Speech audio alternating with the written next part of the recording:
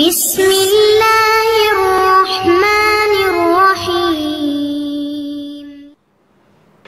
அஸ்ஸலாமு அலைக்கும் வரஹ்மத்துல்லாஹி வபரகாத்து அன்பிற்குரிய சகோதர சகோதரிகளே ஒவ்வொரு ஞாயிற்றுக்கிழமையும் இரவு எட்டு முப்பது முதல் பத்து முப்பது வரை வாட்ஸ்அப் வழியாக நீங்கள் கேட்டிருக்கிற கேள்விகளுக்கு நேரலையில் பதிலளித்து வருகிறோம் இன்றைய நிகழ்ச்சிக்கு செல்வதற்கு முன்னால் இரண்டு அறிவிப்புகள். அதை முடித்துவிட்டு நேரலைக்கு செல்லலாம்.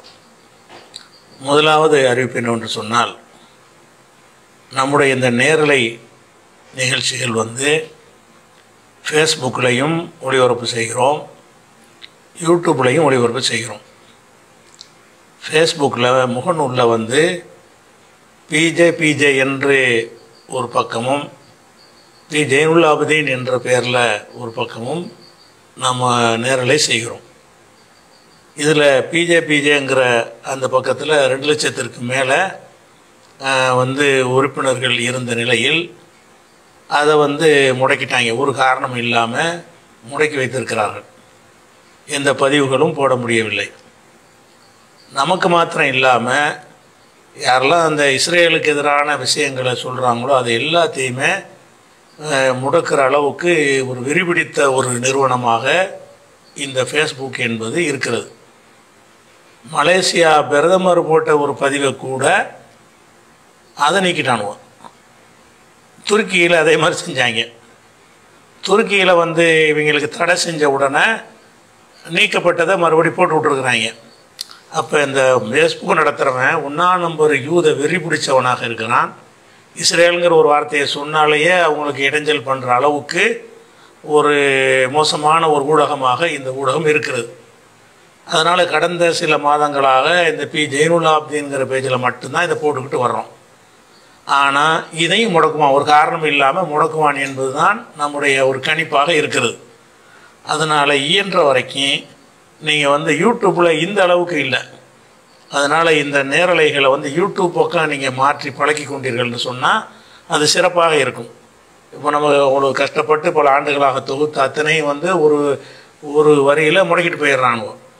அதனால் இந்த முகநூலில் பார்ப்பதை விட யூடியூபுக்கு நீங்கள் மாறிக்கொண்டீர்கள் என்று சொன்னால் அது வந்து நன்மையாக இருக்கும்.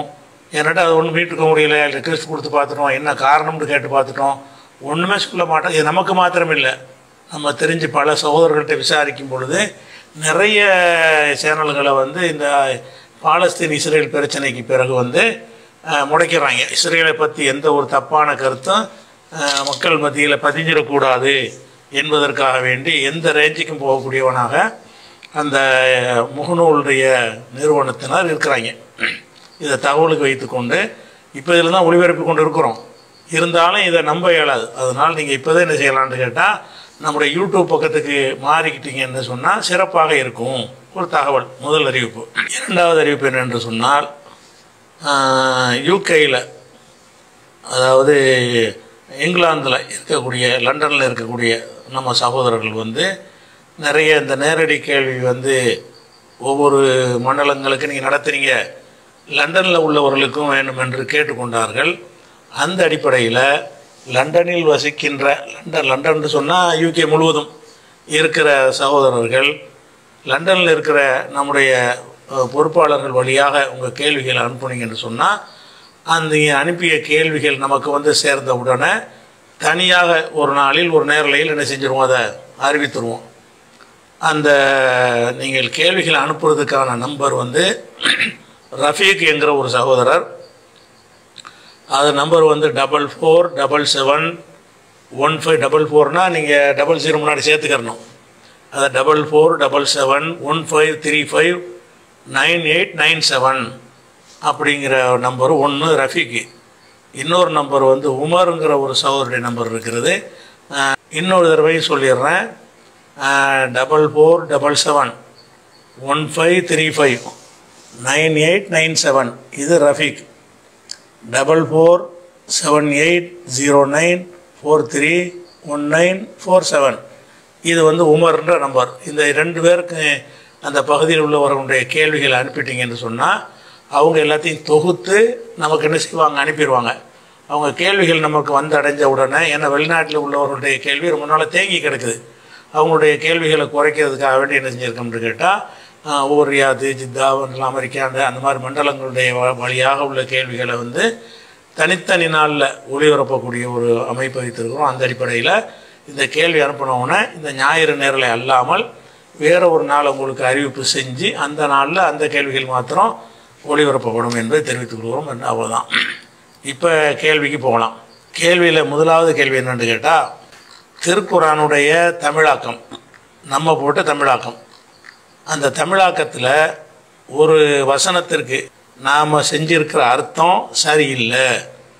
அது இலக்கணத்துக்கே மாற்றமாக இருக்கிறது. அரபி இலக்கணத்தில் அப்படி வராது என்ற மாதிரியான ஒரு கேள்வி வந்து ஒரு பரவலாக வந்து இப்போ கொஞ்ச நாளாக தான் எனக்கு என்னுடைய கவனத்துக்கு வந்திருக்கிறது. அப்படி ஒரு கேள்வியை கொண்டு வந்திருக்கிறாங்க. அந்த கேள்வியை நம்ம இப்போ படிச்சிடலாம். அவங்க என்ன மாதிரி கேட்டிருக்கிறாங்கன்னு கேட்டால் அதாவது அறிஞர் பிஜேயின் தவறான மொழிபெயர்ப்பு அப்படின்றதாக அந்த பதிவு. பூமியில் கர்வத்துடன் நடக்காதீர். நீர் பூமியை பிளந்து மலைகளின் உயரத்தின் அளவை அடையவே மாட்டீர். இப்படிங்கிறது நம்ம ஒரு தமிழாக்கம் கொடுத்துருக்குறோம். பதினேழாவது அத்தியாயத்தில் முப்பத்தி ஏழாவது வசனத்திற்கு நாம் செஞ்சிருக்கிற அர்த்தம் என்னன்னு கேட்டால் பூமியில் கர்வத்துடன் நடக்காதீர். நீர் பூமியை பிளந்து மலைகளின் உயரத்தின் அலையை அடையவே மாட் உயரத்தின் அளவை அடையவே மாட்டீர். இது அறிஞர் பிஜேயின் தவறான மொழிபெயர்ப்பாகும். இந்த ஒரு வசனத்தில் மட்டுமே மூன்று மூன்று இலக்கண பிழைகளை விட்டிருக்கிறார். அதாவது நீர் மலை நீர் பூமியை பிளந்து என்று நேர்மறையாக அரபு மூலத்தில் இல்லை. நீர் பூமியை பிளக்க மாட்டீர் என்று எதிர்மறையாக உள்ளது. லன் என்கிற எதிர்மறை சொல்லை விட்டுவிட்டு மொழிபெயர்த்தியுள்ளார். அதாவது பிளக்க மாட்டீர் என்று அல்லாஹ் சொல்கிறான். பிளப்பீர் என்று மொழிபெயர்த்திருக்கிறார். மொழிபெயர்த்துள்ளார் அறிஞர் பிஜே அதான் நான் செஞ்ச மொழிபெயர்ப்பில் வந்து பூமியை பிளந்துன்னு போட்டிருக்கிறான்ல இது வந்து உடன்பாடாக இருக்குதான். ஆனால் அரபியில் எப்படி இருக்குன்னு கேட்டால் லன். லன் தஹ்ரிக்கல் அருள வளன் தபுலுகள் ஜிபால. அப்போ அடைய மாட்டீர் அப்படின்ற மாதிரி இருக்கும் பொழுது எதிர்மறையான ஒரு சொல்லுக்கு உடன்பாடான ஒரு அர்த்தம் செஞ்சிருக்கிறார். முதல் விஷயம். மூணு பாயிண்ட் சொல்கிறாங்க மூணுமே சரியாங்கிறத பார்க்க போகிறோம் அதாவது அரபியில் வந்து எதிர்மறையாக இருக்குது. நீங்கள் என்ன செய்கிறீங்கன்னா பிளந்து பிளப்பீர் என்று நினைச்சிருக்கீங்க. பிளக்க மாட்டீர்னு நல்லா சொல்கிறான் ஆனால் பிளப்பீர்னு அர்த்தம் செஞ்சிட்டீங்கன்னு வாதிடுறாங்க. ஆனால் பிளப்பீர்னு அர்த்தம் செய்யலை. அதற்கு பிறகு விளக்குறேன். அவங்களா அந்த வார்த்தையை போட்டுக்கிட்டாங்க. பிழ பிளக்க மாட்டீர் என்பதற்கு பிளந்து என்று தான் நான் வந்து அர்த்தம் செஞ்சுருக்கிறேன். அதை வந்து முடிக்கலை இன்னும். முடிக்கிற இடத்துல எதிர்மறை இருக்குதா? அது உடன்பாடாக இருக்கான்னு தான் பார்க்கணும். நீ இப்போ பிளந்து மலையின் உயரத்தை அடைய மாட்டீர். அதாவது பூமியை பிளந்து மலையின் உயரத்தை நீ அடைய மாட்டீர் அந்த அளவை அடைய மாட்டீர் என்று மாட்டீர் தான் முடிச்சிருக்கிறேன். பிளந்து என்று சொல்வது வந்து முடிக்கப்படாத ஒரு சொல்லு தான் அது. பிளந்து என்று நான் மொழிபெயர்த்துட்டு கடைசி மாட்டீர் என்று எதிர்மறையாகத்தான் முடிச்சிருக்கிறேன். ஆனால் இவர் என்ன செய்கிறாங்கன்னு கேட்டால் பிளந்துங்கிற துண்டை எடுத்துக்கொண்டு பிளப்பீர் பிளப்பீர் என்று அர்த்தம் செஞ்சிட்டாரு அப்படின்னு கேள்வியை கேட்குறாங்க பிளப்பீர்னு அர்த்தம் செஞ்சிருக்காதுல பிளக்க மாட்டீர்னு நல்லா சொல்கிறான் நானும் பிளக்க மாட்டீர்னு தானே முடிச்சிருக்கிறேன். பிளந்துன்ற அதை எச்சமாக தானே விட்டுருக்கிறேன். பிளந்து என்பதோட வார்த்தை முடிஞ்சிருச்சா? பிளந்து. மலையின் உயரத்தின் அளவை அடைய மாட்டீர். அப்போ பிளந்து என்பதற்கும் மலையை உயரத்தை அடைகிறதுக்கும் சேர்த்து மாட்டீர்னு கொண்டாந்து முடிச்சிருக்கிறேன்.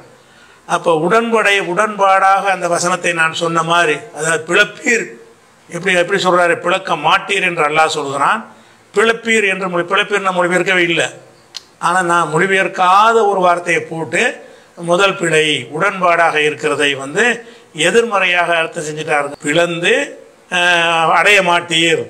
அப்படின்னு முடிக்கிறோம் என்று சொன்னால் இந்த மாட்டீர் என்பதற்கு ரெண்டுக்குமே உள்ளது அது. ரெண்டுக்கும் அடங்கக்கூடிய வகையில் தான் அது இருக்கே தவிர உடன்பாட்டுக்கு எதிர்மறையுடைய அர்த்தத்தை நம்ம கொடுக்கல. ஆனால் அவர் என்ன செய்கிறாருன்னு கேட்டால் பூமியை பிளக்க மாட்டீர் என்று அதை பாருங்கள் பூமியை பிளந்து என்று நேர்மறையாக நேர்மறையாகனா உடன்பாட்டு வினையாக அரபு மூலத்தில் கிடையாது. நீர் பூமியை பிளக்க மாட்டீர் என்று எதிர்மறையாகத்தான் உள்ளது. லன் என்கிற எதிர்மறை சொல்லை விட்டுவிட்டு மொழிபெயர்த்துள்ளார் அப்படின்னு சொல்லிட்டு அதாவது அதாவதுன்னு விளக்குறாங்களாம். அதாவது பிளக்க மாட்டீர் என்று அல்லாஹ் சொல்கிறான் பிளப்பீர் என்று மொழிபெயர்த்துள்ளார் அறிஞர் பிஜே அப்படின்னு போட்டிருக்கிறாங்க. பிளப்பீர் என்று மொழிபெயர்த்திருக்கிறேனா மாட்டீர் என்று மொழிபெயர்த்திருக்கிறேனா? பிளந்துன்னு தானே போட்டிருக்கேன். பிளந்துன்னு எங்கே முடியுது? அங்கேயே போய் பார்க்கணும். பிளந்து அடைய மாட்டீர். அப்படின்னு இந்த மாட்டீர் என்ற அர்த்தத்தில் தான் முடிச்சிருக்கமே தவிர பிழப்பீர் என்றே பிழக்க மாட்டீர் நானும் சொல்லி அர்த்தம் செஞ்சுருக்கிறேன். என்ன செய்யணும்? ரெண்டையும் சேர்த்து செஞ்சுருக்கிறேன். அவ்வளோதான் அது வேறு தனியாக விளக்குறேன். ஆனால் இப்போ முதல் தப்பை என்ன செய்கிறாங்கன்னு கேட்டால் எதிர்மறையான சொல்லுக்கு வந்து உடன்பாடான ஒரு அர்த்தத்தை செஞ்சுட்டாருன்ற முதல் விலை முதல் விஷயமா சொல்கிறார் சரி அடுத்து வந்து வாவை விட்டு விட்டு மொழிபெயர்த்துள்ளார். பூமியை பிளக்க மாட்டீர் என்பதுடன் ஒரு வார்த்தை முடிவடைகிறது. அதன் பிறகு மேலும் என்று பொருள் தரும் வாவு என்ற சொல் வந்துள்ளது. வாவுண்டா இன்னும்னு வரணும்னு நினைக்கிறாங்க. வாவுண்டு என்ன? வாவு வாவுன்னா என்னன்னு கேட்டால் மேலும்னு அர்த்தம். இந்த மேலும்னு மட்டும்தான் சொன்னால் அந்த அர்த்தம் வருமா? அல்லது பிளந்துன்னு நான் நிப்பாட்டிட்டு போகும்போது வாவு இருக்குன்னு தான் அர்த்தம். இன்னும் தானே அதில் இருக்குது. பூமியை பிளந்து என்ன செய்ய மாட்டீர்? மலையின் உயரத்தை அடைய மாட்டீர். பிளந்துன்னு சொல்லும் பொழுது மேலும்ங்கிறது அதுக்குள்ளே அடங்கியிருக்கு. முடியட்டி என்ன அர்த்தம்? மேலும் தான் அர்த்தம். இந்த மேலும்ங்கிற சொல் வந்தால் தான் அந்த வாவுக்கு அர்த்தம் தொடங்கி வச்சிருக்கிறாங்க. அப்படி கிடையாது. மேலுங்கிற சொல்லு சொல்லு வரணும்னு அர்த்தம் கிடையாது. அந்த இன்னும்ங்கிற மேலும்ங்கிற கருத்து அதுக்குள்ளே இருக்குதான் நீங்கள் பார்க்கணும். பிளந்துன்னு சொன்னாலே என்ன அர்த்தம்னு கேட்டால் மேலும் செய்தி மேலும் செய்தி இருக்குது முடிக்கலை இன்னும் அப்படின்னு அர்த்தம். அப்போ வந்து அந்த அதை அதை விட்டுட்டதாக ஒரு வாதம் வைக்கிறாங்க. அதுவும் சரியில்லை. அடுத்து மலைகளின் உயரத்தை இது மூணாவது பிழையாம் மூணாவது பிழை. மலைகளின் உயரத்தை அடைய மாட்டீர் என்ற அரபு மூலத்தில் இல்லை. உயரத்தால் மலை அடைய மாட்டீர் என்றுதான் உள்ளது. அதாவது தூளன் என்கிற அரபு சொல் இங்கே பெயர் உரி சொல்லாக அப்ஜெக்டிவாக வரவில்லை. வினை உரி சொல்லாக அட்வெர்பு வந்துள்ளது இப்படின்னு ஒரு சொல்லி ஒருவர் மலையின் உச்சியில் ஏறி நின்றால் அதன் உயரத்தை அடைந்து விட்டார் என்று பொருளாகும். ஆனால் மலை உச்சியில் நின்றாலும் அவர் உயரத்தால் மலையை அடைய முடியாது. மனிதனின் சராசரி உயரம் அஞ்சு புள்ளி மூணு நாலு அடி தான் அஞ்சரை அஞ்சு கால் அஞ்சரை அடி தான் ஆனால் மலைகள் பல்லாயிரம் அடிகள் உயரமானவை. உயரத்தால் மனிதன் எந்த மலையும் அடைய முடியாது. அது மலை உயரத்துக்கு ஒருத்தன் இருப்பான்ற அந்த அர்த்தம் அதுக்கு. அந்த ஒரு அர்த்தம் தான் கொடுக்கணுமே தவிர இந்த அர்த்தத்தை தப்பாக செஞ்சிட்டாரு. அதாவது ஒரு மலை இருக்குது. அந்த மலையுடைய உயரத்தை நான் அடைந்து விட்டேன் என்று சொன்னால் நான் என்னுடைய சைஸில் தான் இருப்பேன். ஏறி மலையில் அடைஞ்சிட்டேன். அப்படிங்கிறதுக்கு மலையை அடைந்து விட்டாருங்கிற உயரத்தை அடைந்து விட்டார்னு அந்த அர்த்தம். இன்னொரு அர்த்தம் என்னன்னு கேட்டால் அவன் வந்து உயரத்தால் மலை அடைகிறது. மலை உயரத்துக்கு அவன் இருக்குது பெருசாக பிரம்மாண்டமான சைஸில் இருக்கிறது அந்த பிரம்மாண்டமான சைஸை தான் இது சொல்லுதே தவிர இந்த அர்த்தம் கிடையாது. எந்த அர்த்தம் கிடையாது? அந்த மலை மலையினுடைய உயரத்தை அடைகிறது மேலே ஏறி போகிறதுன்னு இருக்குல்ல அந்த அர்த்தம் க- அரபி கிராமர்லே கிடையாதான். கிராமரில் பெரிய தப்பான் அரபி இலக்கணத்தில் இது கிடையாது. அதில் என்னதான் வச்சுக்கிறேன்னு? உயரத்தால் மழை அளவுக்கு உயர மாட்டாய். நீ என்னதான் இருந்தாலும் அஞ்சு அடிக்கு மேலே ஆறு அடிக்கு மேலே நீ போக மாட்டாய். அப்போ உன்னுடைய உயரமும் மழையுடைய உயரமும் ஒன்றா மழை உயரத்துக்கு நீ வந்துடுவியா அப்படிங்கிறது தான் இதுக்கு ஒரே ஒரே அர்த்தமே தவிர நீ மலை உச்சிக்கு செல்ல முடியாதுங்கிற அர்த்தம் வராது. அது கிராமர்லே கிடையாது அப்படிங்கிற ஒரு விஷயம் சொல்கிறாங்க இப்போ வந்து அதுக்கு இப்படி இந்த வார்த்தை தான் வரணும். அது வார்த்தை எது? இன்னக்கலன் தமிழக தூளல் ஜிபாலி இப்போ ஹுரூக்கில் அறதி இப்படி தான் அதுக்கு வரணும் வாசகம். இந்த வாசகத்தை இப்படி வரவே வராது. எந்த வாசகத்துக்கு? உளன் தபுளுகள் அருள ஜிபால தூளா. அதாவது மலை உயரும் அளவுக்கு நீ வளர முடியாது. மலையின் உச்சியை அடைய முடியாது. அப்படிங்கிற அர்த்தம் வரவே வராது. மலையுடைய என்ன உயரமாக இருக்குதோ அந்த உயரத்துக்கு நீ இருக்கலை. இந்த அர்த்தம் தான் கொடுக்கணும். கிராமரில் அப்படி தான் இலக்கண பிழையை செஞ்சுருக்கிறாரு அப்படிங்கிறாங்க. ஆனால் கிராமரில் அப்படி இருக்குதாங்கிறத பேசுகிறாருந்தா ஒரு நேரடி விவாதமாக இருந்துச்சுன்னு சொன்னால் இந்த கருத்து வைக்கக்கூடிய ஒரு முன்னாடி இருந்தாருன்னு சொன்னால் இப்போ என்ன செய்வோம்? கிராமர்லையே எடுத்து கிராமர் அடிப்படையில் நிரூபிக்கலாம். இது வந்து பொதுமக்களுக்கு சொல்கிற விஷயமா இருக்கிறதுனால அந்த டீப்பான கிராமருக்கு நம்ம போகாமல் இந்த வச இந்த விஷயத்திற்கு இந்த சொல்லுக்கு அரபு மொழி இலக்கணத்தை கற்றறிந்த வீரி திருக்குறானுடைய தப்சீர்கள் விரிவுரையாளர்கள். அவர்கள் நான் சொன்ன அர்த்தத்தை செஞ்சு இருக்கிறாங்களா நீங்கள் இல்லவே இல்லைங்கிறீங்களா மொழியில இல்லைங்கிறீங்க.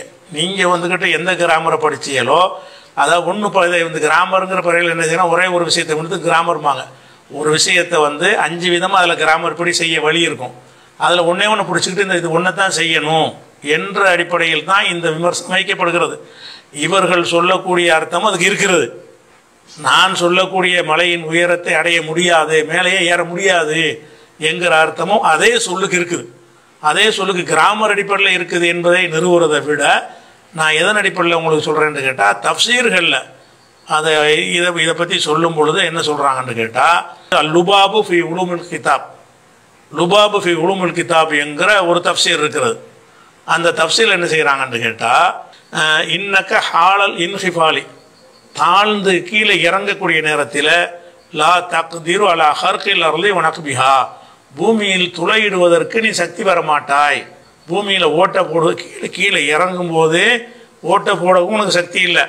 ஓ ஹாலல் இருத்திஃபாய் மேலே போகிறதுன்னு வைத்துக்கொண்டால் லா தக்தீரு நீ சக்தி பெற மாட்டாய். அலா அன் தசீல இலா ரூசில் ஜிபால். மலையினுடைய உச்சியை நீ சென்று அடைவதற்கு சக்தி வர மாட்டாய் அந்த அர்த்தமே இல்லைன்னு சொல்லியிருக்கிறாங்க. இலக்கணத்தில் கிடையாதான் அரபு கிராமரில் இப்படி கிடையாதான் அரபு கிராமர் தெரிஞ்ச தப்சீர்களில் என்ன எழுதுறாங்கன்னு கேட்டால் அவங்க சொன்ன அர்த்தம் தான் எழுதியிருக்காங்க சிலர். அந்த அர்த்தம் இருக்கு இருக்குது. ரெண்டு அர்த்தத்தில் இது பொருத்தம்ங்கிற வகையில் தான் நம்ம ஒன்றை சூஸ் பண்ணணும். அதில் என்ன வருதுன்னா ஹாலல் இருத்திஃபாய் மேலே ஏறி செல்லும் பொழுது லா தகுதிரு அந்த வார்த்தைக்கு அர்த்தம் செய்கிறாங்க மலையின் உயரத்தை அடைய மாட்டாய்ன்னு வருதுல. உயரத்தால் மலை அடைய மாட்டேன்னு அர்த்தம் செய்யணுமா? மலையின் உயரத்தை அடைய மாட்டேன்னு அர்த்தம் செய்யக்கூடாதான். என்ன அர்த்தம் தான் செய்யணுமா? உயரத்தால் மலை அடைய மாட்டீர். மோ உயரமும் மலை உயரமும் ஒன்றுன்னு வராது. அந்த ஒரு அர்த்தம் தான் அதுக்கு இருக்குது என்கிறார்கள்ல. அந்த ஒரு அர்த்தம் தான் இருக்குன்னு சொன்னால் கிராமரில் இருக்குன்னு சொன்னால் அந்த கிராமரில் கரைச்சி குடித்த தப்சீரில் தப்சீரில் உள்ளவங்களுடைய அந்த கதைகள் கட்டுக்கதைகளை எல்லாம் நம்ம ஏற்றுக்கிற முடியாது. கிராமரில் அவங்க கரெக்டாக சொல்லுவாங்க. அந்த மொழி அறிந்தவர்கள் அந்த மொழியில் கிராமரில் இருக்கத்தான் சொல்லுவாங்க என்கிற அடிப்படையில் சொல்கிறேன். இப்போ ஹாலல் இருத்திஃபாய் மனிதன் மேலே கீழே போகிறதா இருந்தாலும் ஓட்டை போட்டு கீழே போக முடியாது உனக்கு. மேலே போகிறதா இருந்தாலும் எவ்வளவுக்கு தான் போக மலை உச்சிக்கு நீ போயிட மாட்டேன். ஹாலல் இருத்திஃபாய் இந்த ஹைட் ஹைட் பண்ண இந்த ஹைலைட் பண்ணுறேன்ல அந்த வாசகத்தை பாருங்கள் ஓ ஹாலல் இருத்திஃபாய் மேலே உயரக்கூடிய நிலையில் லா தக்தீரு நீ சக்தி பெற மாட்டாய் அலா அந்த சிலை லா ரூசு ஜிபால். மலையின் உச்சிகளுக்கு போய் சென்றடைய சக்தி பெற மாட்டாய் நீ இதே சைஸில் தான் இருப்ப. மலை உச்சிக்கு உனக்கு போக இயலுமானா போக இயலாது. அதுதான் இந்த சொல்லுக்கு அர்த்தங்கிறாங்க. இந்த சொல்லுக்கு அர்த்தம் என்னது? லுவாபு தப்சீரில் வந்து அந்த அர்த்தத்தை செய்கிறாங்க அதே மாதிரி தபுரி அவர்களுடைய தப்சீரை பாருங்கள் தபுரி அவர்கள் வந்து இந்த தப் இதுக்கு தப்சீர் செய்யும் பொழுது கத்தாதா என்பவர் ஒரு அறிஞர் சொன்னதை எடுத்து காட்டுகிறார் இந்த கதாதாவுடைய சொல்லை வந்து தபுரி அல்லாத வேற வேற பல தப்சீர்கள்லையும் எடுத்து காட்டுறாங்க கத்தாதா வந்து தப்சீர் செய்வதில் முக்கியமான ஒரு ஆள் தான். ஆனாலும் இந்த கிராமர் செய்தியை சொல்லும்போது நம்ம அந்த தப்சீருங்கிற கணக்கில் பார்க்க வேணாம். அரபு மொழியில் இருக்குது என்கிற அடிப்படையில் பார்த்தீங்கன்னு சொன்னால் இதே வசனத்தை விளக்குறார். என்ன செய்கிறான்னு கேட்டால் தம்சி ஃபில் அர்லி ஃபஹ்ரன் முக்கிபரா பூமியில் அகந்தையாகவும் பெருமையாகவும் நடக்காத ஏன்னு கேட்டால் இப்போ இன்ன தாலிக்க இப்படி நீ பெருமையாக நடப்பது என்பது லா எவ்வளவு பிக்கல் ஜிபால். உன்னை மலை உச்சியில் கொண்டே வைக்காது. மலையில் ஏறுவதை உயரத்தை அடைவது தான் அர்த்தங்கிறார். லா எவ்வளவு பிக்கல் ஜிபால். உன்னை- கொண்டு மலையில் அடைந்துட உன்னை கொண்டே மலையில் சேர்த்துறாது நீ என்னதான் பெருமை அடித்தாலும் இந்த பெருமையின் மூலமாக மலை உச்சிக்கு போயிடுவியா மலைக்கு உச்சிக்கு போகிறது தான் அர்த்தம் கத்தாதா சொல்கிறார் இந்த கேள்வி கேட்டவர் இந்த பரப்புறவர் என்ன செய்கிறாருன்னு கேட்டால் அரபு மொழியில் இல்லைங்கிறார். கிராமரில் கிடையாதான் அந்த அர்த்த உயரத்தால் நீ மலை அடைய மாட்டீர் என்ற ஒரு அர்த்தம் தான் அதுக்கு செய்யணுமே தவிர நீ மலையின் உயரத்தை அடைய மாட்டாயின்னு அர்த்தம் செய்யவே முடியாதுங்கிறார். செஞ்சிருக்கிறாங்க. யார்? கத்தாதா செஞ்சிருக்கிற ஒரு விஷயத்த தபரிலையும் சொல்லி சொல் தபரிலையும் காட்டுறாரு. துருள் மன்சூர்லையும் காட்டுறாரு. இன்னும் பல தப்சீர்களையும் காட்டுகிறார். அதுக்கப்புறம் வந்து தப்சீர் ராசி ராசியில் என்ன செய்கிறாருன்னு கேட்டால் இதை சொல்கிறார் என்ன சொல் லுபாபில் சொன்ன அதே விஷயத்தை சொல்கிறாரு ஆளல் இருத்திஃபாயி நீ மேலே போகக்கூடிய நேரத்தில் லா தகுதிரு அலா அன் தசீல இலா ரூசில் ஜிபால். மலையின் உச்சியை நீ சென்றடையின் சக்தி பெற மாட்டாய். ராசிலாம் அந்த நகு சர்ஃபு விஷயத்தில் ரொம்ப ஒரு அத்தாரிட்டியாக எடுக்கக்கூடிய ஒரு ஆள் ஃபஹ்ருதீன் ராசி. தப்சீரை கபீரும்பாங்க. ராசியுடைய தப்சீர்னு சொல்லுவார்கள் அவர் என்ன செய்கிறாருன்னு கேட்டால் உயரத்தால் நீ மலையை அடைய மாட்டீர் அப்படின்னு சொல்லாமல் மலையின் உயரத்தை அடைய மாட்டீர் என்று சொல்றார். நீ என்னதான் இருந்தால் மலைக்கு மேலே போயிடுவியாங்கிறார் நீ என்னதான் இருந்தாலும் மலை உச்சியை போய் நீ அடைஞ்சிருவியாங்கிறார். நீ இதே சைஸ் தான் இருப்ப. அப்போ ரெண்டு அர்த்தத்துக்கு வித்தியாசம் இருக்குன்னு சொல்லிவிட்டு ரெண்டு அர்த்தத்துக்கு வித்தியாசம் இருக்குதான் செய்யுது. ஆனால் நாங்கள் செஞ்ச இந்த ஒரு அர்த்தம் தான் அதுக்கு இருக்குது. இந்த அர்த்தம் கிடையவே கிடையவே கிடையாதுன்னு சொல்லி பயங்கர இலக்கண பிள்ளைங்கிற மாதிரி அந்த ஒரு பதிவை கேட்டு என்ன செய்கிறாங்க செய்கிறாங்க அது சிந்திக்கிறது கிடையாது. ஒரு கிராமர்னு நம்ம சொல்கிறோமே கிராமர்னு சொன்னால் ஒரு அலா அலாங்கிற வார்த்தை இருக்குன்னு வைங்க. அலாண்டா மீதுன்னு பாலர் பாடத்தில் சொல்லி தருவாங்க. அது மட்டும்தான் அர்த்தம்னு விளைவிக்கிறது அலாவுக்கு வரைன்னு கூட அர்த்தம் செய்யலாம். கொண்டுன்னு அர்த்தம் செய்யலாம்னு பல அர்த்தம் அதுக்கு இருக்கும். அரி அரிதாக வரக்கூடிய அர்த்தங்கள்லாம் இருக்கும். அப்படிலாம் வேறு இதுகள் வந்து இருக்குதா? இதே மாதிரியான சொல்பிரயம் குரானில் வேறு மாதிரிலாம் வந்து இருக்குதா? அப்படிலாம் சிந்திச்சு சிந்திச்சுன்னு கிராமரை பற்றி பேசுகிறாங்க அப்படி பேசணும். இது வந்து இது இந்த உயரத்தால் மலை அடைய மாட்டியிருந்தால் அர்த்தம் வருமே தவிர நீ வந்து மலையின் உயரத்தின் அளவை அடைய மாட்டீங்கிற அர்த்தம் வரவே வராது. ரெண்டு அர்த்தத்துக்கும் பெரிய வித்தியாசம் இருக்கிறது. ஒரு அர்த்தம் தான் கிராமர் படி உள்ளது இன்னொரு அர்த்தம் கிராமர் படி இல்லைங்கிறீங்கல்ல. அப்போ ராசிக்கு வந்து அந்த கிராமர் தெரியலையா? அரபி கிராமரு. அப்படின்றத பார்க்குறோம். அதே மாதிரி வந்து நலுமுத்துரர் கிதாபில் என்ன செய்கிறாருன்னு கேட்டால் மலையின் உச்சியை அடைய மாட்டீர் என்பதற்கு மலையின் உச்சியை தூழல் ஜிபாலி குள்ளிகா அனைத்து மலைகளினுடைய உயரத்தை பிசைரிஃபிஹா அதில் நடப்பதன் மூலம் நீ அடைய மாட்டீர். அந்த அளவுக்கு தெளிவாக சொல்கிறார் எப்படி சொல்கிறாரு உயரத்துக்கு போய் உயரத்துக்கு நம்ம போகிறதுங்கிற அர்த்தம் கிடையாது அது. மலையுடைய சைஸுக்கு நீ இருக்கலைன்னு தான் அர்த்தம்னு சொல்றீங்கல்ல அந்த அர்த்தத்தை அவர் தரலை. எந்த அர்த்தம் இல்லைங்கிறீங்களோ கிராமரில் இல்லைங்கிறீங்களோ அந்த அர்த்தத்தை தான் நலமு துரரில் அவர் சொல்கிறாரு கேட்டார்ல லன் தவ லன் தபுலுக நீ அடைய மாட்டாய் தூழல் ஜிபாலி குள்ளிகா. அனைத்து மலைகளுடைய உச்சியையும் நீ அடைய மாட்டாய் சைரி ஃபிஹா. அதில் நடப்பதன் மூலம் நடப்பதன் மூலம்னா போய் சேருவது அடையது தான் சொல்றார். நடப்பதன் மூலமாக நடந்து நடந்து நடந்து நடந்து உச்சிக்கு நீ போயிடுவியா அப்போ உச்சிக்கு போகிறதுங்கிற அர்த்தத்தை இல்லவே இல்லைங்கிறாங்க. கிராமரில் கிடையாதான் எந்த கிராமர் நீங்கள் போய் பார்த்தீங்க கிராமர்னு வாதமாக வந்தால் கிராமராகவே பேசலாம். இது வந்து பொதுமக்களும் பார்க்குறதா இருக்கனால இந்த கிராமர் படி வந்து தப்சீரில் செஞ்ச அர்த்தத்தை மட்டும் உங்களுக்கு எடுத்து காட்டிகிட்டு இருக்கிறேன்.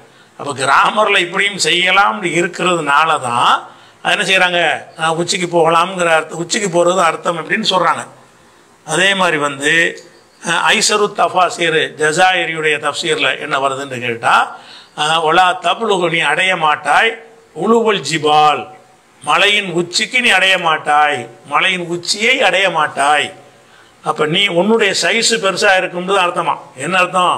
நீ மலை சைஸுக்கு இருக்கிறியா? அப்படிதான் அந்த வசனம் சொல்லுதே தவிர இது இப்படி சொல்லவே இல்லை. இப்படி சொல்வதா இருந்தால் இந்த வாசகத்தை தான் சொல்லி இருக்கணும்னு சொல்லி ஒரு பயங்கரமான ஒரு கண்டுபிடிப்பை செஞ்சுருக்கிறாங்க. முதல்ல இதை பற்றி பேசுகிறீங்கன்னா கேள்வி கேட்குறீங்க. கிராமரை வச்சு பேசுகிறீங்கன்னு கேட்டால் இதுக்கு வந்து இந்த அர்த்தத்தை செஞ்சுருக்கிறாங்களான்னு தேட மாட்டீங்களா? தப்சீர்களில் குறைஞ்சபட்சம் கிராமர் தான் உங்களுக்கு தெரியல.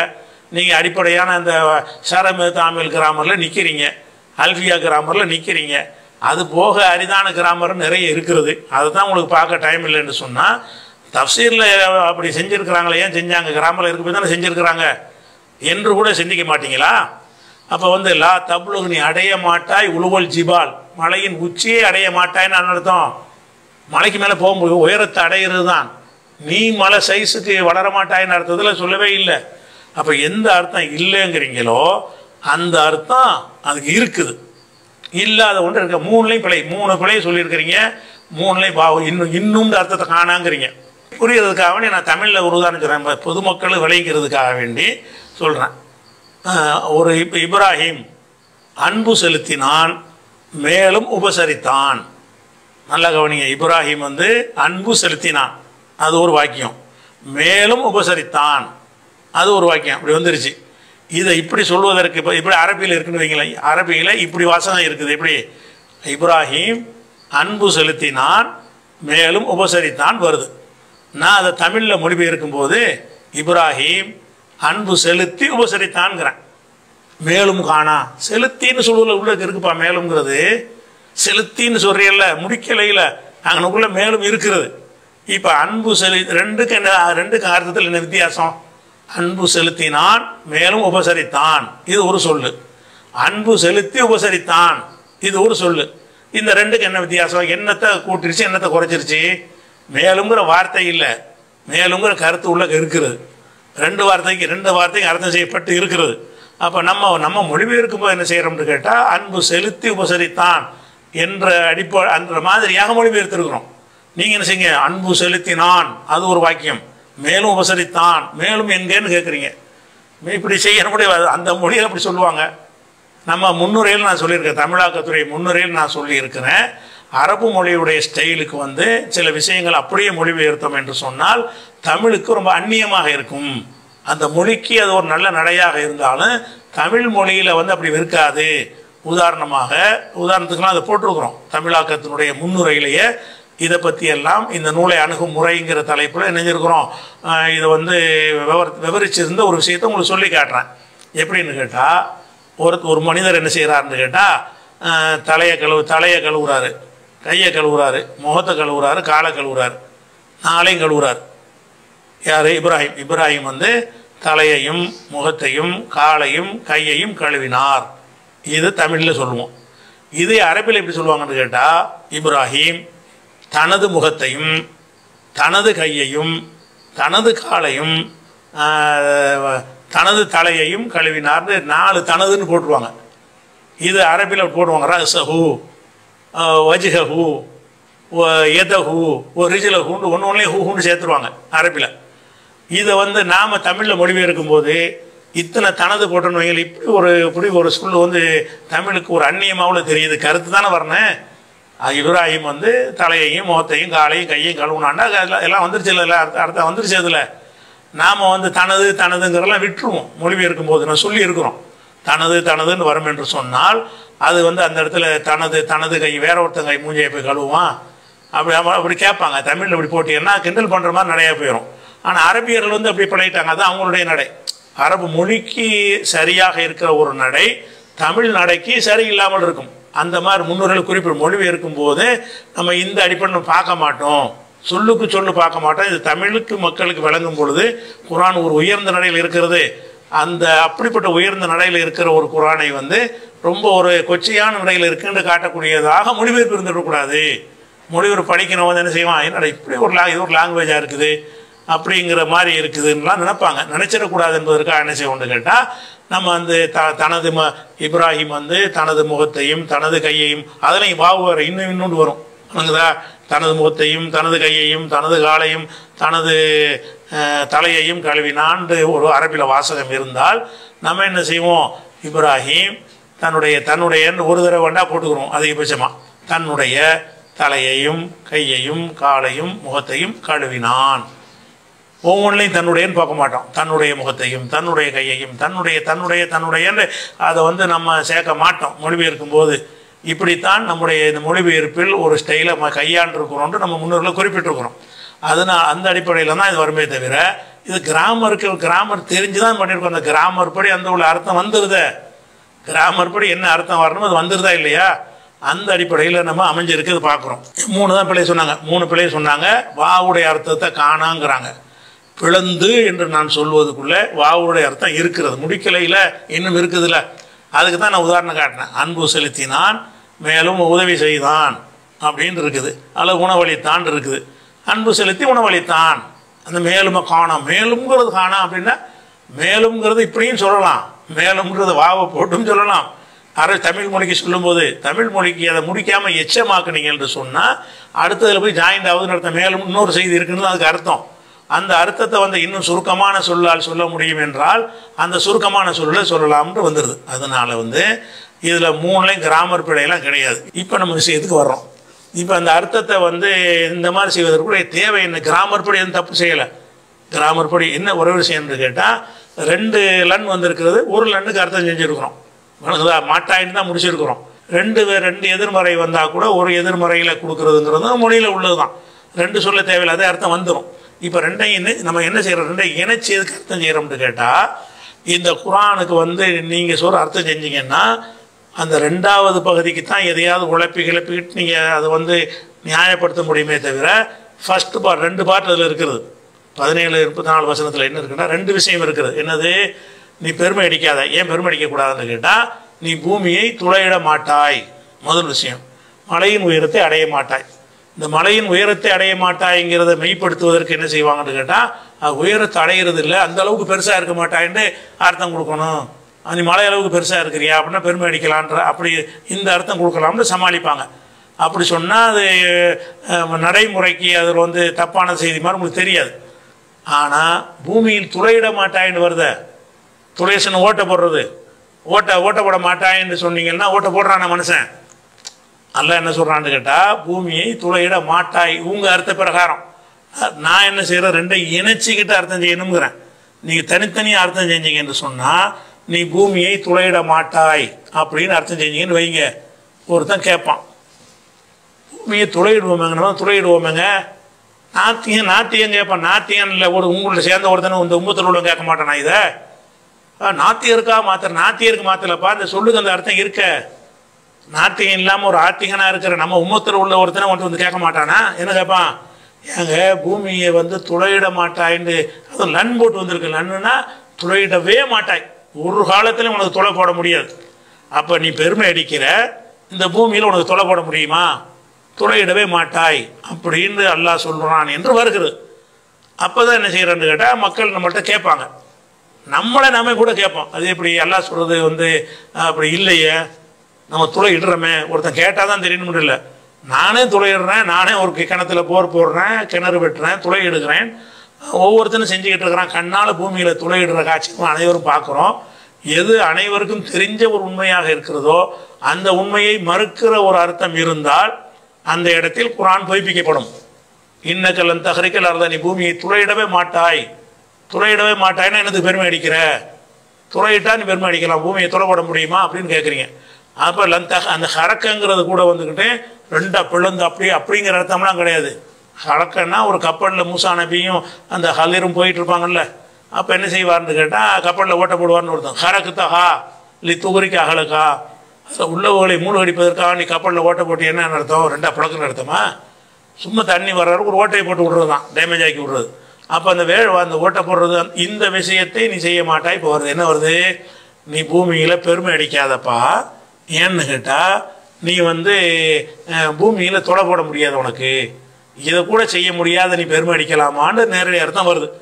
அப்போ இதை போய் சொல்லும்போது அவன் என்ன கேட்பான் ஒருத்தன் கேட்பான் நானே கேட்குறேன் இப்போ ஒரு நான் நாத்தியம் கேட்குறேன்? நான் தான் உன்ட்ட கேட்குறேன். நீ எனக்கு பதில் சொல்லிப்பேன் ஒரு உண்மைக்கு மாற்றமாக இருக்குதுங்க. என்னங்க அர்த்தம்னு ஒருத்தன் கேட்டானா அதுக்கு என்ன பதில்? அப்போ என்ன செய்கிறான் அப்போ இந்த அர்த்தம் அங்கே கொடுக்கக்கூடாது பூமியை துளையிட முடிகிறது. துளையிட மாட்டாயின்னு எல்லாம் சொல்ல மாட்டான். அந்த பொருந்தாத ஒரு அர்த்தமாக இருந்தாலும் நான் படித்த பாதி கிராமர் இப்படி தான் செய்வேன்றீங்கன்னா அப்போ இந்த இந்த குரானை பொய்ப்பிக்கிறீங்க. நீங்கள் இது மக்கள்கிட்ட கொண்டு போகுமே? என்ன செய்றீங்க? குரானை பொய்யாக்குறீங்க இப்போ எப்படி பொய்யாக்குறீங்க? ஊரறிய உலகறிய அத்தனை பேரும் தொலை போட்டுக்கிட்டு இருக்கிறான். அதை முடியாது என்று குரான் சொல்லுது. குரான் உண்மைக்கு மாற்றமாக பேசுதுன்னு ஒரு கருத்து வரும். இதுக்கு வந்து நீங்கள் எந்த சமாளிப்பும் என்ன செய்ய முடியாது. செய்ய முடியாது. சொன்னாலும் சமாளிக்கிறீங்கன்றான் அப்படிங்க நம்ம என்ன செய்கிறோம்னு கேட்டால் சரி. பூ- மலை உச்சிக்கு அடைய முடியாதுங்கிறதுக்கு ஒரு விளக்கத்தை சொல்லிடுவீங்க. அது ரெண்டாவது பாட்டுக்கு. ரெண்டாவது பாட்டுக்கு அந்த அர்த்தம் இல்லைன்னு தான் சொல்கிறாங்க மேலே ஏறுவதை தான் சொல்கிறாங்க நீங்கள் சைஸ் செய்ய அதுக்கு அதுக்கு மட்டும் என்ன செய்றீங்க? மலை அளவுக்கு நீ பெருசாக இருக்கிறியா? மலையுடைய உயரத்தை உயரம் அளவுக்கு நீ இருக்கிறியான்னு அர்த்தம் செஞ்சோம்னு சொன்னால் அது அது வந்தால் நடைமுறையில் உள்ளதாக போயிடும் நம்ம மலை மலை அளவுக்கு இல்லை தானே. ஏன்டா மலை அளவுக்கு நீ பெருசாக இருக்க. அஞ்சு அடி இருந்துட்டு என்ன பெருமை அடிக்கிறேன்னு சொன்ன மாதிரி அதுக்கு நீங்கள் வியாக்கியானம் கொடுத்துடலாம். ஆனால் ரெண்டும் சே ரெண்டு விஷயத்தில் எல்லாம் சொல்கிறான் ஒன்று கொடுத்துட்டு இன்னொன்று வந்து பொருந்தாத விட முடியாத. அதுவும் பொருந்தணும் அதுவும் பொருந்தணும். அப்போனா என்ன அர்த்தம்? நம்ம என்ன சிந்திக்கிறோம் என்று கேட்டால் அப்போ இது வந்து நாம் செஞ்சுக்கிட்டு இருக்கிற ஒரு விஷயத்தை செய்ய மாட்டான்னு நல்லா சொல்லுவானா? இது பெரிய விஞ்ஞானம். அந்த மாதிரி கண்டுபிடிப்புகளாக இருந்தால் கூட அந்த காலத்தில் முகமது அவராக வந்து சொல்லியிருப்பார் வழங்காமன்று கூட இது நாத்திகர்கள் கேட்க முடியும். இது வந்து தெரிஞ்ச ஒரு விஷயம். பூமியை துளையிடுதல் என்பது ரசூல்லா காலத்தில் இல்லாததா? கிணறுலாம் தோன்றலையா? ரசூல்லா காலத்தில் கிணறு வெட்டினாங்கல்ல துளையிட்டாங்கல்ல பூமியை துளையிடுதல் என்பது அன்றைக்கு வரைக்கும் இருந்த ஒரு காரியம். எல்லாரும் கண் முன்னாடி பார்த்துக்கிட்டு இருக்க காரியத்தை செய்ய மாட்டேன்னு அந்த மக்களை கேட்டிருப்பாங்க. நாங்கள் தான் துளையிடுறோம்னு கேட்டிருப்பாங்களே. அந்த காலத்தில் வந்து நான் கேள்வி கேட்டிருப்பானே என்னங்க பூமியை துளையிட முடியாதுங்கிறீங்க? எங்கள் வீட்லேயே மூணு கிணறு வச்சுருக்கிறேன் துளையிட்டுருக்கேன்னு கேட்க மாட்டான். அப்போ நம்ம யோசிக்கிறோம் இதில் ரெண்டு விஷயம் வருகிறது. ஒன்று பூமியை துளையிட மாட்டாய். இன்னொன்று வந்து மலையின் உயரத்து அளவுக்கு அடைய மாட்டாய். மலையின் உயரம் அளவுக்கு நீ அடைய மாட்டாய்ன்னு வருது. நம்ம என்ன செய்கிறோம்னு கேட்டால் இந்த ரெண்டுமே அடையிறதா இருக்குது. ரெண்டுமே என்ன செய்யறது நீ பூமியை தொலையும் போட முடியும். மேலையும் போக முடியும். மலை உச்சிக்கும் போக முடியும். மலை உச்சிக்கும் போக முடிகிறது. துளையும் போட முடிகிறது. அந்த ரெண்டையும் நீ செய்ய மாட்டாய்ன்னு குரான் சொல்லுமையானால் அவ குரான் வந்து உண்மைக்கு மாற்றமான செய்தியை சொல்லுது என்றுதான் அந்த கருத்தை நீங்கள் கொடுத்தால் வரும். அதனால் நம்ம என்ன செய்கிறோம்னு கேட்டால் ரெண்டை இணைச்சி ரெண்டையும் இணைச்சி செய்ய மாட்டாயின்னு நம்ம சொல்கிறோம் அந்த ரெண்டையும் தனித்தனியாக நீ ஆக்காதீங்க. இணைச்சிடணும் எப்படின்னு கேட்டால் பூமியை துளைத்து மாட்டாய்ன்னு முடிச்சிடாம பூமியை துளைத்து மழையின் அளவுக்கு கீழே போக மாட்டாய்ன்னு என்ன செய்கிறோம் மலையுடைய உயரம் இருக்குல்ல அந்த அளவுக்கு துளைக்க மாட்டாய்ன்னு சொல்லி ரெண்டையும் ஜாயின் பண்ணோம்னு சொன்னால் அப்படிப்பட்ட ஒரு துளையிட்டு என்ன செய்ய முடியாது நீ? போக முடியாது. நீ அடைய முடியாது. போய் அடையணும். சும்மா கருவிகளை விட்டு ஆழம்பாக்குறது வந்து எவ்வளோ தூரத்துக்கும் போகலாம். அந்த நீனே போகணும் மனுஷனே போகணும். மனுஷனே போகணும் என்று சொன்னால் அது வந்து அந்த மலை உயரத்துக்கு போக முடியாது. அது வரைக்கும் போனது கிடையாது. அந்த மாதிரி வைத்தோம் என்று சொன்னால் அப்போ இந்த குரானில் வந்து அந்த எல்லாருக்கும் வரக்கூடிய சந்தேகம். இதை சொன்னால் நாத்தியனுக்காக மாற்றுறாங்கன்றாங்க நாத்தியனுக்காகலாம் மாத்தலப்பா. இது கிறிஸ்தவருடைய கேள்விக்கெல்லாம் மாற்றலை எனக்கு எனக்கு அந்த கேள்வி இருக்குதே. அது சொல்ல பதில். எனக்கு அந்த கேள்வி இருக்குது எப்படி? நான் தான் துளையிடுறேன் துளையிட மாட்டேன்னு எப்படி? என் இறைவன் இப்படி பொய்யா பேச மாட்டான்னு நான் நான் நம்புகிறேன் இறைவன் வந்து உண்மைக்கு மாற்றமாக குரானில் இருக்கான்னு நம்புகிறேன் அதனால் நான் என்ன பண்ணுறேன்னு கேட்டால் பூமியை துளைக்க மாட்டாய் என்பதையும் மலை உயரத்தை அடைய மாட்டாய் என்பதையும் தனித்தனியாக ஆக்காம ரெண்டையும் மெர்ஜி பண்ணி அதாவது அதான் பிளந்துன்னு சொல்கிறோம்ல பூமியை பிளந்து பிளந்துனா ஒரு துளை போட்டு அந்த மலை உயரம் இருக்குல்ல அந்த உயரம் அளவுக்கு நீ போக மாட்டாய்ன்னு சொல்லி ஜாயிண்ட் பண்ணிட்டோம்னு சொன்னால் துளை போடுறது மறுக்கலை. இவ்வளோ பெரிய துளை போட்டு நீ போகணும். துளையும் போடணும் நீனும் போ நீ அடைய நீ போய் அடையணும்னு வருது. நீ அடையவும் செய்யணும். அப்போ மனுஷனே போகணும். அந்த துளைக்குள்ளே என்ன செய்யணும்? அந்த மனுஷனே போகணும். அப்படின்னு வச்சோம்னு சொன்னால் அந்த உயரத்துக்கு மனுஷன் போக முடியாது. இயல்பாக போக முடியாது. போனால் பல விஷயங்கள் இருக்குங்கிறது விளக்குறோம். அந்த அடிப்படையில் வைக்கும்போது இது எந்த ஒரு கிராமருக்கு மாற்றம்லாம் கிடையாது. அதில் என்னன்னு கேட்டால் ரெண்டு மாட்டேன் வந்திருக்கேன்னு கேட்டால் ரெண்டு மாட்டேனே சொல்லணும்ன்றது கிடையாது. மொழியில் ரெண்டையும் சேர்த்து மெரிஜ் பண்ணால் ஒரு மாட்டேன்லேயே வந்துடும் எதிர்மறைக்கு எதிர்மறை வந்துருச்சு. வாவுடைய அர்த்தம் இல்லைங்கிறீங்க வாவுடைய அர்த்தம் இருக்குது. இப்படி ஒரு மொழியிலேயே அப்படி ஒரு அர்த்தம் வரவே வராதுங்கிறீங்க. வந்திருக்குது என்று தப்சீர் எடுத்து காட்டிட்டேன். அதனால வந்து நாம் செஞ்ச அர்த்தம் வந்து கிராமர் படி எந்த ஒரு பிழையும் கிடையாது. கிராமரில் உள்ளது தான் என்பதை அதுக்கு பதிலாக சொல்லிக் கொடுக்குறோம். அடுத்து கேட்குறாரு கத்தாரில் இருந்து கத்தாரில் இரண்டு கடைகளில் நான் தேடும் லேப்டாப் இருக்கிறது. ரெண்டு கடை பேரை போட்டிருக்காரு நமக்கு தேவையில்லை. ரெண்டு கடையில் இருக்கிறது. ஒரு கடையில் விலை குறைவு. ஆனால் தவணைங்கிற ஆப்ஷன் கிடையாது. ரெண்டு லேப்டாப்பு ஒன்று வாங்க போகிறாரு ரெண்டு கடையில் அந்த ஜாமான் இருக்குது.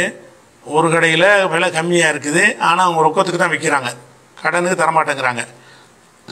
இன்னொரு கடையில் வந்து அதே லேப்டாப் இருக்குது. கொஞ்சம் காசு கூட இருக்குது. அவங்க என்ன செய்கிறாங்கன்னா அது பன்னெண்டு மாதம் தவணையில் வாங்கிக்கலாம். மொத்தமாக ரொக்கம் கொடுக்க தேவையில்லை. அந்த மாதிரி இருக்குது. இப்போ வந்து நான் தவணையில் வாங்கினா அந்த லேப்டாப் வாங்கினா அது வட்டி இல்லைன்னு வருமா? ஏன்னா அவங்க ரெண்டு விலையெல்லாம் இல்லை. அவங்க ரொக்கத்தை கேட்டால் அந்த விலைங்கிறாங்க. லேப்டாப் எவ்வளோ ஒன்று கேட்டால் ஐம்பதாயிரம் ரூபாங்கிறாங்க ஒரு கடையில். இன்னொரு கடையில் அறுபதாயிரங்கிறாங்க. ஐம்பதாயிரம் ரூபா இது அவர் சொல்லி அவருடைய கேள்வியில் அதனுடைய விளக்கம். ஐம்பதாயிரம்னு சொல்கிற கடையில் வந்து கடன் தர மாட்டேங்கிறான். அறுபதாயிரம் சொல்கிற கடையில் வந்து நீ பன்னெண்டு மாதத்துக்கு அஞ்சஞ்சு ரூபாயாக கட்டுங்கிறான். உதாரணமாக அப்போ நமக்கு அதில் தவணைக்கு தர்றாங்க. சரிப்பா அந்த அறுபதனாயிரம் சொல்கிறீங்கள ரொக்கமாக கொடுத்தா எவ்வளோன்னு கேட்டாலும் ரொக்கமாக கொடுத்தாலும் நம்ம அறுபதான்னு சொல்கிறான் ரொக்கம்ங்கிற இங்கே கிடையாது. அதனால் அப்படின்னு அர்த்தம் கடைசியில்? ரொக்கமாக கொடுத்தாலும் அறுபது தான் தவணையாக கொடுத்தாலும் அறுபது தாங்கிறான். இப்போ ரெண்டு வேலை வச்சா தானே வட்டின்னு வரும். இவன் ரெண்டு வேலை வைக்கல. ஒரு வேலை தான் வைக்கிறான். வேலை கூட வச்சிருக்கிறான். அதாவது இவன் விலை கம்மியாக கொடுக்குறான் அவன் விலை கூட கொடுக்குறான். இப்படி இருந்தால் இது இது வட்டியில் வருமா? அப்படிங்கிறது தான் அவருடைய கேள்வியாக கேட்குறாங்க இதில் என்னன்னு கேட்டால் ரெண்டு விஷயங்கள் இருக்குது அதாவது பொருள்களுடைய விலை நிர்ணயித்தல் இருக்குல்ல. விலை நிறுத்த நிர்ணயித்தல் என்பது ஒரு வியாபாரிகளாக நிர்ணயிக்கிற விலைன்னு ஒன்று இருக்குது. ஒரு பிராண்டட் தயாரிப்புகள் வந்து வியாபாரி நிர்ணயிக்க மாட்டான் அந்த கம்பெனியில் நிர்ணயிப்பான். அதாவது மிளகா மல்லி நீங்கள் விற்கிறீங்க அதுல எல்லாம் எம்ஆர்பிலாம் இருக்காது. மிளகா மூட்டையை வாங்கிட்டு வந்துக்கிட்டு நீங்கள் தான் அதை ஒரு கிலோ அரை கிலோன்னு பேக் பண்ணி நீங்கள் தான் ஒரு கிலோ எவ்வளோன்னு சொல்லி அந்த விற்கிற சில்லறை வியாபாரி இருப்பார்ல அந்த சில்லறை விலையை தீர்மானிப்போர் அவராக தான் இருப்பாரே தவிர அதுக்கு வந்து எம்ஆர்பிலாம் இருக்காது. எவ்வளவுக்கு தான் விற்கணுங்கிறதுலாம் ஒரு அது கம்பெனி ஜாமான் கிடையாதுல்ல இயற்கையான பொருள்கள் உற்பத்தி செய்கிற பொருள்களை விற்கும் பொழுது அதில் வந்து என்ன வராதுன்னா அதுக்கு விலை நிர்ணயம்னு ஒன்று இருக்காது. வியாபாரி தான் விலையை பற்றி முடிவு செய்கிறவனா இந்த வியாபாரி தான் செய்வான். அதே நேரத்தில் வந்து ஒரு கம்பெனியில் ஒரு பிளேடு பிளேடு பாக்கெட் நான் வாங்குறேன். அந்த பிளேடு பாக்கெட்டை வந்து நான் வந்து விலையை நிர்ணயிக்க இயலாது. அதுலேயே விலையை போட்டுருவான். மேக்சிமம் விலை ஒரு லிமிட் வச்சுருவான்ல. மேக்ஸிமம் வந்து இது பத்து ரூபா. எம்ஆர்பி பத்து ரூபான்னா மேக்ஸிமம் ரீட்டைல் ப்ரைஸ் அதிகமான அதிகபட்ச சில்லறை விலை வந்து பத்து ரூபான்னு அதில் போட்டுருவான். இப்படி போட்டதுக்கு பிறகு அந்த பொருள் வந்து பத்தை தாண்டவே கூடாது. ஏன்னு கேட்டால் மேக்ஸ் எல்லா வரியும் சேர்த்து யாவரோட லாப லாபத்தையும் சேர்த்து பத்து ரூபான்னு ஆக்கிட்டான். அப்போ அந்த விலையை நிர்ணயிக்கிற உரிமை உங்களுக்கு கிடையாது. எம்ஆர்பி வந்து அவன் போடுறான்ல தான் விலை. அது கீழே வந்தால் நீங்கள் குறைச்சி கொடுத்துக்கலாம். மேலே கொடுக்கறதுக்கு இடம் கிடையாது. இப்போ லேப்டாப் என்பதெல்லாம் வந்து ஒரு நிறுவனம் வந்து அதுக்கு நிர்ணயிச்சிருக்கும். அந்த நிறுவனத்திற்குன்னு ஒரு விலை இருக்கும். அவங்க வெப்சைட்டில் பார்த்தீங்கன்னா எல்லாத்துலேயும் பார்த்தா விலை என்ன செஞ்சுருப்பாங்க? அதில் போட்டிருப்பாங்க.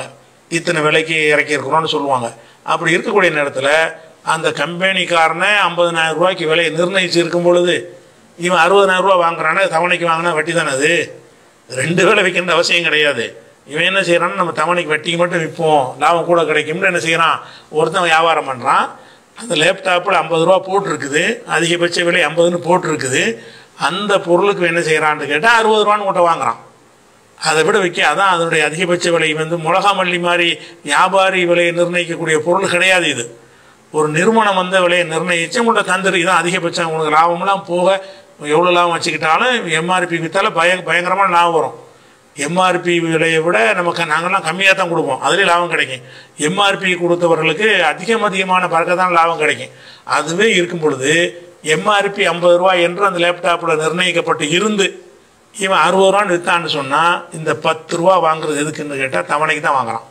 ஏன்னா அந்த பொருளுடைய விலை ஐம்பதுக்கே கொடுக்க முடியும் நான் நிர்ணயி கம்பெனி நிர்ணயிச்சுட்டான். அது இல்லாமல் மிளகா மல்லி போன்றதுக்கு நீங்கள் ஏதாவது விலை நிர்ணயிச்சீங்கன்னா அது வராது. நீங்கள் தான் முடிவு செய்கிற ஆள்னு வந்துடும் அப்போ என்னன்னு கேட்டால் அந்த தவணைக்காக வேண்டி என்ன செய்கிறான்னு கேட்டால் ரொக்கமாக கொடுத்தோம்னா வந்துக்கிட்டு எந்த காலம் வரும் ஏன் ரொக்கம் வாங்குறான்? கடன் தான் வாங்க போகிறாங்க ஒன்று ரெண்டு பேர் தான் ரொக்கத்துக்கு கேட்பான். அவன் வந்து தொலைஞ்சிட்டு போகிறான் நம்ம நிறைய வியாபாரம் பண்ணுவோம் நிறைய சம்பாதிப்போம். தவணை முறை மட்டும் வச்சுக்கிறோம். ஒருத்தன் செய்வான். செஞ்சான்னு சொன்னால் அவன் வட்டி வாங்கலன்னு வராது. ஏன் வா வராதுன்னு சொல்கிறோம்னு கேட்டால் அந்த கம்பெனி நிர்ணயித்த விலையை விட அதிகமாக நிர்ணயித்த விலை தான் ஐம்பது ரூபாய் அவன் கொடுக்குறான்ல. இன்னொருத்தர் ரொக்கத்துக்கு ஐம்பது ரூபாய் கொடுக்குறான்ல. கம்பெனி நிர்ணயித்த விலையில் கொடுக்க முடியுதா இல்லையா?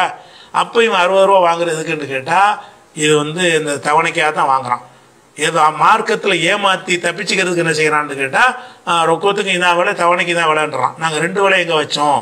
ரொக்கத்துக்கு அந்த விலை தான் தவணைக்கு அந்த விலை தான் சொல்லும் பொழுது நாங்கள் வந்து ரெண்டு விலை வைக்கலையே ஒரு விலை தானே வச்சிருக்கிறோம்னு சொல்வது வந்து மேலோட்டமாக அந்த ஹராமை ஹலாலாக்குவதற்கான ஒரு தந்திரமாகத்தான் இருக்குமே தவிர நீ எண்ணத்துக்காக வேண்டி அவனுக்கு அம் அவனுக்கு ஐம்பது ரூபா கொடுக்குற ஒரு பொருள் உனக்கே அறுபது ரூபா ஒரு ஒரு பிராண்டு தானே. பிராண்டு தான். நம்ம மிளகா மல்லின்னு நினச்சிக்கலாம் அது வேறு குவாலிட்டிங்க அது அது நாட்டு சரக்கு இது குண்டூர் மிளகா இது சிவகாசி மிளகான்னு என்னதையா சொல்லிக்கிறலாம் அந்த பொருள்களில் வந்து இதில் சொல்ல முடியாது. ஒரு குறிப்பிட்ட பிராண்டு குறிப்பிட்ட நேமில் உள்ள ஒரு சரக்குங்கிறீங்க. அதுக்கு ஒருத்தர் ஐம்பது ரூபா நிர்ணயிச்சிருக்கு இன்னொருத்தர் அறுபது ரூபா நிர்ணயிச்சான்னு சொன்னால் ஈவன் அந்த பத்து ரூபா அதிகமாக கேட்பது எதுக்காக தான் இந்த கடனுக்கு உங்களுடைய கடனுக்கு ஆதாயத்தை அதிகம் பெறுகிறான். கடனை கடனாக தருவதற்கு கடனாக உங்கள்கிட்ட ஐம்பது ரூபா பொருளை தந்துவிட்டு ஐம்பது ரூபா பணத்தை தந்துட்டு கூட கேட்டால் வட்டிங்கிறீங்க. ஐம்பது ரூபா பொருளை கேட்டு அறுபது ரூபா கேட்டால் வட்டியில் இப்படி வரேன் ஐம்பது ஐம்பதனாயிரம் ரூபா காசை கொடுத்துட்டு அறுபதனாயிரம் கொடுங்க அதுக்கு பேர் என்ன? வட்டி. ஐம்பதனாயிரம் ரூபா பொருளை கொடுத்துட்டு அறுபதனாயிரம் கொடுத்தா வட்டி இல்லைங்கிறீங்க. அப்படி வருமா? இப்போ கடனுக்கு ஆதாயம் அடைவது தானே. கடனுக்காக ஆ- ஆதாயம் அடைகிறதுக்கு பேர் தானே வட்டி. அதனால் இது வந்து இந்த பிராண்டட் இல்லாத பொருளாக இருந்தால் என்ன செய்யலாம்? அந்த கல்லில் மிளகா ஐம்பது ரூபா இந்த கல்லில் அறுபது ரூபா இல்லை நம்ம விலங்கு தாங்க. அப்படின்னா அவன் அவன் தீர்மானிக்கிறவனாக இருக்கிறான். அதுக்கு எந்த ஒரு நிறைவும் கிடையாது. அது வேற இது வேறேன்னு சொல்ற குவாலிட்டி வேறையாக இருக்கும். தரம் வேறையாக இருக்கும். அது காஞ்சி போனதாக இருக்கும். இது ஈரமாக இருக்கும். இது புது மிளகாயாக இருக்கும். அது பழைய மிளகாயாக இருக்கும். அது உருண்டை மிளகாயாக இருக்கும். நீல மிளகாய் வகைகள் வகைகள்னு இருக்குது? அப்படி இது காரணம் சொல்கிற விஷயத்துக்கு இது பொருந்தும். ஆனால் இது அப்பட்டமாக தெரியுதே இது. இது வந்து ஐம்பது ரூபாய்க்கு அவன் கொடுக்கும். இதே பிராண்ட் அவன் கொடுக்குறான். அப்போ அந்த கம்பெனியில் வாங்கி தான் அவனுக்கு கொடுக்குறான். அவனுக்கு லாபம் கிடைக்குது. உனக்கே அங்கே உனக்கு கிடைக்கலன்னா உனக்கு கிடைக்கும். நீ ஐம்பது ரூபாய்க்கு கொடுத்தா அதில் அவன் கிடைக்கும். நீ என்ன பண்ணுற நம்ம வந்து அது பத்து ரூபா இன்னும் அறுபது ரூபா வாங்கணும் கடனை வாங்கிட்டு போயிடணும் வட்டிக்கு நீ வாங்கிட்டு போ. அப்படின்னு சொல்லி இந்த இன்ஸ்- இந்த இங்கே செய்கிறாங்க இல்லை இவிஎம் இஎம்ஐயா இஎம்ஐ அதே அதே மேட்ரு தான் இது. அந்த மாதிரி நம்மளை இழுத்து தள்ளுறது. வட்டிக்கு தான் வாங்க வைக்கிறதுக்காக வேண்டி ஒரே வேலை தாங்க ஆனால் அறுபது ரூபாங்க அப்படின்னா என்னது? இது நேர்மையற்ற ஒரு வியாபாரம் கிடையாது. இது வட்டி தான் இது. வாங்கக்கூடாது. ரொக்கத்தை கொடுத்து வாங்க இல்லை நல்லா வசதி தரும்போது வாங்க. இப்படி ஒரு செய்தி அதிகமாக பரப்பப்படுகிறதுன்னு சொல்லி ஒரு இமேஜ் அனுப்பி பேரணப்பட்டு நாசர் அவர் கேட்குறார் நாசர் மாதிரி கேட்குறாரு. என்ன கேட்குறாருன்னா வருடம் எழுநூற்றி ஐம்பத்தஞ்சு இந்த இமேஜை பாருங்கள் வருடத்திற்கு எழுநூற்றி ஐம்பத்தஞ்சு செலுத்தினால் பதினஞ்சு லட்சம் காப்பீடு. இந்தியா போஸ்ட் பேமெண்ட் பேங்க் விபத்து காப்பீட்டு திட்டங்களை அறிமுகப்படுத்தியுள்ளது. பதினெட்டு முதல் அறுபத்தஞ்சு வயது நபர்கள் இந்த காப்பீடுகளை பெற முடியும். ஆப்ஷன் ஒன்று காப்பீட்டு தொகை அஞ்சு லட்சம். வருடாந்திர பிரீமியம் முந்நூற்றி ஐம்பத்தஞ்சு. ஆப்ஷன் ரெண்டு காப்பீட்டு தொகை பத்து லட்சம். வருடா வருடாந்திர பிரீமியம் ஐநூற்றி ஐம்பத்தி அஞ்சு. ஆப்ஷன் த்ரீ காப்பீட்டு தொகை பதினஞ்சு லட்சம். வருடாந்திர பிரீமியம் வந்து எழுநூற்றி ஐம்பத்தஞ்சு லட்சம். விபத்து காரணமாக மரணமடைந்தால் குடும்பத்திற்கு நூறு சதவீத காப்பீட்டு தொகை வழங்கப்படும். இப்படின்னு சொல்லி அரசாங்கத்தில் இது போஸ்ட் ஆஃபீஸில் போஸ்ட் ஆஃபீஸில் வந்து எலு விபத்தில் எலும்பு முறிவு ஏற்பட்டால் இருபத்தையாயிரம்.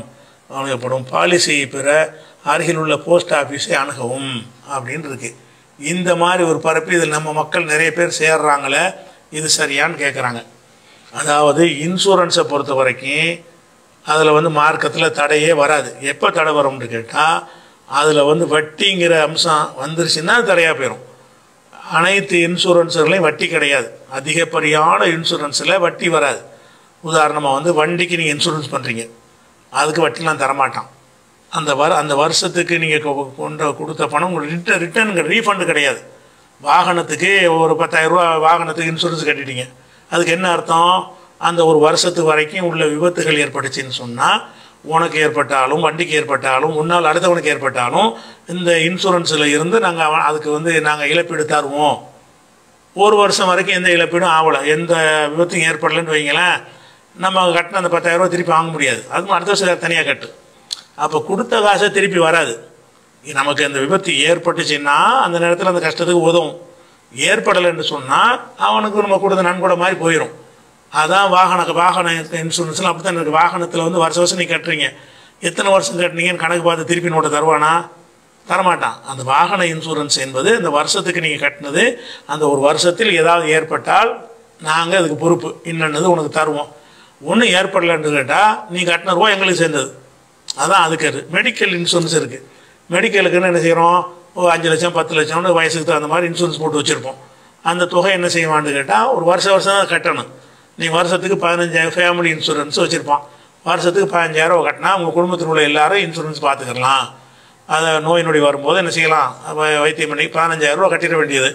அந்த கட்டினீங்கன்னு சொன்னால் அந்த வருஷத்துக்குள்ளே உங்கள் குடும்பத்தில் உள்ள யாருக்காவது ஒரு ஆப்ரேஷன் பண்ண வேண்டிய அவசியம் ஏற்பட்டு அதுக்கு ஒரு அஞ்சு லட்ச ரூபா செலவாகுதுன்னு சொன்னால் இன்சூரன்ஸ்லேருந்து அவங்க எடுத்துக்கிடுவாங்க. நம்ம பணம் கட்ட தேவையில்லை.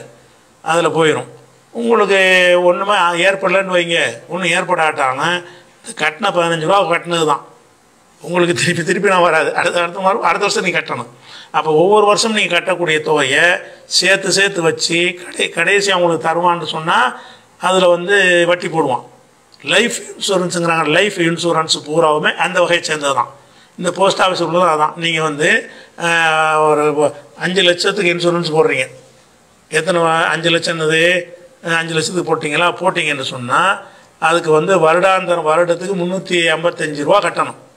வருஷத்துக்கு முந்நூற்றி ஐம்பத்தஞ்சு தான் கட்டணும். எத்தனை வருஷத்துக்கு கட்டணும்னா நீ சாவர வரைக்கும் கட்டிக்கிட்டு இருக்கணும். கட்டினீன்னு சொன்னால் செத்து போயிட்டேன்னு சொன்னால் உனக்கு என்ன செய்வோம்? அஞ்சு லட்சம் தருவோம். சரியா? அது போக நீங்கள் கட்டிக்கிட்டு இருக்கிறீங்கல்ல அந்த பணம் அது அதுக்கெல்லாம் முதிர்ச்சி அடைஞ்சு வட்டி போட்டுட்டு போனஸ்ன்னு போடுவாங்க. அது மாதிரி போடுவாங்க.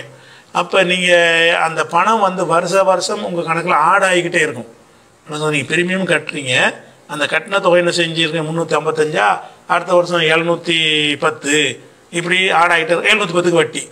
அது வந்து டபுள் ஆகும். அதுக்கு வட்டி. இப்படி வட்டி சேர்ந்து சேர்ந்து நம்ம கணக்கில் என்ன செய்வாங்க? அது ஈர்ப்பில் வந்துக்கிட்டு இருக்கும். அதனால் லைஃப் இன்சூரன்ஸ் வகை தான் இந்த நீங்கள் சொல்லக்கூடிய இந்த ஸ்கீம் லைஃப் இன்சூரன்ஸ் வகையில் வந்து அது எல்லாமே வந்து வட்டி தான் அது லைஃப் இன்சூரன்ஸ்னு சொன்னாலேயே உங்களுக்கு அது ரீஃபண்டபிள் உங்களுக்கு திருப்பி கிடைக்கக்கூடிய ஒரு பொருள். இன்னும் சொல்ல போனால் ஒரு பத்து வருஷத்துக்கு இன்சூரன்ஸ் போட்டிருக்கிறீங்க. சாகுற வரைக்கும் இன்சூரன்ஸ் போட்டிருக்கிறீங்க.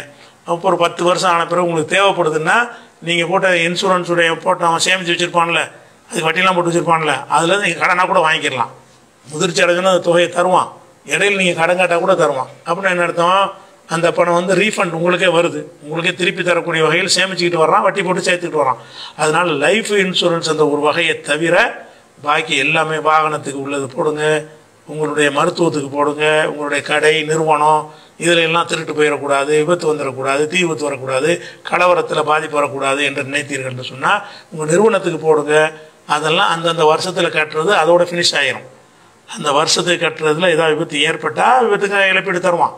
விபத்து ஏற்படலைன்னு சொன்னால் அவன் எடுத்துக்கிடுவான் அதில் நீ நம்ம கா நம்ம காசை சேமித்து வச்சு உங்களுக்கு போனஸ் போட்டிருக்கேன்னா சொல்ல மாட்டான்.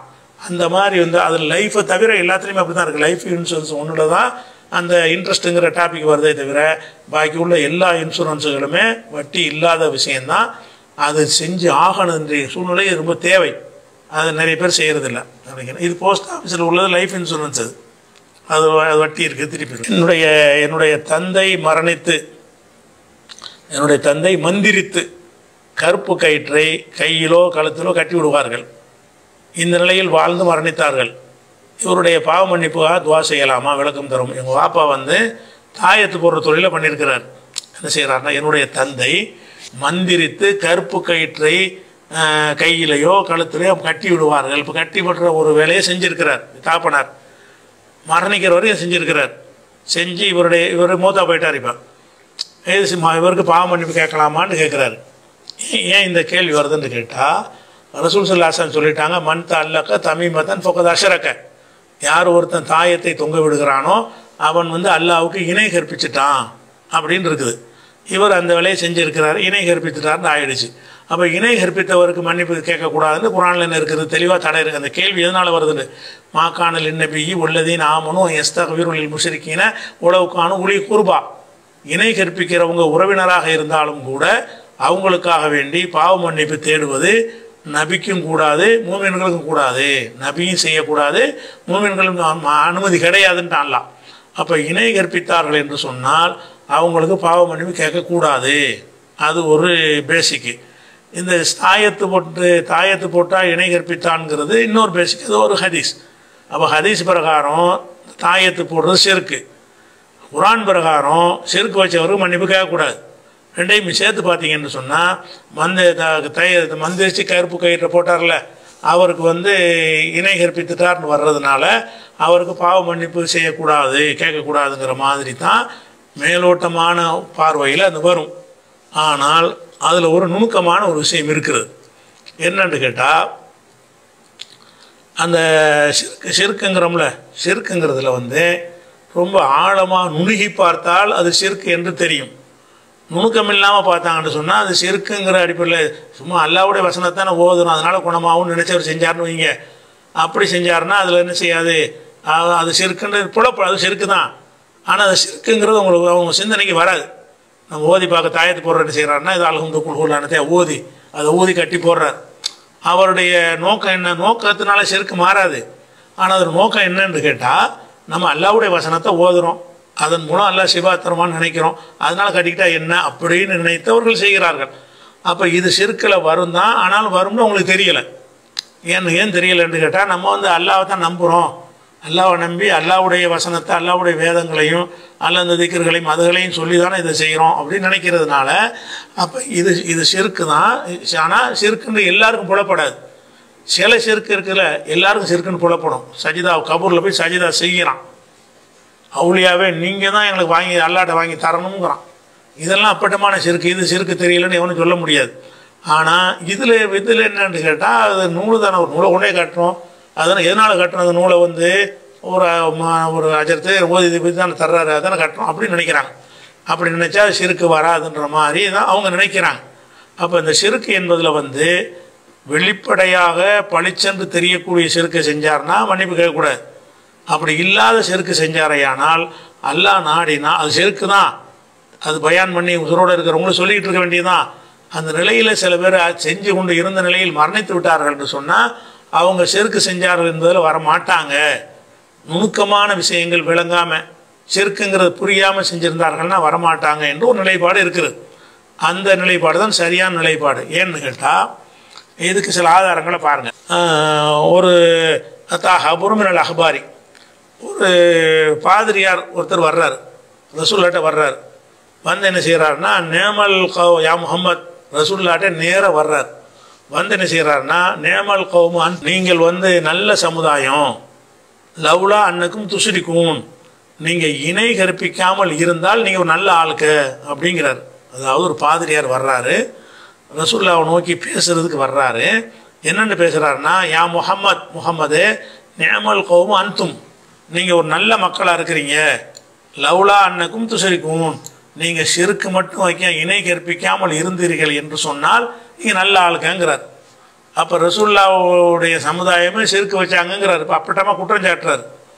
அப்போ காலை ரசூல்லா சொல்கிறாங்க சுபஹான் அல்லா உமாதாக்க அல்லா தூய்மையானது என்னப்பா நாங்கள் எங்கப்பா எனக்கு கற்பிக்கிறோம் அப்படிங்கிறார். அப்போ அவர் சொல்கிறாரு தக்கூலுன இதா ஹலஃப்தும். நீங்கள் சத்தியம் பண்ணும்போது முஸ்லீம்களாகி நீங்கள் எல்லாம் சொல்கிறீர்கள் வல் காபா.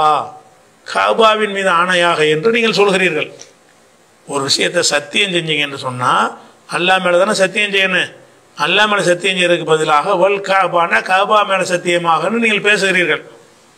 அப்போ சிறுக்கு தானே இதுங்கிறார் அவர். என்னடா இதையும் ரசூல்லா சொல்லி தான் இருக்கிறாங்க. என்ன சொன்னாங்க? மன் ஹலஃபி பி கைரில்லாஹி ஃபகத் அஷரக. அல்லாஹ் அல்லாதவர்கள் மீது யாராவது சத்தியம் செஞ்சால் இணை கற்பித்து விட்டான். பிறகு அறிவிச்சாங்க தெளிவாக அறிவிச்சாங்க. ஆனால் அந்த தாயத்துக்கு சொன்ன மாதிரியான வாசனை எதுக்கும் இருக்கிறது? சத்தியம் எதுக்கும் இருக்கிறது. அல்லா மேலே சத்தியம்னு சொல்றதுக்கு பதிலாக எங்கள் பாப்பா மேலே சத்தியம்ட்டான். அது சிறுக்கு தான் அல்லா மேலே சத்தியத்துக்கு பதிலாக பள்ளிவாசல் மலை சத்தியம் குரான் மேலே சத்தியம்ங்கிறான். அதுவும் சிறுக்கு தான் அப்போ அந்த பாதிரியார் என்ன பண்ணுறாருன்னா அன்றைய மக்கள்கிட்ட இப்படி ஒரு பழக்கம் இருந்துச்சு என்ன பழக்கம்? ஒல் காபான்றுவாங்க காபாவின் சத்தியமாக ரசூல்லா ஹயாத்தோடு இருக்கிற காலத்தில் அவங்க ஏகத்துவத்தை பிரச்சாரம் பண்ணி கொண்டிருக்கிற காலத்தில் அவங்க கொள்கை ஏற்று முஸ்லீமாக வந்தாங்களே அந்த மக்கள் இப்படி சொல்லிக்கிட்டு இருக்கிறாங்களாம். இப்படி தக்கூலூன இதாக ஹலப்தும் சத்தியம் பண்ணும்போது நீங்கள் பேசு பேசுகிறீர்கள் ஒல் காபா. காபாவின் மீது ஆணையாக என்று நீங்கள் பேசுகிறீர்கள். இது சேர்க்கா இல்லையா?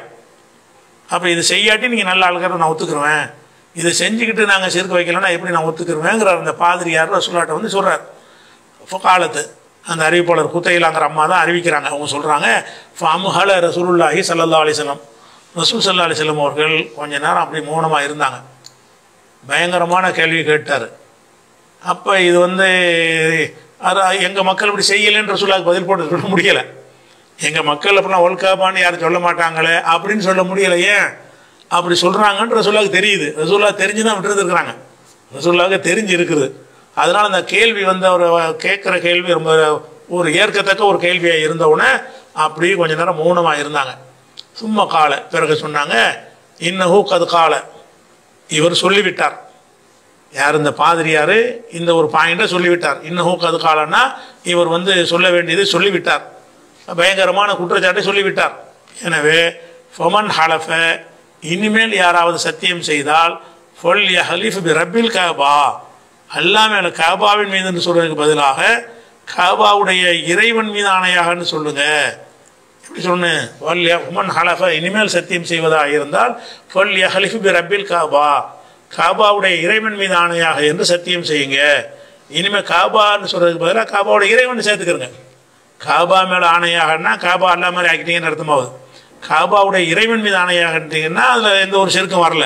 அதை நீங்கள் செஞ்சு மாற்றிக்கிறங்கப்பா இந்த பழக்கத்தை இனிமேல் மாற்றிருங்க அப்போ ஒல் காபான்னு சொல்லி இருக்கிறாங்க மக்கள் எல்லாம் அதை ரசூலா சீரியஸாக எடுத்துக்கல அதில் ஒரு இணை கற்பித்தல் இருக்குங்கிறது அவங்களுக்கு அந்த நேரத்தில் புலப்படலை. இல்லாட்டி அப்போ தடுத்திருப்பாங்க. இவர் கேட்கும்போது போதும் அவங்களுக்கு என்ன செய்கிறது ஆமாம் இது இதில் ஒரு சிறுக்கு இருக்குதே. இதில் ஒரு அந்த அம்சம் இருக்கத்தானே செய்யுது? அப்படின்னு தெரிஞ்சு என்ன செய்கிறான் அவர் அவர் சுட்டி அப்படி கதுக்கால அவர் சொல்லிவிட்டாரு அப்படிங்கிறாங்க. அப்படின்னு அர்த்தம். வலிமையான வாதத்தை வச்சுட்டாருங்கிறாங்க. இன்னமும் கதுக்கால என்றால் இவர் உறுதியாக சொல்லிவிட்டாரு. என்னத்தை சொல்லிவிட்டாரு? இது செருக்கு என்று சொல்லிவிட்டாரு. இது எப்படி சொல்லிட்டாரு? அது அது மாதிரி இருக்குதே அப்படின்னு சொல்லி அக்செப்ட் பண்ணிட்டாங்க அதை. அதை ஏற்றுக்கிட்டு என்ன செய்கிறாங்கன்னா இனிமேல் அப்படி செய்யுங்கிறார். அப்போ இப்போ உங்கள் உங்கள் தகப்பனார் வந்து இப்படி வச்சுக்கிடுவோம் இந்த இந்த மாதிரி சொல்லி கொண்டு இருந்தாங்கல்ல சகாபாக்கள். இந்த சகாபாக்கள் இந்த இவர் கேள்வி கேட்கறதுக்கு முத நாள் வரைக்கும் எத்தனை பேர் மூத்தா போயிருப்பாங்க. இன்னைக்கு தான் கேள்வி கேட்குறாரு. இன்னைக்கு தான் நடக்குன்னு வச்சுக்கிறோங்க இன்னைக்கு தான் கேள்வி கேட்குறாரு. இனிமே உள்ளவர்கள் ஒல் காபான்னு சொல்ல மாட்டாங்க ரபீல் காபான்னு சொல்லிடுவாங்க ஓகே. இதுக்கு முந்தி மூத்தா போனவங்களாம் யார்? ஒல் காபான்னு சொன்ன நிலையில் இதுக்கு முந்தி பலர் மூத்தா போயிருப்பாங்கல்ல. அவங்களுக்குலாம் என்ன நிலைமை? அந்த சாபாக்கள் நரகம் சிற்கையினை இணை ஏற்பித்தலா? அவங்களுக்கு மன்னிப்பு கேட்கலாமா? அவங்கள நிரந்தர நிறத்தில் போடுவானுன்னா போட மாட்டான். ஏன்? அது சிறுக்குங்கிறது இந்த இவர் சுட்டி காட்டவரை ரசூல்லாவுக்கு தோ தோணலையே. இவர் சுட்டி காட்டி கேள்வி கேட்ட பிறகு தானே ஆமாம் சரியாக தானே இருக்குது கரெக்ட் தானே கேட்குறாரு அப்போ கரெக்டாக தானே கேட்குறாருன்னு சொன்ன அளவுக்கு நுணுக்கமான விஷயமா இருக்குது. ஏன்னு கேட்டால் அது சத்தியம் தானே காபான்னு அல்லாவுடைய ஆலயம் தானேங்க அது. அதில் இருக்குன்னு அப்படி நினச்சிருப்பாங்கல்ல. காபாவை தானே சொல்கிறாங்க காபா அல்லாவுடைய ஆலயம் தானே அப்படின்னு நினச்சிச்சு. அல்லாவுடைய ஆலயமாக இருந்தாலும் அல்லா இடத்துல வைக்கக்கூடாதுல்ல. அதை கவனிக்காமல் நினைச்சிட்டாங்கன்னா காபாவின் ஆலயங்கிறது அது சிறுக்கில் வராதுன்னு நினச்சிட்டு இருந்திருக்கான். ஏன்னா அப்படி நுணுக்கமாக சொல்லும்போது தான் விளங்கும். இப்போ காபா வர அல்ல வேறப்பான்னு நுணுக்கமாக சொல்லும்போது தான் ஆமாம் தப்புலன்னு விளங்கும். அப்போ இந்த இந்த விஷயத்தை நம்ம என்ன வழங்குறோம்னு கேட்டால் எது வந்து எல்லாவுக்கு இணை ஏற்படுத்தல் பளிச்சுன்னு தெரிகிறதோ அந்த விஷயத்தை ஒருத்தர் செஞ்சால் தான் அவர் வந்து மன்னிப்பு கேட்குற ஒரு தகுதியில் வரமாட்டார்.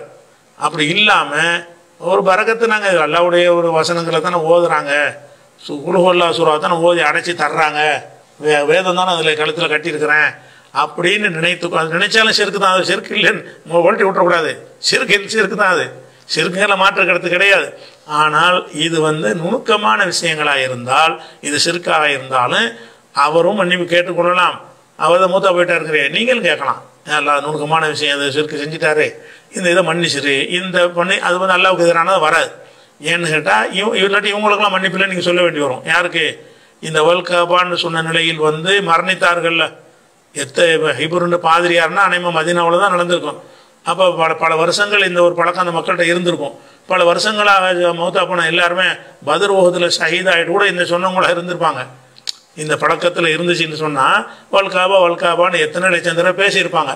அப்படிப்பட்டவர்கள்லாம் பார்த்தீங்கன்னு சொன்னால் அப்போ அவங்களுக்கெல்லாம் பாவமன்னிப்பு இல்லை. அல்ல அவங்களாம் நிரந்தர நரகம். அது எல்லாம் மன்னிக்கவே மாட்டான் அதில் வருவாங்களான்னா அதில் வரமாட்டாங்க. ஏன்னு கேட்டால் இது வந்து சுட்டி காட்டின பிறகு விளங்க சிறுக்கு ஒன்று இருக்குது மார்க்கத்தில். இப்போ எடுத்த உடனே பளிச்சுன்னு தெரியக்கூடிய சிறுக்கு ஒன்று இருக்கிறது. அது சுட்டி காட்டினா தான் நான் விளங்குற ஒரு சிறுக்கு இருக்கிறது.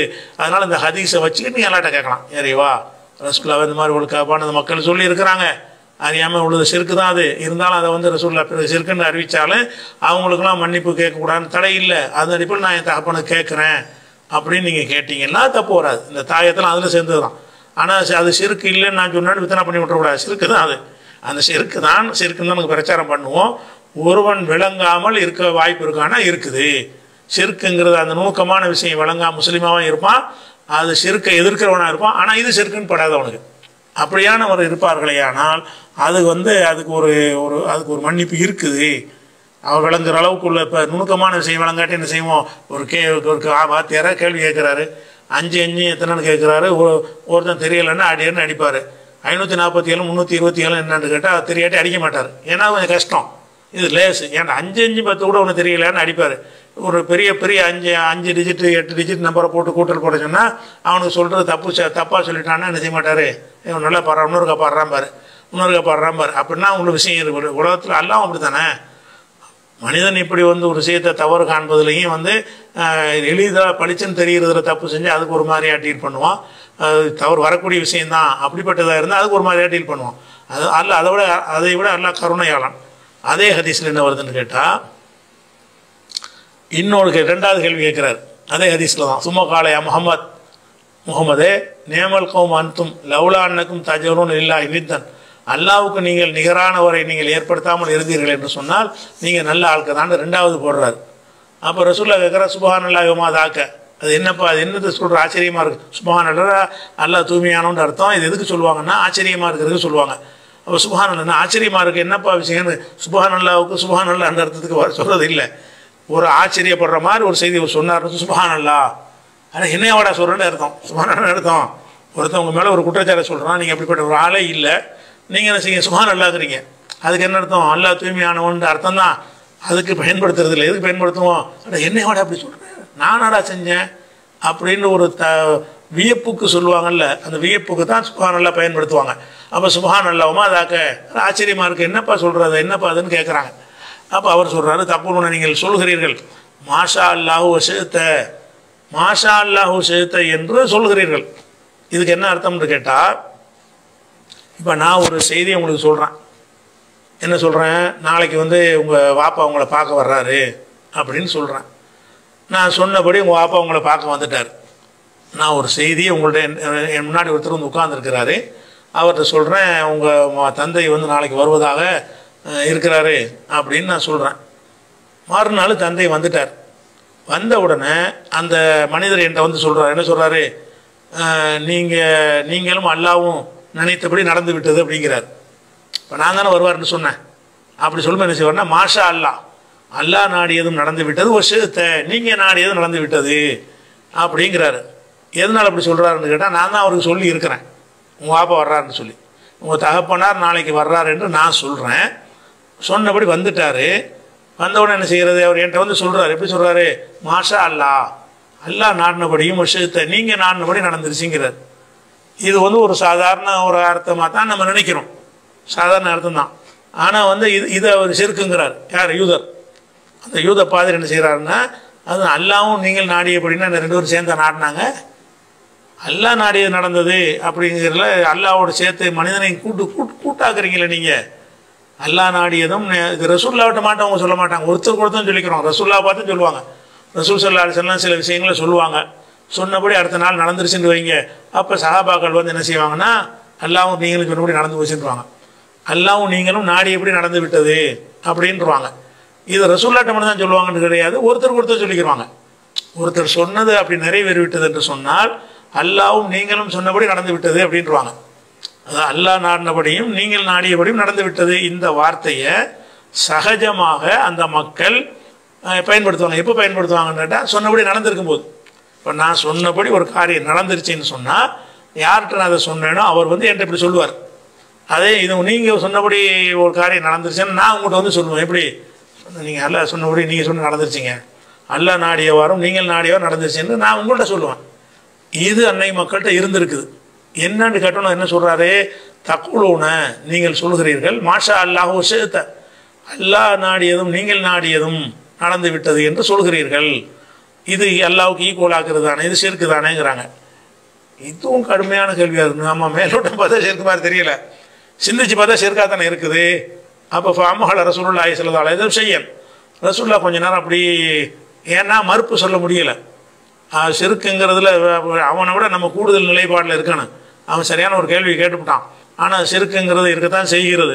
அப்படின்றவன பதில் சொல்ல முடியல ரசூல்லாவுக்கு அப்போ பிறகு என்ன செய்கிறான்னா இன்னும் கது காலை.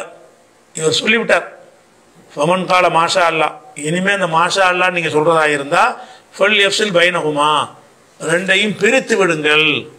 எப்படி பிரித்துனுங்க சும்மா ஷேத்த சும்மான்னு ஒரு வார்த்தையை போட்டு ஷேத்தான்னு போடுங்க. அதாவது இப்போ நான் சொன்னபடி ஒரு காரியம் நடந்துருச்சுன்னு வைங்க. நீங்கள் என்கிட்ட எப்படி சொல்லணும்னு கேட்டால் அல்லாஹ் நான் அப்படி நடந்துருச்சு. பிறகு நீங்களும் நாடினீர்கள். அல்லாவும் நீங்களும் நாடி எப்படி நடந்துருச்சுன்னு சொன்னால் சிறக்காக போயிடுது. எப்படி நீங்கள் என்கிட்ட வந்து சொல்லணும்? அல்லாஹ் நாடினபடி நடந்து போச்சு. பிறகு நீங்களும் நாடினீர்கள். அல்லாஹ் நாடி தான் அது பிறகு நீங்கள் இதை பின்ன பிறகு நாடினீர்கள்னு சும்மா சேர்த்த சும்- சும்மாங்கிற வார்த்தையை சேர்த்து சொல்ல சொல்கிறாங்க அப்போ இதை மாஷா அல்லா சொல்வீர்களே ஆனால் ஃபல் எசுல் ப ஃபல் பயனகுமா அந்த ரெண்டையும் பிரிச்சிருங்க. அல்லாவும் நீங்களும் நாடியபடின்னு சொல்லாதீங்க. அல்லாஹ் நாடியபடி நடந்து விட்டது. சும்மா சேர்த்த பிறகு நீங்கள் நாடினீர்கள் அப்படின்னு என்னை பார்த்து சொல்லுங்கள் யாரை பார்த்து சொல்லிக்கிறங்க. அப்புறம் சொல்லாத கரெக்ஷன் பண்ணிட்டாங்க. அப்போ இதில் என்ன விளங்குறோம்னு கேட்டால் இது வந்து சிறுக்கு என்கிற ஒரு விஷயம் விளங்காமல் சஹாபாக்கெல்லாம் செஞ்சுக்கிட்டு இருக்கிறாங்க. செஞ்சுக்கிட்டு இருக்க போய் தான் அவர் வரைக்கும் தெரிஞ்சிருக்குது. எந்த அளவுக்கு இது பரவலாக இருந்திருக்குது? ஒரு யூத பாதிரியார் முஸ்லீம்கள்ட்ட பழகி பார்த்து அவங்க ப பயன்படுத்துகிற வார்த்தையை வச்சு தான் கேள்வி கேட்குறார். அவரே அறிந்து கொள்கிற அளவுக்குள்ள ஒரு விஷயமாக இருக்கிறது. அதை பார்க்குறோம். இதே மாதிரியான கருத்து நசையில் ஹாக்கிமில் தபுரானியில் இப்னு மாஜாவில் அதிலெல்லாம் இருக்கிறது. இதில் ஒரு இதில் என்ன வருதுன்னு கேட்டால் இதே விஷயம் வேறு மாதிரி வருது. எப்படி வருதுன்னு கேட்டால் ஹுதைஃபா அப்படின்னு ஏமான் அறிவிக்கிறாங்க. ஒரு மனிதர் வந்து ஒரு முஸ்லீம் வந்து ஒரு கனவு காண்றார். கனவுல ஒரு வேதக்காரரை பார்க்குறாரு அகல கிதாப் ஒரு ஆளை பார்க்குறார் அப்போ கனவுல பார்க்குற அந்த வேதக்காரர் சொல்கிறாரு நீங்கள் வந்து ஷிர்க் வைக்காட்டி நல்ல மக்கள் அப்படிங்கிறார். மாஷா என்னப்பான்னு கேட்கும்போது மாஷா அல்லாஹ் ஷா முகமதுங்கிறீங்க. அல்லாஹ் நாடியது முகமது நாடியதுன்னு சொல்கிறீங்க அடிக்கடி. இதை செய்யாட்டி நீங்கள் நல்ல ஆளுக்கங்கிற கனவுல. அதுக்கப்புறம் வந்து ரசூல்லாட்ட அவர் வர்றார். அல்லாவுடைய தூதர் இந்த கனவுல நான் பார்த்தேன்.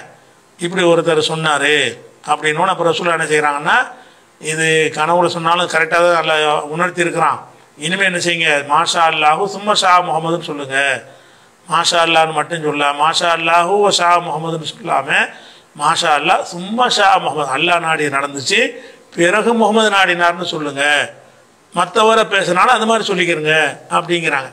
இப்படி இது எதுக்கு இதெல்லாம் சொல்கிறோம்னு கேட்டால் இந்த கனவில் இவர் காட்டுவதற்கு முன்னாடி சொல்லி தான் நடந்திருக்கிறாங்க.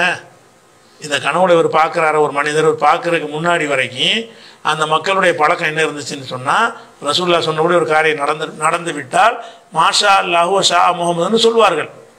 எல்லோரும் சொல்லியிருக்கிறார்கள் பரவலாக அப்போ அது ஒரு சொல்ல என்ன செய்கிறாங்கன்னா கேள்வி கேள்வி கரெக்டாக தான் இருக்குது. அல்ல கனவுல ஒரு ஆள் மூலமாக யூதர் மாதிரி ஒரு ஆளை காட்டி நமக்கு பாடம் கட்சி தந்துட்டான். அதனால் இனிமேல் சொல்வதாக இருந்தால் மாஷா அல்லாஹு சும்மா ஷா முகமது சும்மா பிறகு நாடினார்னு சொல்லுங்கள் இது நான் எதுக்கு சொல்கிறேன்னு கேட்டால் உங்களுக்கு வந்து அந்த சிறுக்கு என்பதில் வந்து நுணுக்கமான சிறுக்கு செய்கிறவங்கள வந்து கடும்போக்காக நம்ம ஆக்கிடக்கூடாது. அவங்களுக்கு பாவ மன்னிப்பு தேடுவது அவங்களே வந்து அவங்களுடைய பாவங்கள் எல்லாம் மன்னிப்பான் சிறுக்கை தவிர மற்றெல்லாம் மன்னிப்பான் இருக்குல்ல. அதுலலாம் அவங்க அந்த கேட்டகரியில் வந்துருவாங்க. அந்த சிறுக்கு அல்லது சிறுக்கு என்பதில் எந்த சிறுக்கு சிறுக்கு ஜலி. ஜலி என்று சொன்ன சிறுக்க ஹஃபின்னு ரெண்டாக பிரிப்பாங்க. சிறுக்க ஜலி என்று சொன்னால் பளிச்சென்று தெரிகிற சிறுக்கு. சிறுக்க ஹஃபி என்று சொன்னால் பளிச்சென்று தெரியாத ம- கொஞ்சம் மறைவான சிறுக்கும்பாங்க. பளிச்சென்று தெரியாது. கொஞ்சம் சிந்திச்சு பார்த்தா தெரியும். அப்போ சிந்தித்து பார்த்தால் வரக்கூடிய அந்த சிறுக்கு என்பது ரசூல் சல்லா செல்லம் வந்த பிறகும் கூட அவங்க உம்மத்தில் கூட இருந்திருக்குது. ரசூல்லாவுடைய ரசூல்லாட்டை நேரவே அந்த மக்கள் வந்து மாஷா அல்லா சீத்தன்லாம் பேசியிருக்கிறாங்க. ரசூல்லா சிறுக்கு மாதிரி அவங்களுக்கு படலை. அப்படிங்கிற விஷயத்தையெல்லாம் பார்க்குறோம். இது அகமதுலேயும் வருகிறது. இன்னும் பல இடத்துல என்ன செய்கிறது? இந்த ஹதீஸ் வருகிறது. அதை கவனிக்க ஒருவர் ஹாஃபிஸாக ஆனால் இந்த நான் பேரை மட்டும் படிக்கிற காரணம் அந்த கேள்வி கேட்குறவங்க பேரை போட்டால் தான் நான் பேரை வாசிப்பேன். ட்ரூ காலரில் என்ன வருதுன்னு நான் வாசிக்க முடியாது. வழங்குதா தப்பு தப்பாவெல்லாம் கூட இருக்கும். ஒரு இது ஒருத்தர் கேள்வி கேட்டிருக்கிறாரு அவர் பேரை அது குறிப்பிடலை. இதுக்கு முந்தின கேள்விகள் இப்படி பேர் இல்லாமல் தான் வந்திருக்குது. ஒருவர் ஹாஃபிஸாக ஆனால் ஹாஃபிஸ்னா குரானை மரணம் செய்பவராக ஆனால் அவர் பத்து நபரை சூனத்திற்கு அழைத்து செல்ல முடியுமா? ஒருத்தர் குரானை மனப்பாடம் மனப்பாடம் பண்ணிட்டார் என்று சொன்னால் பத்து பேர் சொர்க்கத்துக்கு போக முடியுமா? அப்படின்னு கேட்டால் அப்படி கருத்தில் ஒரு ஹதீஸ் இருக்கிறது. அது எங்கே இருக்குன்னா இப்போ மாஜாவில் இருக்கிறது. எப்படி இருக்குதுன்னு கேட்டால் மண் கரால் குரான யார் வந்து ஒரு குரானை ஓதுகிறாரோ ஓ ஹஃபிலஹு அதை மனப்பாடம் செய்கிறாரோ அதுஹலகுல்லாஹுல் ஜன்னா அவரை அல்லாஹ் சொர்க்கத்தில் நுழைய வைக்கிறான். ஓ ஷஃபா அஹூ ஃபி அகலி பை ஃபி அசரத்தின் மின் அகலி பைத்திஹி அவருடைய குடும்பத்தாரில் பத்து பேருக்கு அல்லாஹ் வந்து அவருடைய பரிந்துரை ஏற்றுக்கொள்கிறான். குல்லுஹும் கரிஸ்தௌஜபன்னார் அந்த பத்து பேர் எப்படிப்பட்டவர்களாக இருந்தார்கள் என்று சொன்னால் நரகம் உறுதியானவர்கள். நரகம்தான் முடிவு செய்யப்பட்ட பத்து பேர். நரகவாசி என்று முடிவு செஞ்ச ஒரு பத்து பேரை ஒரு குரானை ஹாஃபிலாக இருந்தார்னு சொன்னால் அவர் என்ன செய்வார்? பத்து பேரை சொர்க்கத்துக்கு மாற்றிடுறார் நரகத்துக்கு போனால் அப்படி இழுத்துட்டு வந்து ஒரு பத்து பேரை சொர்க்கத்தில் கொண்டே சேர்த்துருவார் என்று ரசூல்லா சொன்னதாக அலி அலிரல்லான்னு அறிவிக்கிற ஒரு ஹதீஸ் வந்து வருகிறது. இது அறிவிக்கிற ஆளில் வந்து கசீரபுன் ஜாதான் என்பவர் இதை அறிவிக்கிறாரு. அவரிடமிருந்து அறிவிக்கிறவர் வந்து அபு உமர் என்பதை அறிவிக்கிறார். இந்த ரெண்டு பேரை பொறுத்த வரைக்கும் இவர் யாருன்னா அந்த அபு உமருங்கிறாருல்ல அவர் யாருன்னா மத்ரூக்குன். மத்ரூக்குன்னு சொன்னால் பொய்யர் என்று சந்தேகிக்கப்பட்டவர். இது சொல்லக்கூடிய ஒரு ஆள் பொய்யர் என்று சந்தேகிக்கப்பட்டவர். இந்த கசீரப்புனு சாதான்னு ஒரு ஆள் பேர் வருதுல்ல அவர் யாருன்னு தெரியலை. கசீரப்புனு சாதான்னு ஒருத்தர் அறிவிக்கிறாரே அவர் மஜ்ஹூலுன். அவர் இன்னார் தான் என்பதற்குரிய விவரங்கள் கிடைக்கவில்லை. அதனால ஒரு பலவீனம். இன்னொருத்தர் என்ன பொய்யர்னு சந்தேகப்பட்டவர். இட்டுக்கட்டுற லெவலில் ஓடி இருந்த ஹதீஸ். அதனால் குரான ஹாபிலாக இருந்தால் அது வந்து பத்து பேரை சொர்க்கத்தில் சேர்ப்பாங்கிறது அப்படி ஒன்றும் இல்லை. அதனால் குரானை மனப்பாடம் செய்தல் என்பது வந்து நல்ல காரியம்தான். அது உங்களுக்கு இப்போ உதவும் குரானை பாதுகாக்கிறதுக்கு உதவுங்கிற வகையில் நல்ல காரியமாக இருந்தாலும் இந்த ஹதீஸ் வந்து சரியான ஹதீஸ் இல்லை. பத்து பேருக்கெல்லாம் சிபாரிசு பண்ண முடியாது. உனக்குதா அது வந்து ஆதாரி ஆத்தனிக்கான ஹதீஸ் கிடையாது. ஓமான் ஓமான் சலாலாங்கிற ஊரில் இருந்து அபுபக்கர் சித்திக் என்பவர் கேட்குறார் என்ன கேட்குறாருன்னா நோன்பு தொழுகை தான தர்மங்களை விட ஒரு ஹதீஸ் ஒரு ஹதீஸை எழுதி கேட்குறார் நோன்பு தொழுகை தான தர்மங்களை விட சிறந்த காரியத்தை நான் உங்களுக்கு சொல்லட்டுமா? ஏன்னா நபிசல்லா சலம் அவர்கள் கேட்க அவசியம் கூறுங்கள் என்று சஹாபாக்கள் கூறினார். மக்களுக்குள் ஒற்றுமை ஏற்படுத்துவது இவை அனைத்திலும் சிறந்தது. எதோட நோன்பு தொழுகை தான தர்மங்கள் இந்த மூனை விட மக்களுக்குள் ஒற்றுமை ஏற்படுத்துவது இவை அனைத்திலும் சிறந்தது.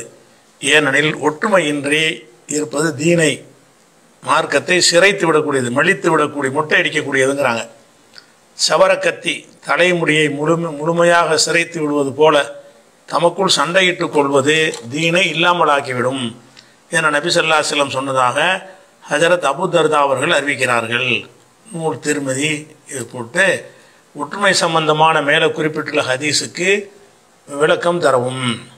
அதாவது ஒற்றுமை இது எவ்வளவு தேவை என்று கேட்டால் தொழுக நோன்பு தான தர்மங்கள் இந்த மூணை விட மேலானது என்று ரசூல்லா சொல்லிட்டாங்க அப்படின்னு போட்டிருக்காரு. அவர் சொல்லக்கூடிய ஹதீஸு திருமதியில் ரெண்டாயிரத்தி ஐநூற்றி ஒன்பதாவது ஹதீஸில் இருக்கிறது. இது அறிவிப்பாளர்கள்லாம் கரெக்டான ஒரு ஹதீஸ். அதில் இது இதில் ஹதீஸில் மட்டும் இல்லை இது குரான்லே வலியுறுத்தப்பட்ட ஒரு விஷயந்தான் ஒற்றுமை என்பது குரான்லே வலியுறுத்தப்பட்ட ஒரு விஷயந்தான் ஏன்னு கேட்டால் எட்டாவது சூறாவில் ஒன்பதாவது ஒன்றாவது வசனத்தில் சொல்கிறான் பொத்தக்குள்ளாக நீங்கள் அல்லாவை பயந்து கொள்ளுங்கள் அஸ்லிஹு தாத்த பயணிக்கும். உங்களுக்கு மத்தியில் உள்ள இணக்கத்தை ஏற்படுத்தி கொள்ளுங்கள். உங்களுக்கு மத்தியில் சண்டை சச்சரவு வரும்போது இணக்கத்தை ஏற்படுத்தி கொள்ளுங்கள். வாத்தி உள்ளாக அல்லாவை கட்டுப்படுங்கள்னு அல்லாஹ் வந்து சண்டையாக இருந்தாங்கன்னா சமரசம் மேற்கொள்ளுங்கள்னு அல்லாஹ் என்ன செய்கிறான் குரான்லையும் அதை வலியுறுத்துகிறான். அதே மாதிரி நாலாவது சூறாவில் நூற்றி பதினாலாவது வசனத்தில் சொல்கிறான் லா ஹைரஃபி கத்திரிமின் நஜ்வாகும் அவர்களுடைய உரையாடல்களில் பெரும்பாலும் நன்மை இருப்பது கிடையாது. இல்லாமல் நம்மளுடைய சதக்கத்தின் தான தர்மங்கள் செய்யுமாறு ஏவுகிறானே அவ் மஹரூஃபின் அல்லது நன்மை ஏவுகிறானே அவ் இஸ்லாஹிம் பைனன் நாஸ் அல்லது மக்களுக்கு மத்தியில் நல்லிணக்கம் ஏற்படுத்துகிறானே அந்த செயலை தவிர பாக்கி உள்ள உங்களுடைய பேச்சுக்களில் எதுவும் நன்மை கிடையாது. இந்த மாதிரி விஷயத்தை பேசினா தான் நன்மையாக இருக்கும் அப்படின்னு சொல்லும் பொழுது அந்த நன்மைகளில் எது எல்லாம் சேர்க்குறான்னு கேட்டால் இஸ்லாஹி பைனன் நாஸ் மக்களுக்கு மத்தியில் நல்லிணக்கத்தை ஏற்படுத்துவது தான் அது அதுதான் நன்மையான ஒரு காரியம் என்று சொல்லிவிட்டு உமை எஃபால் தாலிக்க இதனை யார் செய்கிறாரோ இபுத்திகா மர்லாத்தில்லாஹி அல்லாஹுடைய திருப்தியை நாடி யார் செய்கிறாரோ இப்போ சௌஃப யூத்திகி அஜரன் அலீமா மகத்தான கூலியை அவருக்கு அல்லாஹ் வழங்குவான். என்று குரானும் இந்த இந்த நல்லிணக்கத்தை வற்புறுத்துகிறது. அப்போ குரான் இந்த நல்லிணக்கத்தை வலியுறுத்து இந்த ஹதீஸும் வலியுறுத்துகிறது. இதுக்கு என்ன அர்த்தம்னு கேட்டால் நீங்கள் பல இயக்கங்களை செயல்படுறாங்கல்ல எல்லா இயக்கத்தையும் கலைச்சி எல்லாம் ஒன்றாயிரணும் அப்படிங்கிறதுக்கு ஒரு விஷயம் கிடையாது. இது ஒற்றுமை சண்டை போட்டுக்கிட்டு இருந்தாங்கன்னா சண்டையை சேர்த்து வைக்கணும். விளங்குதா என் கருத்தில் நான் இருப்பேன் உன் கருத்தில் நீ இருப்பேன் ஒற்றுமைக்காக வேண்டி நான் ஒரு சத்தியத்தை கருத்தை விட்டுட்டு உன் பக்கம் நான் வர முடியாது. நீ ஒரு தப்பான ஒரு விஷயத்தை நீ சத்தியம் நினச்சிக்கிட்டு இருக்கும்போது நீனும் வரமாட்ட. அந்த ஒற்றுமையை வந்து ரசூல்லா சொல்லவே இல்லை. என்ன சொல்ல போனால் நன்மை ஏவனும் தீமையை தடுக்கணும். அதையெல்லாம் விடுவதற்கு இந்த அதிசயம் ஆதாரமாக காட்டுவாங்க. ஆ ஒற்றுமை முக்கியம் ஒற்றுமை முக்கியம். அடே சண்டை போட்டுருக்கு இல்லைப்பா உங்களுக்குள்ள எத்தனை சண்டை ஒருத்தர் ஒருத்தர் சண்டை இருக்கா இல்லையா? சண்டை இருந்தால் மூணாவது ஆள் போய் விழுந்து என்ன செய்யணும்? எதுக்குப்பா சண்டை போட்டுருக்குறீங்க ஏன் உங்களுக்குள்ள என்ன பிரச்சனை? அப்படின்னு பிரச்சனைகள் பண்ணுவாங்கல்ல. ரெண்டு தனிநபராக இருக்கலாம் ரெண்டு குடும்பமாக இருக்கலாம். ஒரு கணவன் மனைவியாக கூட இருக்கலாம் அல்லது ஒரு ரெண்டு தெருவுக்காரங்களாக இருக்கலாம் ரெண்டு ஊர்க்காரங்களாக இருக்கலாம் ரெண்டு மகல்லாவாசிகளாக இருக்கலாம் அது ரெண்டு இயக்கக்காரங்களாக இருக்கலாம். இப்படி சண்டை போட்டுட்டாங்கன்னு சொன்னால் நீ ஓ எகத்தினையும் நீ நீ ஓ எகத்தை நீ எதுக்கு சண்டை எதுக்கு போடுறீங்க? அடிச்சுக்கிறீங்க. கண்டா ஏன் சலான் சொல்ல மாட்டேங்கிறீங்க? பேச மாட்டேங்கிறீங்க? இஸ்லா இது பண்ணலைன்னா ந- நல்லா அப்படி இருக்கான். இன்னைக்கு இன்னைக்கு அப்படி ஒரு சமுதாயத்தில் அப்படி ஆகி போச்சுன்னு கேட்டால் சலான் சொல்வது கூட ஒரு பெரிய பயங்கரமானது மாதிரி ஆக்கிவிட்டாங்க அந்த மாதிரியான அளவுக்கு என்ன செய்யுது? மார்க்கங்கிற பேரில் எல்லை மீறி மார்க்கத்தை குளிதோன்னு புதைச்சிக்கிட்டு இருக்கிற ஒரு கூட்டமெல்லாம் உண்டாகி போச்சு. அந்த மாதிரியான இரு இருக்கிற இருக்கிறத வந்து என்ன செய்ய நீங்கள் அறிவுரை சொல்லி நல்லிணக்கத்தை உண்டாக்குங்க. நல்லிணக்கம் என்பது என்னன்னு கேட்டால் அவருடைய தவறான செயல்களை விமர்சிப்பது வந்து நல்லிணக்கத்துக்கு கேடு கிடையாது. தப்பு தப்புன்னு தான் சொல்லணும் நல்லது நல்லது தான் சொல்லணும். இல்லாட்டி நன்மை ஏவி தீமையை தடுங்கள்னு இம்புட்டு ஆதாரங்கள் குரான் இதில் இருக்காது. குரான் முழுவதும் என்ன இருக்கிறது? நன்மை ஏவ சொல்லி நிறைய ஆதாரங்கள் இருக்கிறது. தீமையை தடுக்க சொல்லி ஆதாரம் இருக்கிறது. கையாள தடுங்குங்கிற அளவுக்கு கையாள தடத்தில் சண்டை தானே வரும் கையாள தடுங்குங்கிற அளவுக்கு ஆதாரம் இருக்கிறது. முடியாவிட்டால் வாயால் தடுக்க சொல்லி ஆதாரம் இருக்கிறது. அவங்க தம் தப்பான காரியம் தான் அந்த சபையில் உட்காராதீங்கன்றதுக்கு ஆதாரம் இருக்கிறது. அதனால வந்து ஒற்றுமைப்படுத்தல் என்பது வந்து எல்லாம் அவங்கவுங்க தனித்தனியாக செயல்படுறாங்களே எல்லாம் தேர்தலில் சீட்டு வாங்குறதுக்கு ஒட்டுப்படுது முதல்ல இதில் போடுறதே இஸ்லாத்தை கை கழுவக்கூடிய ஒரு காரியம். தேர்தலில் போய் நிற்கிறது என்ன செய்வாங்க? எல்லா கட்சியும் சேர்ந்து பத்து சீட் வாங்கலாம்ல? வாங்கி பத்து பேர் நரகத்துக்கு போகிறதுக்கா அதுக்கு என்னது ஒற்றுமை? அந்த அது- அந்த மாதிரி ஒற்றுமைக்கு இந்த மாதிரி அதிசயமான ஆதாரம் காட்டுவாங்க. இப்போ நான் சொன்ன இந்த வசனங்களை நாளைக்கு எடுத்து இதுக்கு ஆதாரமாக காட்டுவாங்க. அல்லாஹ் என்ன செய்கிறான்? மக்களுக்கு மத்தியில் நல்லிணக்கம் ஏற்பட சொல்கிறான் நல்லிணக்கம் இல்லாமல் இருந்தால் நல்லிணக்கத்தை ஏற்படுது. நல்லிணக்கத்துக்கு என்ன ஆதாரம்? அவரை கண்டா நான் சலான் சொல்லணும் என்னை கண்டா அவர் சலான் சொல்லணும். அந்த மாதிரி அளவுக்காவது இருக்கணும். உங்களுக்குள்ளே போ மோதிக்கிற கூடாது அப்படிங்கிற ஒரு விஷயம் தான் அதில் இருக்குது. அப்படி இருப்பார்கள் என்று சொன்னால் நம்ம போய் என்ன செய்யணும்? அந்த ஒற்றுமைக்கு நீங்கள் பாடுபடணும். தனி நபர்களாக இருக்கலாம் ஜமாத்தாக இருக்கலாம் குழுவாக இருக்கலாம். அவங்களுக்குள்ள அந்த சண்டை போட்டிருந்தாங்கன்னா அவர் என்ன செய்- வெறுப்பு உண்டாகி போய் தீனையே கொஞ்சம் கொஞ்சமாக அடிச்சிடும் இந்த மாதிரி இந்த சில இயக்க வெறியில் சில இதுக்கெல்லாம் செய்வாங்க. அவனுடைய பேசினேன் இவனுடைய பேசினேன் அவனுக்கு அதெல்லாம் அவங்களாம் தீனை மொட்டை அடிச்சிருது. படிப்படி அந்த இந்த சிந்தனைக்கு வந்தோடனே என்ன ஆகுதுன்னா அந்த ஹரிசு அப்படி தான் அது நான் சவரக்கத்தி எப்படி தலையிட முடிய மொழி மலிச்சு எடுத்துருதோ இந்த மாதிரி சண்டை போட்டுட்டு இருந்தாங்கன்னு சொன்னால் தீனை மலிச்சிரும். தீன் அப்புறமேல இருக்காது. அதுக்கப்புறம் மார்க்க ரீதியாக அதையும் பார்க்க மாட்டாங்க. அந்த மாதிரி வந்துருங்கிறது இருக்குது. அதனால இதில் ஒற்றுமை தேவைதான். ஒற்றுமை சண்டை இல்லாமல் இருக்கிறதுக்கு நீங்கள் மக்கள்லாம் வாழணும். அப்படி சண்டை யாருக்கு மத்தியெல்லாம் இருக்கும்னு சொன்னால் நடுவில் இருக்கிற ஆளுக்கு புகுந்து என்ன செய்யணும்? உங்கள் பிரச்சனை என்ன? உங்கள் பிரச்சனை என்னங்க? இணக்கத்தை ஏற்படுத்துறதுக்கு முயற்சி பண்ணணும். முயற்சி பண்ணி ஒருத்தர் வந்து இணக்கத்துக்கு அவர் ஒரு பக்கம் நியாயத்தை பேசுகிறாரு ஒருத்தர் ஒத்துக்கிற மாட்டாருன்னு சொன்னால் நீங்கள் என்ன செய்யணும்? எவன் ஒத்துக்கிற மாட்டேங்கிறானோ அவனுக்கு நீங்கள் சண்டையும் போடணும். இப்போ நல்லிணக்கம் வராது. நல்லிணக்கத்துக்கு நீங்கள் பாடுபடுறீங்க என்னுடைய சொத்தை ஒருத்தன் எடுத்துக்கிட்டான். அவனுக்கு எனக்கு சண்டை. இந்த ரொம்ப நாளாக சண்டையாக இருக்கிறோம்.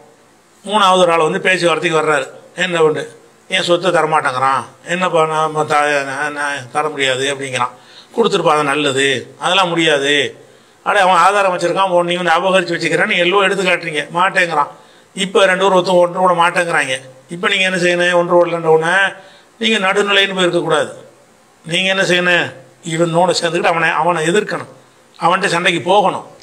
குரான் அப்படி சொல்லுது. எப்படி சொல்லுது? ஒயின் தாய் பத்தானி மினல் மூமினி நக்தத்தலோ இரண்டு மூமின்களில் இரண்டு பிரிவினர் சண்டையிட்டு கொண்டார்களே ஆனால் ஃபாசில் ஹூ பைனஹுமா. ரெண்டு பேருக்கு மத்தியில் நல்லிணக்கத்தை ஏற்படுத்துங்கள். அப்படி ஏற்படுத்தும் பொழுது பொய்யும் பொய்யும் பகத்து எகதாகுமா அலல் உஹ்ரா. ஒரு கூட்டம் இன்னொரு கூட்டத்துக்கு வரம்பு மீறுவதை வரம்பு மீறும் என்று சொன்னால் காத்தில் உள்ள தீ தபுகை. வரம்பு மீறினவனை எதிர்த்து நீ சண்டைக்கு போ. ஹத்தா தஃபியில் அமரில்லா. அல்லாவின் கட்டளைக்கு அவனை கொண்டு வர்ற மண்டல் தடுத்துட்டி டே எடுத்து குறா அப்படின்னு சொல்லி என்ன செய்யணும்? அவனை எதிர்த்து நீங்கள் சண்டையிடணும். இது ஒற்றுமையை குலைக்கும் ஆனால் இது இந்த உழை- இந்த இது செஞ்சு தான் ஆகணும். அப்போ இதெல்லாம் என்னன்னு கேட்டால் சமரசம் ஏற்படுத்த போகும் பொழுது ஒரு ஒரு பக்கம் நியாயம் இருக்கு ஒருத்தன் அநியாயம் இருக்குது அதுக்கு எப்போ சமரசம் ஆகும்னு அநியாயம் செஞ்சவன் நியாயத்தை வழங்கினா தான் ஆகும். என் சொத்தை திருப்பி தந்ததை நம்ம ஒன்று பேச முடியும். என் சொத்தை அவன் எடுத்துக்கிட்டான்னு குற்றச்சாட்டு. நீங்கள் ரெண்டு சேர்ந்துக்கிறங்க. என் சொத்தை தர சொல்கிறா சேர்றேன். நான் தர மாட்டேங்கிறான். நான் எப்படி சேருவேன்? எனக்கு அநீதி வைக்கப்பட்டிருக்கிறானே. அப்போ அநீ அநீதி வைக்கப்பட்டால் அவனுக்கு ஒரு நியாய மார்க்கத்தில் இருக்குதே. லாயுல்லாஹுல் ஜஹரபி பிசு இல்லாமல் ஒளிமை அநீதிலைக்கப்பட்டவனை தவிர கெட்ட வார்த்தை பேசுவது அல்லாஹ் பிடிக்காது எனக்கு அநீதி எனக்கு கெட்ட வார்த்தை நான் பேசலாம். தப்பான வார்த்தை கூட பேசுவதற்கு எனக்கு அனுமதி இருக்குது எல்லாம் அனுமதிக்கிறான் குரானில். அப்படிலாம் இருக்கிறதுனால இந்த ஒற்றுமை என்பதை வந்து ரெண்டாக பிரிச்சுக்கணும். ஒற்றுமை என்பது கொள்கையில் சமரசம் பண்ணுதல் என்பது அல்ல ஒற்றுமை. நன்மையும் தீமையும் சமம் என்று காட்டுவதுக்கு பேர் ஒற்றுமை கிடையாது. சும்மா தனிப்பட்ட முறையில் கொடுக்கல் வாங்கல் போக்குவரத்தில் அவங்களுக்குள்ள சண்டைகள் இருந்துச்சுன்னு சொன்னால் இதுக்காக சண்டை போட்டுக்கிறாதீங்க. மார்க் அல்லாவுக்கு பயந்து நேர்மைக்கு சமரசத்துக்கு வாங்கன்னு சொல்லணும். அதான் அதுக்கு அர்த்தம். தென்காசியில் இருந்து முகமது இஸ்மாயில் கேட்குறாரு டைனோசர் பற்றி மார்க்கம் என்ன சொல்கிறது?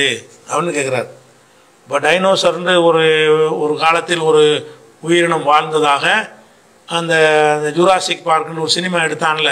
இந்த சினிமாக்கள்லாம் எடுத்த பிறகு அதுக்கு வந்து இப்படி ஒரு வாழ்ந்ததாக ஒரு ஒரு செய்தியை நம்ம நம்பிக்கிட்டுருக்குறோம் ஆனால் இதில் அந்த வடிவம் இடம் எல்லாமே கற்பனையானது. அது என்னென்ன ஒரு ஒரு முட்டையில் வந்து ஒரு கதை தான் எடுத்தது அது டினோசர்னு ஒரு ஒரு- உயிரினம் வாழ்ந்திருக்கலாம் என்பது ஊகத்திலான ஒரு விஷயம்தான். இருந்திருக்கலாம் பல வகையான உயிரினங்கள் இருந்திருக்கலாம். அந்த சினிமாவை பார்த்துவிட்டு ஒரு அந்த உயிரினமே இருந்த மாட்டேன். என்ன சொல்ல எத்தனை வகை வகையாக காட்டுறாங்க? பல வகையான இதில் காட்டுறாங்க. ரெண்டு கால் வச்சுக்கிட்டு இருக்கக்கூடிய ஒரு பறவை பறவை வடிவத்தில் இருக்கக்கூடிய ஒரு மிருகம். பறவை மாதிரி தன்மையில் இருக்குது ஆனால் என்னவா இருக்கும் நாலு காலுக்கு பதிலாக ரெண்டு காலில் இருந்தால் பறவை தானே? ஆனால் ரெண்டு காலில் இருக்கிற ஒரு விலங்கை தான் வந்து அஹ், சிலது காட்டுறாங்க. அதில் இருந்ததுன்னா ரெண்டு கால் ரொம்ப குட்டையாக இருக்கும். சில டினோசர் எப்படி காட்டுறான்?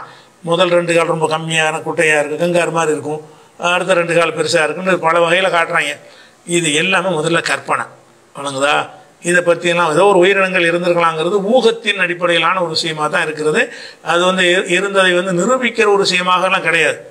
அந்த கதையில் என்ன செய்வாங்கன்னா சினிமாக்கள் என்ன செய்வாங்கன்னா அதனுடைய முட்டை வந்து ஒரு ஒரு- இதில் வந்து பாதுகாக்கப்பட்டு இருந்து அந்த முட்டையிலேருந்து குஞ்சு பிடிச்சி அது என்ன வந்துருச்சு அப்படின்ற மாதிரி தான் அந்த கதை எழுதியிருக்கிறாங்க. அப்படி இது கதை தான் அது. முதல் டைனோசருங்கிறத பற்றி வந்து இருந்தால் தான் அந்த குரானை பற்றி பேசணும். அப்படி ஒன்று இருக்கிறத பற்றியே அதுவே உறுதி செய்யப்பட்ட ஒரு விஷயம் இல்லை. அப்படியே இருந்தாலும் ஏதோ ஒரு இந்த மாதிரி ஒரு பிராணி இருந்தாலும் அதையெல்லாம் சொல்வது வந்து குரானுடைய வேலை கிடையாது. குரான் என்ன உலகத்தில் இது என்னென்ன வருஷம் என்ன நடந்துச்சு யார் யார் வாழ்ந்தா என்னென்ன அதெல்லாம் சொல்வதா குரானு? குரான் என்பது இந்த உலகத்தை நீ வாழும்போது எது மாதிரி வாழ்ந்தால் நீ வந்து நல்லவனாக இருப்பாய் எது மாதிரியா வாழ்ந்தால் கெட்டவனாக இருப்பாய் எது மாதிரியா வாழ்ந்தால் நீ சொர்க்கத்துக்கு போவாய். எது மாதிரி வாழ்ந்தால் நீ நரகத்துக்கு போவாய்? இதை சொல்வதற்கு தான் குரான். அதில் வந்து எதெல்லாம் சொல்ல தேவையில்லை? எந்த வருஷத்தில் அப்படி ஒரு பிராணி இருந்துச்சு? அதுக்கு முன்னாடி அப்படி ஒரு பிராணி இருந்துச்சு? இதுக்கு முன்னாடி இப்படி ஒரு பறவை இருந்துச்சு? இதை சொல்வது அல்ல. குரான் இதில் உங்களுக்கு என்னவும் கிடையாது. என்ன சொன்னோன்னு? இருந்தா என்ன இல்லாட்டி என்ன? அதனால உங்களுடைய இந்த உலக வாழ்க்கையுடைய போக்குக்கு என்ன அது பாதிப்பு ஏற்படுத்தும்? உண்மை கிடையாது. நீங்கள் நல்லவனா கெட்டவனா வாழ்வதற்கு இந்த மாதிரி ஒரு பிராணி இருந்ததுங்கிற தகவலுக்கு ஏதாவது சம்மந்தம் இருக்குதா? தினசன்னு ஒன்று இருந்தாலும் சரி நல்லவன் நல்லவனாக இருப்பான் கெட்டவனா கெட்டவனாக இருப்பான். அப்படி ஒன்று இல்லாட்டா கூட நல்லவன் நல்லவனாக இருப்பாங்க. அது நம்முடைய வாழ்க்கை போக்க மாற்றுமா மாற்றாது அதனால அந்த மாதிரியான விஷயங்களை எல்லாம் குரான் வந்து சொல்லணும்னு அவசியம் கிடையாது. சொல்லப்பட்ட விஷயங்கள் தேவையானதாக இருக்கும். அதான் டினோசரை பற்றி என்ன இல்லை? அப்படி ஒரு எதுவும் குரானில் இல்லை. அடுத்து புகாரி நாலாயிரத்தி ஐநூற்றி நாற்பத்தி எட்டாவது ஹதீஸில் பிறக்கும் குழந்தை எதுவாயினும் அதை செய்தான் தீண்டுகிறான். தீண்டுவதால் அழுகிறது என்று உள்ளது. வழிகெடுப்பதே தனது வேலை என்று சபதம் எடுத்துள்ள சைத்தானுக்கு சிறு குழந்தைகளை தீண்டுவதால் என்ன லாபம்? இது இது ஏற்கக்கூடிய செய்திதானா? அப்படின்னு சொல்லி காயல்பட்டினம் இந்திரிஸ் என்ற சகோதரர் கேட்குறார்.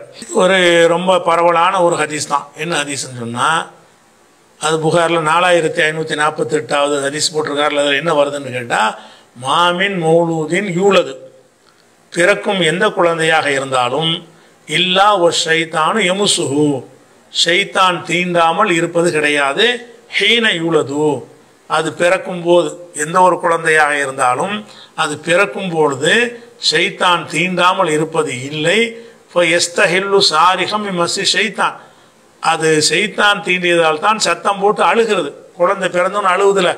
அழுகுறதுக்கு என்ன காரணம்? செய்தான் தீண்டுறதுக்கு தான் அழுகுது சொல்லிட்டு இல்லா மரியம ஒபனஹா மரியமையும் அவருடைய மகனையும் தவிர மரியம் அலைஹிஸ்ஸலாத்தையும் அவங்க தம்மா ஈசா நபியையும் தவிர எந்த குழந்தை ரசூல்லா உட்பட வந்துருவாங்க அதில். யார் பிறந்த இப்ராஹிம் நபி உட்பட வந்துருவாங்க. எந்த குழந்தை பிறந்தாலும் சரி சைத்தான் ஒரு குத்து குச்சிருவான் போய். அந்த வேதனையில் தான் குழந்தை என்ன செய்கிறது? அழுகிறது. குழந்தை அழுகுறதுக்கு அதான் காரணம். ஆனால் இது யாருக்கு மட்டும் இல்லை? மரியம் அலைஹிஸ்ஸலாத்துக்கு இல்லை அவங்க மகனுக்கு இல்லை அப்படின்னு சொல்லிவிட்டு இதுக்கு இதை இந்த செய்தியை அபுகுரையர் அறிவிக்கிறார். அறிவிச்சிட்டு அதுக்கு ஒரு ஆதாரம் சுல்லா சொன்னது ஒரு ஆதாரம் காட்டுகிறார் காட்டிக்கிறார். சும்மா கூட அபுகுரையரா பிறகு அபுகுரையரா சொன்னார் வக்ரோ என் சேர்த்தும் நீங்கள் நாடினால் ஓதிக்கொள்ளுங்கள். என்ன ஓதிக்கொள்ளுங்கள்? ஓ இன்னி ஒழிதுஹா பிக்க ஓ துர்ரியத்தகா மின ஷைதான் ரஜீம். இது வந்து குரானில் வரக்கூடிய ஒரு துவா. இது யார் செஞ்ச துவான்னு சொன்னால் இம்ரானுடைய மனைவிங்கிறாங்கல்ல அதாவது மரியமுடைய அம்மா. மரியமலேஸ்வரி அம்மா வந்து கர்ப்பிணி ஆயிடுவாங்க கர்ப்பிணி ஆகும் பொழுது என்ன செய்வாங்கன்னா அல்லாட்ட ஒரு துவா செய்வாங்க. துவா செய்யும்போது என்ன செய்வாங்கன்னா ஓ இன்னி ஒய்துகா பிக்க துர்ரியத்தகா துர்ரியத்தகா இந்த இந்த பெண்ணையும் இந்த குழந்தை இருக்கல மரியம் மரியமும் ஆம்பளை பிள்ளையா பொம்பளை பிள்ளையான ஒரு டவுட் ஆம்பளை பிள்ளை நினச்சிக்கிட்டு இருப்பாங்க. அதனால என்ன செய்யறேன் இன்னி ஒய்துகா பிக்க இந்த குழந்தை விஷயமாக உன்னிடத்தில் பாதுகாப்பு தேடுகிறேன். துர்ரியத்தகா இவருடைய சந்ததி யார்? ஈசா நபி. மரியமுக்கும் பாதுகாப்பு தேடுறாங்க. மரியமுடைய சந்ததி இருக்குல்ல அவங்களையும் பாதுகாப்பு தேடுகிறேன். மின ஷைத்தான் ரஜீம். ஷைத்தானை விட்டு பாதுகாப்பு தேடுறேன்னு ஒரு துவா செஞ்சுருக்கிறாங்க. அப்போ மரியம் அலைஹிஸ்ஸலாத்துடைய அம்மா வந்து கர்ப்பமாக இருக்கும் பொழுது அல்லாட்டு துவா செய்கிறாங்க எப்படி? யா இந்த மரியம் வந்து அஹ், ஷைத்தான் தீண்டிடக்கூடாது என்று நான் உன்கிட்ட பாதுகாப்பு தேடுறேன். மரியமுக்கு மட்டும் இல்லை மரியமுடைய புள்ள சந்ததி இருக்குல்ல சந்ததி தான் சந்ததி. இன்னை ஒய்துகா பிக்க. உன்னிடத்தில் உன்னை கொண்டு நான் வந்து இந்த இந்த மரியமுக்காக பாதுகாப்பு தேடுகிறேன். ஒரு துர்ரியத்தகா மரியமுடைய சந்ததிக்காக நான் பாதுகாப்பு தேடுகிறேன். மின சைத்தான ரஜீம். சைத்தான விட்டு பாதுகாப்பு தேடுறேன்னு சொன்னாங்கல்ல இந்த வசனத்தை அதில் மெரிச்சு பண்ணுறாரு அபு ஹுரைரா. ஓதி காட்டி இந்த சைத்தானை விட்டு அவங்க பாதுகாப்பு தேடினாங்கல்ல அதனால அவங்க ரெண்டு வரையும் சைத்தான் தீண்ட மாட்டான். அது- மரியமலை மரியம் அம்மா இம்ரத் இம்ரான். இம்ரானுடைய மனைவி இருக்காங்கல்ல அவங்க ஒரு பிரார்த்தனை பண்ணிட்டாங்க. என் பிள்ளைய சைத்தான் நாம பார்த்துக்க என் பிள்ளையுடைய பிள்ளைய சைத்தான் நாம பார்த்துக்கன்னு கேட்டாங்க. அதன் காரணமாக மரியமையும் மரியம் பிறக்கும் போதும் சைத்தான் தீண்டவில்லை. மரியமுக்கு ஈசா நபி பிறக்கும் போதும் சைத்தான் தீண்டவில்லை. பாக்கி பிறக்கிற எல்லா குழந்தைகளுக்குமே சைத்தான் தீண்டுகிறான். தீண்டுறதுனால தான் இந்த குழந்தை அழுவுது அப்படின்ற இந்த ஹதீஸ் தான் ஹதீஸ் வாசகம். இந்த வசனம் சொன்னோம்ல அந்த வசனம் வந்து மூணாவது சூறா முப்பத்தாறு வசனம். அந்த மரியமலை சாத்துடைய அம்மா துவா செஞ்சாங்கல்ல அந்த வசனத்தின் நம்பர் என்னன்னு கேட்டால் மூணாவது அத்தியாயம் முப்பத்தி ஆறாவது வசனம். இப்போ அவர் என்ன கேள்வி கேட்குறாருன்னு கேட்டால் செய்தானுடைய வேலை வழி கெடுக்கிறது தானே? வழி கெடுக்கிறது. வழி கெடுத்தல் வந்து எப்போ வரும்? ஒரு மனிதன் பருவம் அடைகிற வயசுக்கு பிறகு தான் வரு வழிகெடுத்தல் வரும். ஒரு வயசு குழந்தைக்கு வழிகெடுத்தல் கிடையாது. அஞ்சு வயசு பிள்ளைக்கு வழிகெடுத்தல் கிடையாது. இப்போ சிறுவனாக இருந்து பருவம் அடைகிற வயசுக்கு முந்தின சிறுவனாக இருந்தால் அவனையும் வழிகெடுத்தல் கிடையாது. அப்போ இப்போ தான் குழந்தை பிறக்க போகுது. அதை போய் போய் செய்தாமை குத்துறான்னா அதில் என்ன குத்துறது என்பது அவனுடைய டியூட்டிக்கு சம்மந்தம் இல்லாமல் இருக்குது. செய்தான் வந்து வழிகெடுக்கிறதுக்கு தான் வருவான். குழந்தைய வழிகெடுக்கிறதுக்கு வேலையே இல்லை. அதை போய் இதுக்கு குத்துறாங்கிற வந்து பொருத்தமாக இல்லையே. இது கரெக்டு தானான்னு கேட்குறாரு இது குறித்து வந்து இந்த ஹதீஸ் குறித்து வந்து கடந்த காலங்களிலேயே சில அறிஞர்கள் கேள்விகள் எழுப்பியிருக்கிறார்கள். இந்த ஹதீஸு ஏற்கத்தக்க ஹதீஸ் இல்லை. இது சரியில்லை என்ன செய்கிறாங்க வந்து சில அறிஞர்கள் கேள்வி எழுப்பியிருக்கிறாங்க. அந்த கேள்வி என்பது முக்கியமான ஆள் யாருன்னு கேட்டால் ஃபஹருதீன் ராசி இந்த தப்சீர் கபீர்னு சொல்கிறோம்ல பெரிய இமாம் நான் சொன்னேன்ல போன கேள்வி முதல் கேள்வியில். அந்த இமாம் தான் அவர் ஃபஹருதீன் ராசி அவர் என்ன செய்கிறாருன்னு கேட்டால் இது விஷயமாக கடும் விமர்சனத்தை வைத்திருக்கிறார். அவருடைய வழக்கப்படி. வழக்கப்படி என்ன செய்வார்னா அவர் லாஜிக்காக தான் பேசுவார். லாஜிக்காக ஒன்றும் சரியாக வரலன்னு என்ன செய்வார்? அதுக்குரிய கேள்விகள்லாம் முன் வச்சிருவார். அதனால பாலகஃபி தக்ரீரிகி அல்ல ஆதத்திகி அவருடைய வழக்க பிரகாரம் அது வந்து என்ன செய்கிறாரு அதுக்கு ஒரு ப- எல்லை மீறி ஒரு பதிலையும் சொல்லியிருக்கிறாராம். அது என்ன செய்கிறாருன்னு கேட்டால் அவர் கேட்குறாரு அன்னல் ஹதீஸ ஹபருன் வாஹிதும் பஹருதின் ராசி சொல்லக்கூடிய வாதம் என்னென்று கேட்டால் அன்னல் ஹதீஸ ஹபருன் வாஹிதும் இது வந்து ஒரு தனிநபர் அறிவிக்கும் ஒரு செய்தி. இது ஒரு நபர் போய் அறிவிக்கிறார். அது ஹதீஸ்லாம் அப்படி தானே ஹதீஸ் என்று சொன்னாலேயே ஒருத்தர ரெண்டு முறை அறிவி குரான் மாதிரி ஒட்டுமொத்த உம்மத்தை அறிவிக்கிறது கிடையாது. ஹதீஸ் என்பது ஹபருன் தனி தனிநபர்களின் செய்தின்னு சொல்லுவாங்க அதுக்கு பேர். தனித்தனி ஆட்களை வச்சு தான் முடிவெடுக்க போகிறோம் வரது அல் ஹிலாஃபி தலீல். இது வந்து தலீலுக்கு மாத்தமாக வந்திருக்கிறது. இது தனிநபருடைய ஒரு செய்தி. இது என்னவா இருக்குன்னு கேட்டால் சான்றுக்கு எதிராக சான்றுன்னு குரானை சொல்கிறார் அவர். சான்றுக்கு முரணாக இது வந்திருக்கிறது. ஆதாரத்துக்கு மாற்றமாக இருக்கிறது. ஒரு தனிநபர் அறிவிக்கிற செய்தி வந்து ஒரு ஆதாரத்துக்கு மாற்றமாக இருக்கிறது. ஏன்னு கேட்டால் அவர் சொல்கிறார் என்ன ஷைத்தான? ஷைத்தான் என்பவன் இன்னமா யுகுவி மை யாரிஃபுல் ஹைர ஒரு ஷர்ர. ஹைரையும் ஷர்ரையும் நல்லதையும் தீயதையும் விளங்குபவர்களைத்தான் சைத்தான் வழிகெடுப்பான். சைத்தான் வழிகெடுப்பான் என்றால் யாரை வழிகெடுப்பான்? இன்னமா யுகுவி யாரை வழிகெடுப்பான் என்று கேட்டால் மை யாரிஃபுல் ஹைர ஒரு ஷர்ர. ஷர்ரையும் நல்லதையும் கெட்டதையும் யார் அறிவாரோ அந்த பருவத்தில் தான். அவங்கள தான் வழிகெடுப்பான். ஒல் மௌலூது வி தா ஹிலாபி தாலிக. குழந்தை என்பது இதுக்கு மாத்தமாக இருக்கிறது. குழந்தை என்பது இல்லை. அது வந்து எந்த ஒரு நன்மை இதுமேலாம் தெரியாது. அதை போய் செய்தான் தீன்றதுக்கு வேலையே கிடையாது. செய்தான் இங்கே வந்து தீண்ட தேவையே இல்லை. அப்படிங்கிற ஒரு கேள்வி கேட்குறாரு அது மாதிரி வந்து அடுத்து என்ன கேட்குறாருன்னு கேட்டால் வண்ணஹு லவ் முக்கின மின் ஹாதல் கதிரி. ல ஃபால அக்ஸர மின் தாலிக்க மின் இகலாக்கின் விவசாதின் இந்த மாதிரி விஷயத்துக்கெல்லாம் சைத்தானுக்கு சக்தி இருக்குது என்று வைத்துக் கொண்டீர்களே ஆனால் இது அல்லாமல் பெரிய பெரிய காரியங்கள் அவன் செஞ்சிருப்பான். சும்மா குத்துறது மட்டும் என்னது? அது இல்லாமல் இகல ஃபலாவை அழித்து நாசமாக்குவான் குழப்பி விட்டுருவான். எவ்வளோ காரியங்களும் செஞ்சுருப்பானே? அப்படிலாம் செய்கிறது இல்லை அவன் செய்கிற வழிகெடுக்கிறது மட்டும்தான் செய்கிறானே தவிர நீங்கள் கட்டியிருக்கிற பில்டிங் ஒன்று இடிச்சு விட்டு உங்களை திரும்ப நிப்பாட்டுவான் அவன்? அதெல்லாம் செய்கிற வேலை செய்தானு கிடையாது. செய்தான் வேலை வந்து ஓ நீங்கள் வந்து பெரிய அரண்மனை கட்டிட்டீங்க. இவன் அரண்மனை கட்டிட்டான். இதை இடித்து தரமட்டமாக்கிடணும்னு அந்த வேலையை செய்தான் செய்வானா? நீங்கள் வயலில் விவசாயம் பண்ணிட்டு இருக்கிறீங்க. விவசாயத்தை அழித்து நாசமாக்கி கட்டாந்தரையை போட்டுற வேலையை செய்தான் செய்வானா? இதெல்லாம் செய்வான் அதையெல்லாம் செய்வான் வந்துருமா? இது அவன் ரெண்டு கேள்வியில் கேட்குறாரு முதல்ல நன்மை தீமை அறிகிற ஆளுக்கு தான் செய்யணும் ஒன்று ரெண்டாவது இங்கே நன்மை தீமை சம்மந்தப்பட்ட வேலையை அவன் செய்யலை. குத்துறான் போய்கிட்டு.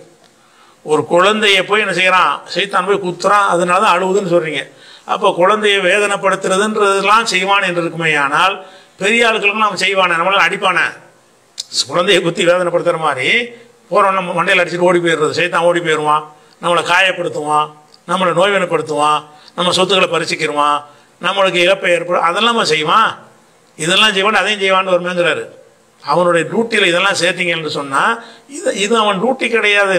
கெட்டவனை வழி கெடுக்கிறது அவனுடைய டியூட்டி நல்லவனை வழி கெடுக்கிறது அவனுடைய டியூட்டி அவனுடைய வேலை அதுக்கு தான் அல்லாட்டையும் கேட்டான். அல்லாட்டவன் நான் நினச்சதெல்லாம் செய்வேன் அல்லாட்ட கேட்கல. இல்லை உகுவி என்னகும் அஜ்மாயின். நரக சொர்க்கத்திலேருந்து அவன் வானத்திலிருந்து விரட்டி அடிக்கும்போது என்ன கேட்டான்? இல்லை உகுவி என்னகும் அஜ்மாயின் அவன் அத்தனை பேரையும் வந்து நான் வழிகெடுப்பேன். எனக்கு அதுக்கு அவகாசம் கொடு அப்படின்னு கேட்டான். லவ் மன்னி என்னகும் நான் வந்து அவங்களுக்கு ஆசை வார்த்தை கூடுவேன் ஆசை வார்த்தை யார்கிட்ட கூடுவாங்க குழந்தைகிட்டயா? பிறக்கிற குழந்தைகிட்டையா? லவ் மன்னி என்னகும் அவர்களுக்கு ஆசை வார்த்தை கூறுவேன்.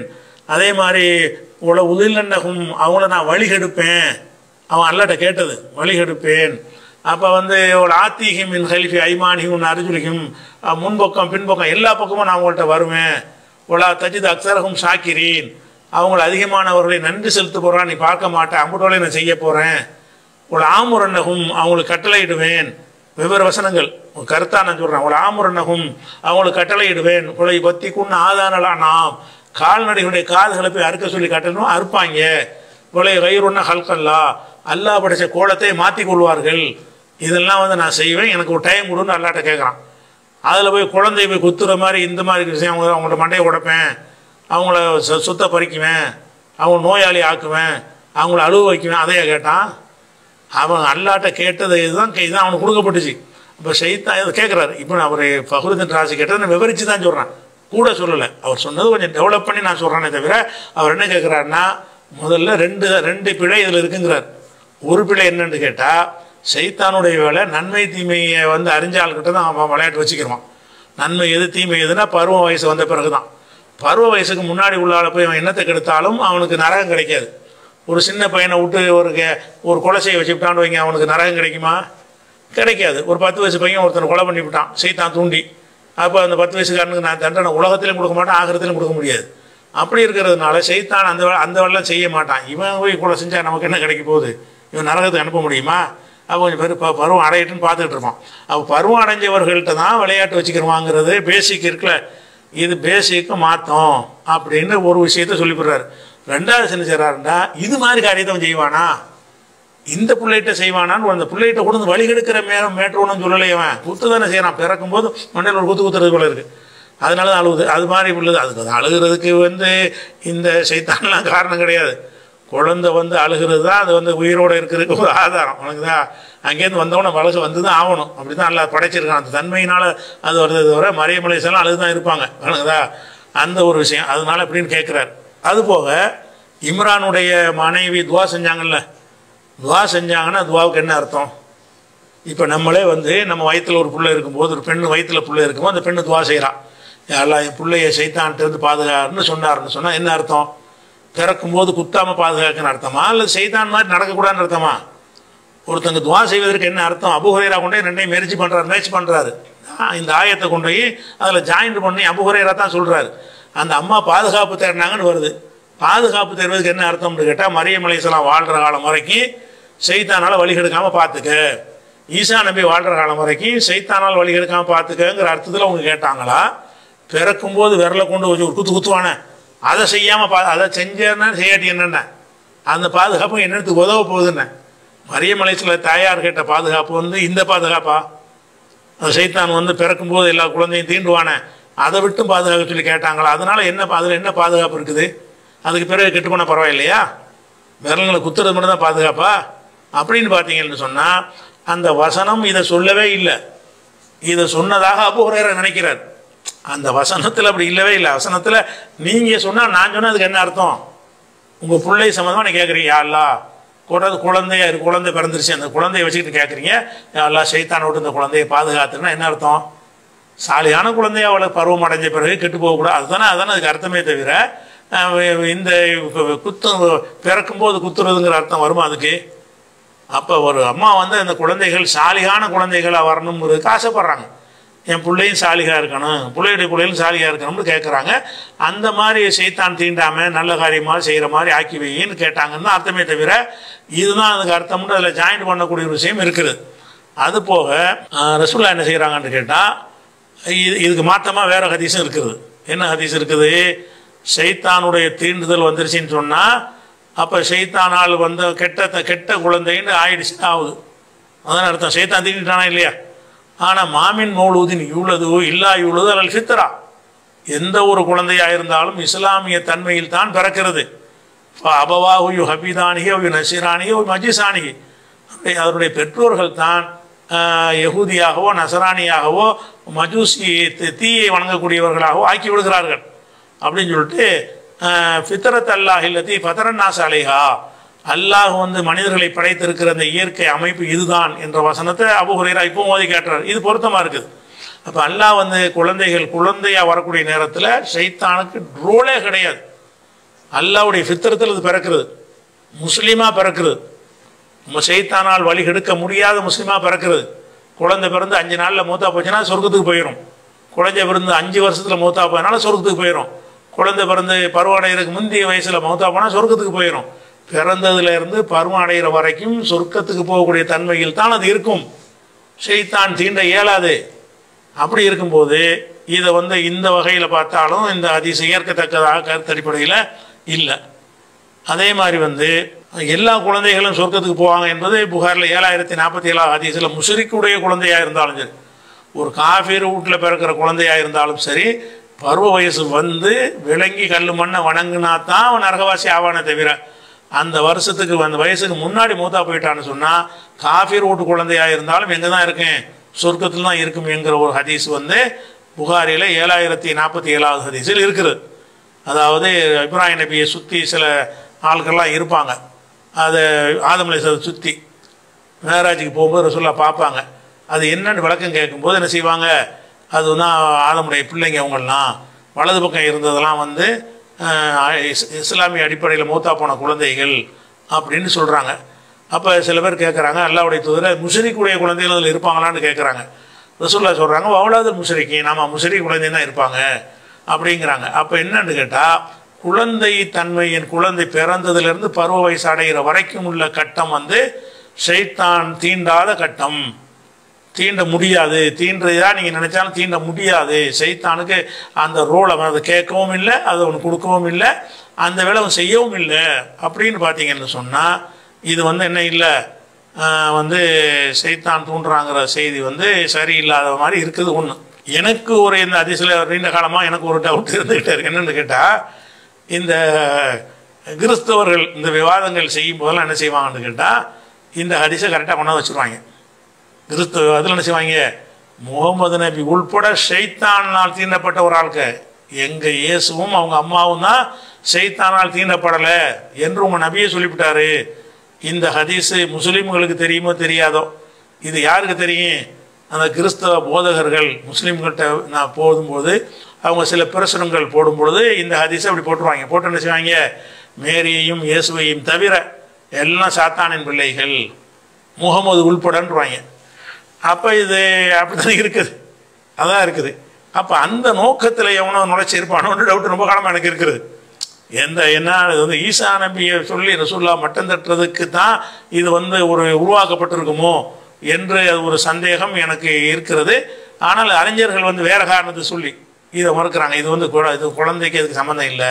குழந்தை அழுகுறதுக்கும் தீண்டுறதுக்கு சம்மந்தம் கிடையாது. அது வந்து அழுகுறது தான் அதனுடைய தன் உயிரோடு இருக்கிற ஒரு அழுக வைக்குவாங்கன்னு சொல்ல போனான் குழந்தை பிறந்தவன் நான் அழுவலைன்னு சொன்னால் தலை குப்புற காலத்துக்கு போட்டு அடிச்சு என்ன செய்வான் வயிற்றுல தட்டி தட்டி டாக்டர் அழுவாமல் இருக்கணும் அழுவாமல் இருக்கிறது அழுதா தான் அந்த உயிர் வரப்போகுதுங்கிறதுக்கு அர்த்தமே. அதுக்கு இப்படி விஷயமா தான் அப்போ அப்படின்னா பிற பிறந்தவொன்னே அதெல்லாம் என்ன காட்டுது? குத்திட்டான்ல வந்தான் பிறந்தவன் அழுவ வேண்டியதானே? பிறந்த சில குழந்தைகள் அஞ்சு நிமிஷம் அழுவாது. டாக்டர் கஷ்டப்படுவாங்க கஷ்டப்பட்டு அழ வைக்குவாங்க. அப்போ அந்த மாதிரி உள்ள விஷயமா இருக்கும்போது தீண்டுனா அழுவுண்டு அம்புட்டு அழுது அம்புட்டு அழுதுறணுமே அப்படி இல்லை. அப்போ இது வந்து உண்மை உண்மைக்கு மாற்றமாக இருக்கிறது. இதில் வந்து ஒரு தவறான நோக்கத்துக்கு அப்படி அதில் இதில் எந்த ஒரு நன்மையும் கிடையாது. செய்தான் போய் மரியமலை சிலாத்தையும் ஈசா நபியையும் அவங்க பிறக்கும் போது ஒரு ரெண்டு குத்து குத்தலைன்னு சொன்னால் அதனால் என்ன நன்மை? குத்திட்டா தான் என்ன குத்தாட்டி தான் நினைக்கிறேன் அதில் என்ன அவங்களுக்கு நன்மை? செய்தான்றது என்ன பாதுகாப்பு அதில் கிடைக்க போகுது? காலமெல்லாம் அவங்கள செய்தான்றது பாதுகாத்தா தான் அது பாதுகாப்பே தவிர குழந்தைய பிறக்கும்போது பாதுகாத்துல அது என்ன பாதுகாப்பு? அது மறுமைக்கு உதவும் உதவுமா அது? ஒரு குத்து குத்தாமல் அவரை விட்டுட்டதுனால அது மறுமைக்கு அது உதவுமா? அதுக்கு பிந்தி கெட்டவராக போயிட்டாருன்னா? அதனால இது ஒரு பெரிய ஒரு தத்துவமாகவும் இல்லை நல்ல கருத்தாகவும் இல்லை. அதனால ஆரம்பிச்சிருவாங்க. ஆ, அடுத்த லிஸ்ட் வந்து விட்டது. ஆ, வரத்தானே செய்யும். குரானுக்கு மாத்தமா இருந்தால் இதுக்கு பதில் சொல்லுங்க இல்லாட்டி. ஒரு விஷயத்த சொன்னா செய்கிறது செய்யறது இவங்களுக்கு பயந்துக்கிட்டு நம்ம இந்த ஆராய்ச்சியை முடக்கிறதுக்கு பார்க்குறாங்க இது இதுக்கு பதில் சொல்லுங்க. இதான் சைத்தானுடைய வேலையா? இது தீன்றதுன்ற இது அர்த்தமா? இப்படி தான் இப்படி தான் மரியமலசனம் கேட்டிருப்பாங்களா? ஏன் அதுக்கு ஒரு அர்த்தம் அதுதானா? அதே மாதிரி வந்து அவன் அவனுடைய வேலை இந்த வேலையும் இல்லையே. குத்துறது வழி வழி ஏற்படுத்துறது அவனுடைய வேலை. விலங்கினவனுடைய சிந்தனையில் போய் அவனுடைய வே- குத்துறது சிந்தனையில் குத்துவது அவனுடைய ஒரு வேலையை தவிர பாடியில் குத்துறது அவனுடைய வேலை கிடையாது. அதனால வந்து இந்த ஹதீஸ் வந்து அந்த லிஸ்ட்டில் சேர்த்துக்கிற வேண்டியதுதான். இது குரானுக்கு மாற்றமான செய்தியில் வந்து படுமோசமான ஒரு செய்தியாக இது இருக்கிறது. அல் ஃபத்தகு நாற்பத்தெட்டாவது அத்தியாயம் அது. முதல் வசனத்தில் தெளிவான மாபெரும் வெற்றி உமக்கு அளித்தோம் என்று கூறுகிறானே. அந்த வெற்றி தாவாவின் வெற்றியா? விளக்கம் தேவை. அப்படின்னு கேட்குறாங்க அதாவது நான் நாற்பதா நாற்பத்தி எட்டாவது வசனத்தில் முதல் வசனம் நாற்பத்தி எட்டாவது அத்தியாயத்தில் முதல் வசனம் என்ன சொல்லுதுன்னு கேட்டால் இன்னா ஃபதஹ்னாலக ஃபதஹ் முபீனா. உமக்கு தெளிவான ஒரு வெற்றியை தந்துவிட்டோம். தெளிவான வெற்றியை தந்துவிட்டோம் என்று தான் இருக்கிறது எதை பற்றி இது பேசுதுன்னு இங்கேக்குள்ளே இல்லை. தெளிவான வெற்றியை தந்துவிட்டோம்னு இருக்கிறது இது எதை பற்றி பேசுதுன்றது பல பல அறிஞர்கள் பல விதமான கருத்துக்களை சொன்னாலும் இது மொத்தத்தில் நீங்கள் வச்சு பார்த்தீங்கன்னு சொன்னால் இது ஹுதைபியா உடன்படிக்கை சம்பந்தப்பட்ட செய்தியோடு இணைத்து தான் இது வருகிறது. வரிசையாக என்ன செய்கிறதுனா எல்லாம் உங்களுக்கு வந்து அது உள்ளத்தில் வந்து என்ன வரிசையாக வரும். என்ன வருதுன்னு கேட்டால் நபியை உங்களுடைய முன்பாவங்கள் பின்பாவங்கள்லாம் மன்னிப்பதற்காக வேண்டி அல்லாஹ் இந்த வெற்றியை தந்திருக்கிறான். உங்களுக்கு மகத்தான உதவியை செய்வான். அவன் மூமின்களுடைய உள்ளத்தில் ஒரு அமைதியை ஏற்படுத்தினான். ஈமானை அதிகப்படுத்துவதற்காக வேண்டி அப்படின்னு சொல்லிவிட்டு கடைசியாக என்ன வரும்னு கேட்டால் இன்னல்லதுன்னு யுபாயு உனக்க நபி உம்மிடத்தில் பையத்து செய்கிறாங்களே அவங்க இன்னமா யுபாய் உணர்ல அல்லாட்டு தான் பையத்து செய்கிறாங்க. எதுல்லாஹி போ கைதீகம் அவங்க கை மேல் அல்லாவுடைய கை இருக்கிறது. ஃபமன் நக்கத்தை யார் இந்த உடன்படிக்கை முறித்து கொண்டானோ இப்போ இன்னமா என் குசாலா நப்சிஹி. தனக்கு எதிராகத்தான் முறித்து கொள்கிறான். உமன் அவுஃபா பிமா ஆகதாலே ஹுல்லா அல்லாவிடத்தில் செய்த உடன்படிக்கை எவன் வந்து நிறைவேற்றி கொள்கிறானோ இப்போ யூத்திகி அஜரன் அலைமா மகத்தான கூலியை கொடுப்பான். இது பத்தாவது வசனம். ஒன்றாவது வசனம் வெற்றியை தந்தோங்கிறது. நடுவில் உள்ளதெல்லாம் அந்த வெற்றி காரணம். உன் மூமினை உங்கள் பாவத்தை மன்னிக்கணும் மூமின்களுடைய பாவத்தை மன்னிக்கணும் மூமின்கள்லாம் சுருக்கத்துக்கு போகணும் முனாஃபிக்கெல்லாம் தண்டிக்கணும் இதற்காக வேண்டி இந்த வெற்றியை தந்திருக்கிறேன்னு சொல்லிவிட்டு அதன் தொடர்ச்சியாக இது பையத்தை ரிதுவானை குறித்து தான் வருகிறது. அப்போ இதை எதை வெற்றின்னு சொல்கிறான் இதை இதில் இந்த மொத்தத்தையும் சேர்த்து வச்சு பார்த்தோம்னு சொன்னால் அல்லாஹ் வெற்றி என்று சொல்வது வந்து மக்காவை ரசூல்லா வெற்றி கொண்டாங்க. அதை மகத்தான வெற்றி தந்தோம்னு அல்லாஹ் சொல்லலை. பதரில் வெற்றி கொண்டாங்க. வெற்றியிலும் பெரிய வெற்றி அதுதான். அதை வெற்றின்னு அல்லாஹ் சொல்லலை. இதில் வந்து வெளிப்படையாக பார்த்தா தோல்வி அடைஞ்சிருக்கிறாங்க. இது உதய்பியா உடன்படிக்கைங்கிறது ஒரு வெளிப்படையாக பார்த்தா தோல்வி தான் என்ன கேட்டால் அவங்க உமராசிரியருக்கு செய்கிறதுக்கு வர்றாங்க. பெரிய கூட்டத்தோடு வர்றாங்க நினச்சா உள்ளே ஓ போயிட முடியும். பலப்பிரயோகம் செஞ்சு போக முடியும். அவ்வளோ கூட்டத்தோடு வந்திருக்கும் பொழுது அவங்க வழிமறிக்கிறாங்க. மக்காவுடைய காஃபிர்கள் என்ன செய்கிறாங்க அங்கே உள்ள தலைவர்கள்லாம் வழிமறிக்கிறாங்க வரக்கூடாது. அப்போ யுத்தம் வந்துருமோங்கிற அளவுக்கு நிலைமை முத்திக்கிட்டு இருக்குது. வரக்கூடாதுங்கிறாங்க. நம்ம சண்டைக்கு நாங்கள் வரல. உமராக தான் வந்திருக்கோம்னு எவ்வளோ சொல்லி பார்க்குறாங்க முடியாதுங்கிறாங்க. சகாபகம்லாம் கொந்தளிக்கிறாங்க. இவங்க நம்ம ஊருக்கு நம்ம போகிறோம் அவங்க ஊர் தானே அது. விரட்டப்பட்டு தானே வந்தாங்க.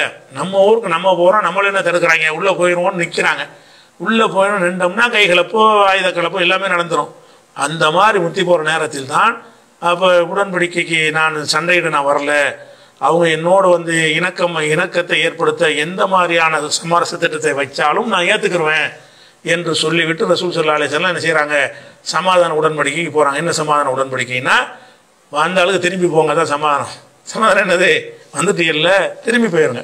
அடுத்த வருஷம் வாங்க உங்களுக்கு தடுக்க மாட்டான். ஒரு வருஷம் கழிச்சு வேண்டாம் வாங்க. இன்னைக்கு நீங்கள் உள்ள உம்ராசையை அனுமதிக்க முடியாது. அடுத்த வருஷம் தான் வாங்க. ஆனால் அதுக்கு சில கண்டிஷன் ஒரு வருஷம் வரைக்கும் உங்களுக்கு எங்களுக்கு சில ஒப்பந்தத்தை வைத்துக் கொள்வோம் அப்படின்னு சொல்லி அந்த ஒப்பந்தம் பண்ணுறாங்க அந்த ஒப்பந்தத்தில் என்னன்னு கேட்டால் அவங்க செஞ்சது பூராமே நமக்கு பாதகம் மாதிரி தெரியும். எல்லா ஒப்பந்தம் நமக்கு பாதகம் மாதிரி தெரியும். முக்கியமான ஒரு விஷயம் என்னென்று கேட்டால் அது பிரதானமான விஷயம். எங்கள் ஊருக்கு நீங்கள் வரலாம் உங்கள் ஊருக்கு நாங்கள் வரலாம். அந்த மாதிரியான ஒரு உடன்படிக்கை. நடுவில் போகிற யாரையும் எதையும் தடுக்கக்கூடாது. அது வியாபாரத்தை தடுக்கக்கூடாது. அந்த மாதிரியான உடன்படிக்கை. அதே மாதிரி உங்களில் உள்ள யாராவது மதம் மாறி எங்கள்கிட்ட வந்துட்டாங்கன்னு சொன்னால் நீங்கள் அவங்கள கிளைம் பண்ணக்கூடாது. விட்டுறணும். எங்களில் உள்ள ஆளுக்கு யாராவது மதம் மாறி எங்கே வந்துட்டாங்கன்னு சொன்னால் எங்கள்கிட்ட திருப்பி தந்துடணும் இதெல்லாம் பார்க்கும்போது ஒரு பாரதூரம் மதம் சும்மா வர போகிறதுலாம் அனுமதி இருந்துச்சு.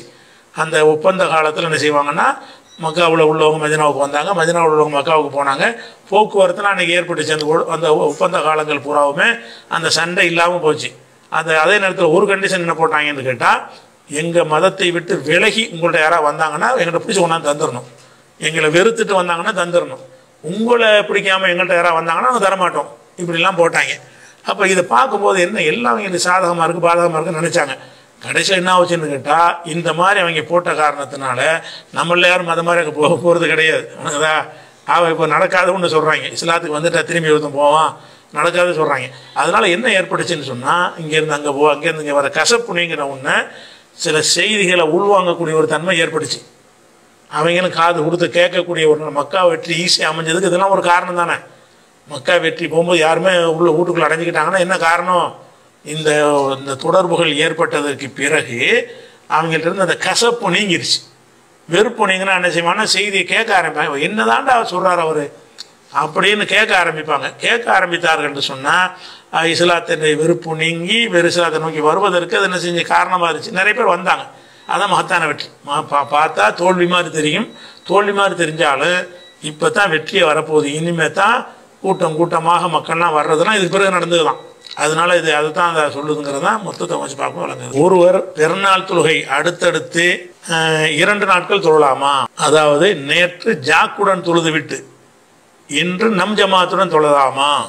அப்படின்னு சொல்லி செய்யது காதர் போத்தனூர்லேருந்து கேட்குறேன் அதாவது ஒரு ஒரு தொழுகையை வந்து பல மாதிரி இது பல நேரம் ரெண்டு தடவை ரிப்பீட்லாம் பண்ணிக்கிறது பொதுவாக அனுமதி இருக்கிறது.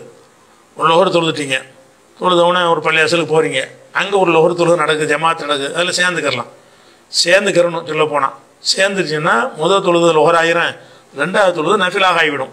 இதுக்கெல்லாம் மார்க்கத்தில் அப்படி ரசூலா சொன்னீங்க ஒரு பத்து ஜமாத் நீங்கள் தொழுது விட்டு ஒரு பள்ளிக்கு வருவீர்களே ஆனால் அங்கே ஒரு ஜமாத்து நடக்கும் என்று சொன்னால் நீங்கள் அதிலும் சேர்ந்து கொள்ளுங்கள் அது நாஃபிலாவாக நஃபிலாக ஆகிவிடும். இப்படிலாம் தெளிவான ஹதீஸை இருக்கிறது. அதே மாதிரி மாதிபுனை ஜபல் அவர்கள் என்ன செய்வாங்கன்னா மதீனாவில் ரசூல்லாவுடைய பள்ளிவாசலில் தொழுது விட்டு அவருடைய தெருவில் உள்ள ஒரு பள்ளிவாசலில் போய் இமாம செய்வார். இங்கே லொஹரை தொழுவார் இதே லொஹரை அந்த மக்களுக்கு தொழுவிப்பார் இங்கே வந்து மாமுமா இருப்பார் அங்கே இமாமா இருப்பார். அப்போ ஒன்று ஃபர்லு ஒன்று நஃபில் ஆகுது. ஒரு தொழுகை தான் டபுள் தடவை தொழுகிறார் ஒரே தொழுகை தான் ரெண்டு தடவை தொழுகிறார் இந்த மாதிரி தொழுகிறது விஷயம் வேற. ஆனால் அந்த பெருநாள் தொழுகை நீங்கள் தொழுகிறீங்கல்ல அது ரெண்டு தடவை கூட தொழுகலாம். எப்படி தொழுகலாம்னு கேட்டிங்கன்னா நீங்கள் வந்து ஒரு ஒரு தெருவுக்கு ஒரு தெருவுக்கு போகிறீங்க பெருநாள் தொழுகை நடந்துகிட்டு இருக்குது. அதில் சேர்ந்து தொழுது போட்டீங்க. இன்னொரு துறவுக்கு போகிறீங்க அங்கேயும் பெருநாள் துறவு நடக்குது. சரி அதெல்லாம் சேர்ந்து கூட ஒருத்தர் ரெண்டு பெருநாள் தொழுகை தொழுது தப்பா? தப்பு கிடையாது. ஒன்றாவது வார்டில் ஒரு பெருநாள் தொழுகை நடத்துகிறாங்க எட்டு மணிக்கு. ரெண்டாவது வார்டில் எட்டரைக்கு தொழுகை நடத்துகிறாங்க எட்டு கலந்து கொண்டு ஒரு சார் போய்கிட்டு இருக்கிறார் அங்கே ஒரு ஜமாத்தை பார்க்குறாரு. இதுலேயும் சேர்ந்து கூறமேன்னு சொல்லுவார். இது குற்றமா? எந்த ஜமாத்து நடந்தாலும் டபுள் தடவை ட்ரிபிள் தடவை சும்மாவே நடத்துங்க. சும்மா தொழுதுட்டு போகிறாரு அங்கே ஒரு சும்மா நடக்கு சேர்ந்துக்கிட்ட சேர்ந்துக்கிற நபில் தானே? நபிலாயிரம் ரசூலா சொல்லிட்டாங்கல்ல நீங்கள் வரும்போது ஜமாத்து நடந்துக்கிறோம்னா சேர்ந்துக்கிறங்கன்ட்டாங்க. ஒரு தொழுகையை ஜும்மாவையோ பெருநாளையோ கூட ஒன்றுக்கு மேற்பட்ட தருவை தொழுவுக்கு எந்த ஒரு தடையும் கிடையாது. ஆனால் நீங்கள் சொல்கிறதுக்கு தடை இருக்குது. நீங்கள் சொல்கிற அப்படிப்பட்டது கிடையாது. நீங்கள் என்ன சொல்கிறீங்கன்னா பெருநாளை மாத்துறீங்க. அதாவது பெருநாள் அன்னைக்கே நீங்கள் ரெண்டு தடவை தொழுவல.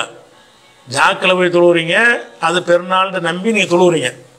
அதுதான் பெருநாள் என்று உங்கள் கொள்கையாக இருந்தால் அடுத்த நாள் தொழுது பெருநாள் ஆகுமா? ஒன்பதாம் தேதி பிறநாள்னு போய் தொழுவுறீங்க. மற்றவங்களாம் பத்தாம் தேதி பெருநாள் கொண்டாடுறாங்க. நீங்கள் என்ன முடிவில் போய் அங்கே தொழுதீங்க? ஒன்பதாம் தேதி பெருநாள் தான். பெருநாள் தன்னைக்கு நான் பெருநாள் தொழுதுட்டோம் அப்படின்னு தொழுவுறீங்க. நீங்கள் பெருநாள் நினச்சதில் இந்த மற்றவன்லாம் வந்து நோன்பு வச்சுக்கிட்டு இருக்கிறான். நீங்கள் இதை பெருநாள் நினச்சிங்களா அவனா நோன்பு வச்சுக்கிட்டு இருக்கிறான். அடுத்த நாளைக்கு வந்துட்டு இங்கே வந்து தொழுதிங்கன்னா அப்போ நீங்கள் ஏற்கனவே சொன்னது பொய்யா மெய்யா? அது பெருநாளா இது பெருநாளா ரெண்டில் ஒரு நிலைப்பாட்டு நீங்கள் வரணும். அதே மாதிரி வந்து இங்கே நீங்கள் தொழுதுறீங்கன்னு வைங்க, இங்கே இங்கே பெருநாள் தொழுதுங்கன்னு சொன்னால் பத்தாம் தேதி தொழுதீங்கன்னு சொன்னால் ஒன்பதாம் தேதி வந்து அது செவ்வால் இல்லை. அதானே? பத்தாம் தேதி தான் செவ்வால் என்று பெருநாள் தொழுவுற இங்கே தொழுவுறீங்க. உங்கள் நம்பிக்கை பிரகாரம் ஒன்பதாம் தேதி வந்து என்ன இல்லை? அது வந்து ரமலானுடைய கடைசி தானே தவிர அது வந்து பெருநாள் கடை அதான் உங்கள் நம்பிக்கை. அப்போ ரெண்டு முரண்பட்ட அட்ஜஸ்ட் பண்ணுறது இப்படி அட்ஜஸ்ட் பண்ணுறதுங்கிறது வந்து மொ- அடிப்படையே மாற்றமாக இருக்குது உங்கள் கொள்கை தான் என்ன? அங்கேயும் தொழுவீங்க இங்கேயும் தொழுறீங்கன்னா உங்களுக்கு கொள்கை பிறை சம்மந்தமாக உங்கள் நிலைப்பாடு என்ன? ரெண்டு தொழுகையும் ஒரு ஜாக்களையும் அஞ்சு மர்க்கசில் தொழுதாங்கன்னா அஞ்சலையும் போய் தொழுவுங்க. அல்லது வேற ஒரு ஜமாத்தில் சேர்ந்து அஞ்சு தடவை அஞ்சு தடவை தொழுவுங்க. அதுக்கு இதுக்கும் வித்தியாசம் இருக்குது. ரெண்டு தடவை தொழுவுறது அல்ல இந்த அம்சம். உங்கள் கேள்வியுடைய அம்சம் வந்து ரெண்டு தடவைன்றதுல போட்டாலும் ரெண்டு தடவை கிடையாது. ரெண்டு நாட்களில் நீங்கள் தொழுவுறீங்க. ரெண்டும் இது சரின்னா அது தவறு அது சரின்னா இது தவறுங்கிற நிலைப்பாடு. இது ஒம்பது தான் பெருநாள்னா பத்து பெருநாள் கிடையாது. பத்து தான் பெருநாள்னா ஒம்பது பெருநாள் கிடையாது. அப்படிங்கும்போது இனி உங்கள் கொள்கை தான் என்ன? இப்போ ரெண்டு அமலும் சேர்ந்து பாத்தியில் போக போகுது. என்ன நீங்கள் ரெண்டு அமலையும் நாசமாக்கியிருக்கிறீங்க. இதுக்கு தவபா செஞ்சுக்கிறேன்னா இனிமேல் என்ன செய்யக்கூடாது? ஏதாவது ஒன்று பிறை சம்மந்தமாக இவங்க சொல்ல சரி ஆசிரியா அதான் சரின்னு அதில் நில்லுங்க இதான் சரின்னா இதில் நில்லுங்க. அப்போ இதுக்கு போவோம் அதுக்கும் போவோங்கிறது இது வந்து இது- இதுக்கு இந்த சந்தர்ப்பவாதம் இதுன்னு இல்லை? இந்த முரண்பட்ட ஒரு நிலைப்பாட்டுக்கு மார்க்கத்தில் அனுமதி கிடையாது. இல இலங்கை குருநாகலில் இருந்து நலிம். அல்லாவின் தூதர் கூறினாரோ ஹதி- ஹதீஸை போடுறார். தொழுகைக்காக இகாமத்து சொல்லப்பட்டால் கடமையான தொழுகையை தவிர வேறு தொழுகை கிடையாது. ஆதாரம் முஸ்லிம். எமது ஊரைச் சேர்ந்த ஒரு பள்ளிவாசலில் சுண்ண தொழுகையை தொழுது கொண்டிருக்கும் போது இகாமத்து சொல்லப்பட்டது. அதன் பின்னர் அவசிய அவசரமாக தொழுகை முடித்து கொண்டு அந்த ஜமாத்தில் கலந்து கொண்டேன். தொழுகை முடிந்தவுடன் அப்பள்ளியில் இருந்த ஒருவர் உமக்கு தெரியாதா? ஃபர்லான தொழுகைக்கு இகாமத்து சொல்லப்பட்டால் தொழுகையை இடையில் நிறுத்திவிட்டு வர வேண்டும் என கூறிவிட்டு மேல் காணும் ஹதீஸை காண்பித்தார். எனது கேள்வி என்னவென்றால் இகாமத்து சொல்லப்பட்டால் சுண்ணத்தான தொழுகை இடையில் நிறுத்திவிட்டு ஃபர்லான தொழுகைக்காக ஜமாத்துடன் சேரலாமா? கேட்குறார். அதாவது இதில் வந்து ஹதீஸின் வாசம் மிக தெளிவாக இருக்கிறது. என்ன மாதிரி இருக்குன்னு கேட்டால் இதா உக்கீமத்தி சலாத்து. தொழுகைக்கு இக்காமத்து இக்காமத்து சொல்லப்பட்டால்னாலேயே கடமையான ஜமா தொழுகை கடமைன்னு வந்துருச்சு. இதா உக்கீமத்தி சலாத்து. தொழுகைக்கு இக்காமத்து சொல்லப்பட்டால் ஃபலா சலாத்த எந்த தொழுகையும் கிடையாது. இந்த லாண்டா இல்லைன்னு அர்த்தம். லாவுக்கு பிறந்த சலாத்துன்னு வார்த்தை வருதுல அந்த சலாத்தில் வந்து சலாத்தன்று பத்தகு ஜபர் வச்சு வந்துருச்சுன்னு சொன்னால் எந்த தொழுகையும் இல்லை. லாயிலாக மாதிரி லாயிலாக எந்த கடவுளும் இல்லை. அப்படிங்கிற ஒரு அர்த்தம் இந்த இந்த ஸ்டைலுக்கு அரபியில் இருக்கிறது. அப்போ இதா உகைமத்து சலாத்து தொழுகைக்கு இக்காமத்து சொல்லப்படும் என்று சொன்னால் ஃபலா சலாத்தை எந்த தொழுகையும் கிடையாது இல்லல் மக்தூபா. கடமையான தொழுகை தவிர அந்த அந்த ஃபர்லான தொழுகை தவிர வேறு எந்த தொழுகையும் கிடையாது. தெளிவாக இருக்குதுல்ல? அப்போ நீங்கள் வந்து தனியாக சொன்ன தொழுதுட்டு இருந்தாலும் சரி தனியாக ஒரு ஏதாவது ஒரு சஃபரில் இருந்து ஏதோ ஒரு காரணத்தினால நீங்கள் ஒரு கடமையான தொழுகையை கூட தொழுது கொண்டு இருந்தாலும் சரி எக்காமத்து ஒரு பள்ளிவாசலுக்குன்னு போயிட்டு எக்காமத்து சொல்லிட்டாங்கன்னா எல்லாம் வந்து விட்டுற வேண்டியதான் தொழுகையில் இடையில விட்டுட்டு வந்துட வேண்டியதான் தொழுகை கிடையாதுன்னா அதுக்கப்புறம் நீ இந்த கிடையாதுங்கிற நேரத்தில் நான் ஏன் தொழுகணும்? அப்போ ரெண்டரை கடைசி கட்டத்தில் நீங்கள் இருந்தால் கூட கடைசி இந்த சலாம் வரைக்கும் கொடுத்துட்டு வர்றேன்னு எந்திரிக்கக்கூடாது. அத்தஹியாத்தில் இருக்கும்போது இக்காம சொல்லிட்டு அப்படி எந்திரிச்சிட வேண்டியதான் அதுக்கு கேள்விலாம் கிடையாது. ஏன் கிடையாது? ரசூல்லா சொன்னாங்க அதனால் கிடையாது. இது இதை சொன்னால் அல்ல விட்டுருவான்ல. ஏன்ப்பா நீ இப்போ சரி அத்தையாத்தோட போனேன்னா ரசூல்லா தான் சொன்னாங்கன்றலாம். அதனால வந்து அத்தையாத்து சலாம் கொடுக்குற அளவுக்கு நீங்கள் வந்தால் கூட ஹதீஸு கட்டுப்படக்கூடிய தன்மை என்னன்னு கேட்டால் இக்காம சொல்லிட்டா உடனே டக்குன்னு விட்டு ஒடியாந்துடணும். அப்போ தான் சஃப்பும் சீராகும். இன்னும் கவனிக்கணும். இது சட்டமே இதுதான். அதில் கூடுதல் நன்மைக்காக நான் சொல்லுகிறேன். இங்கே ஒருத்தர் அங்கே ஒருத்தர் அங்கே ஒருத்தர் தொழுவார்.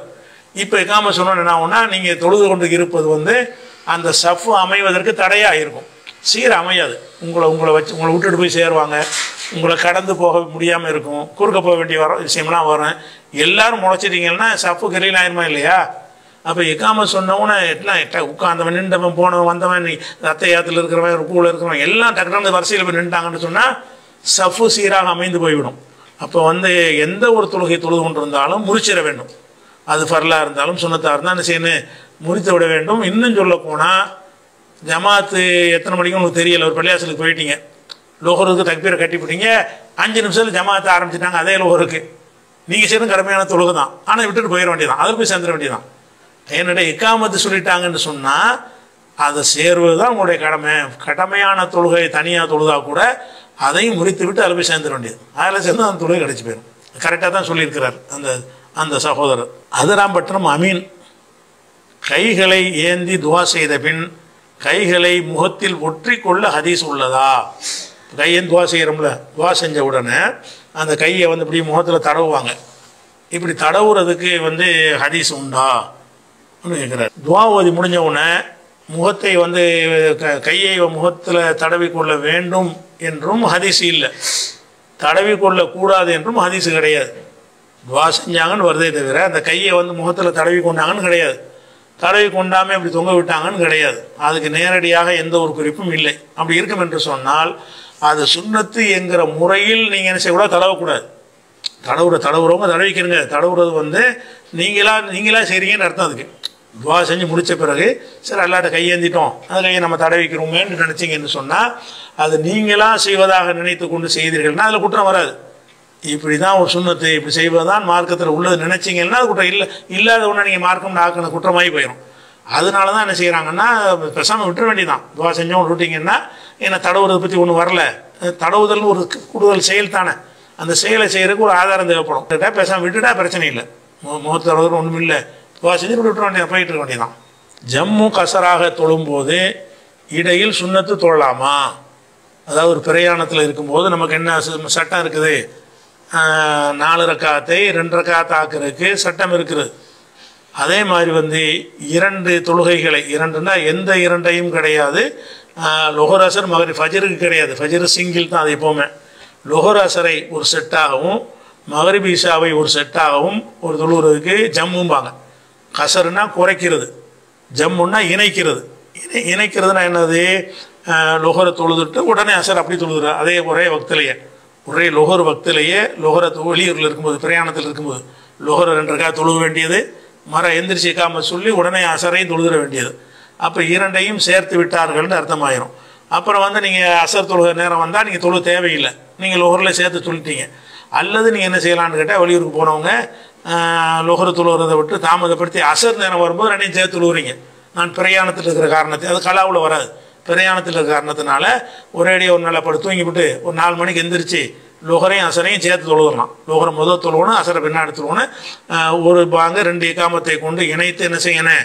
அப்படி தொழுது கொள்ளணும். இப்படி தொழுதுக்கு ஜம்முங்கிற பேர்.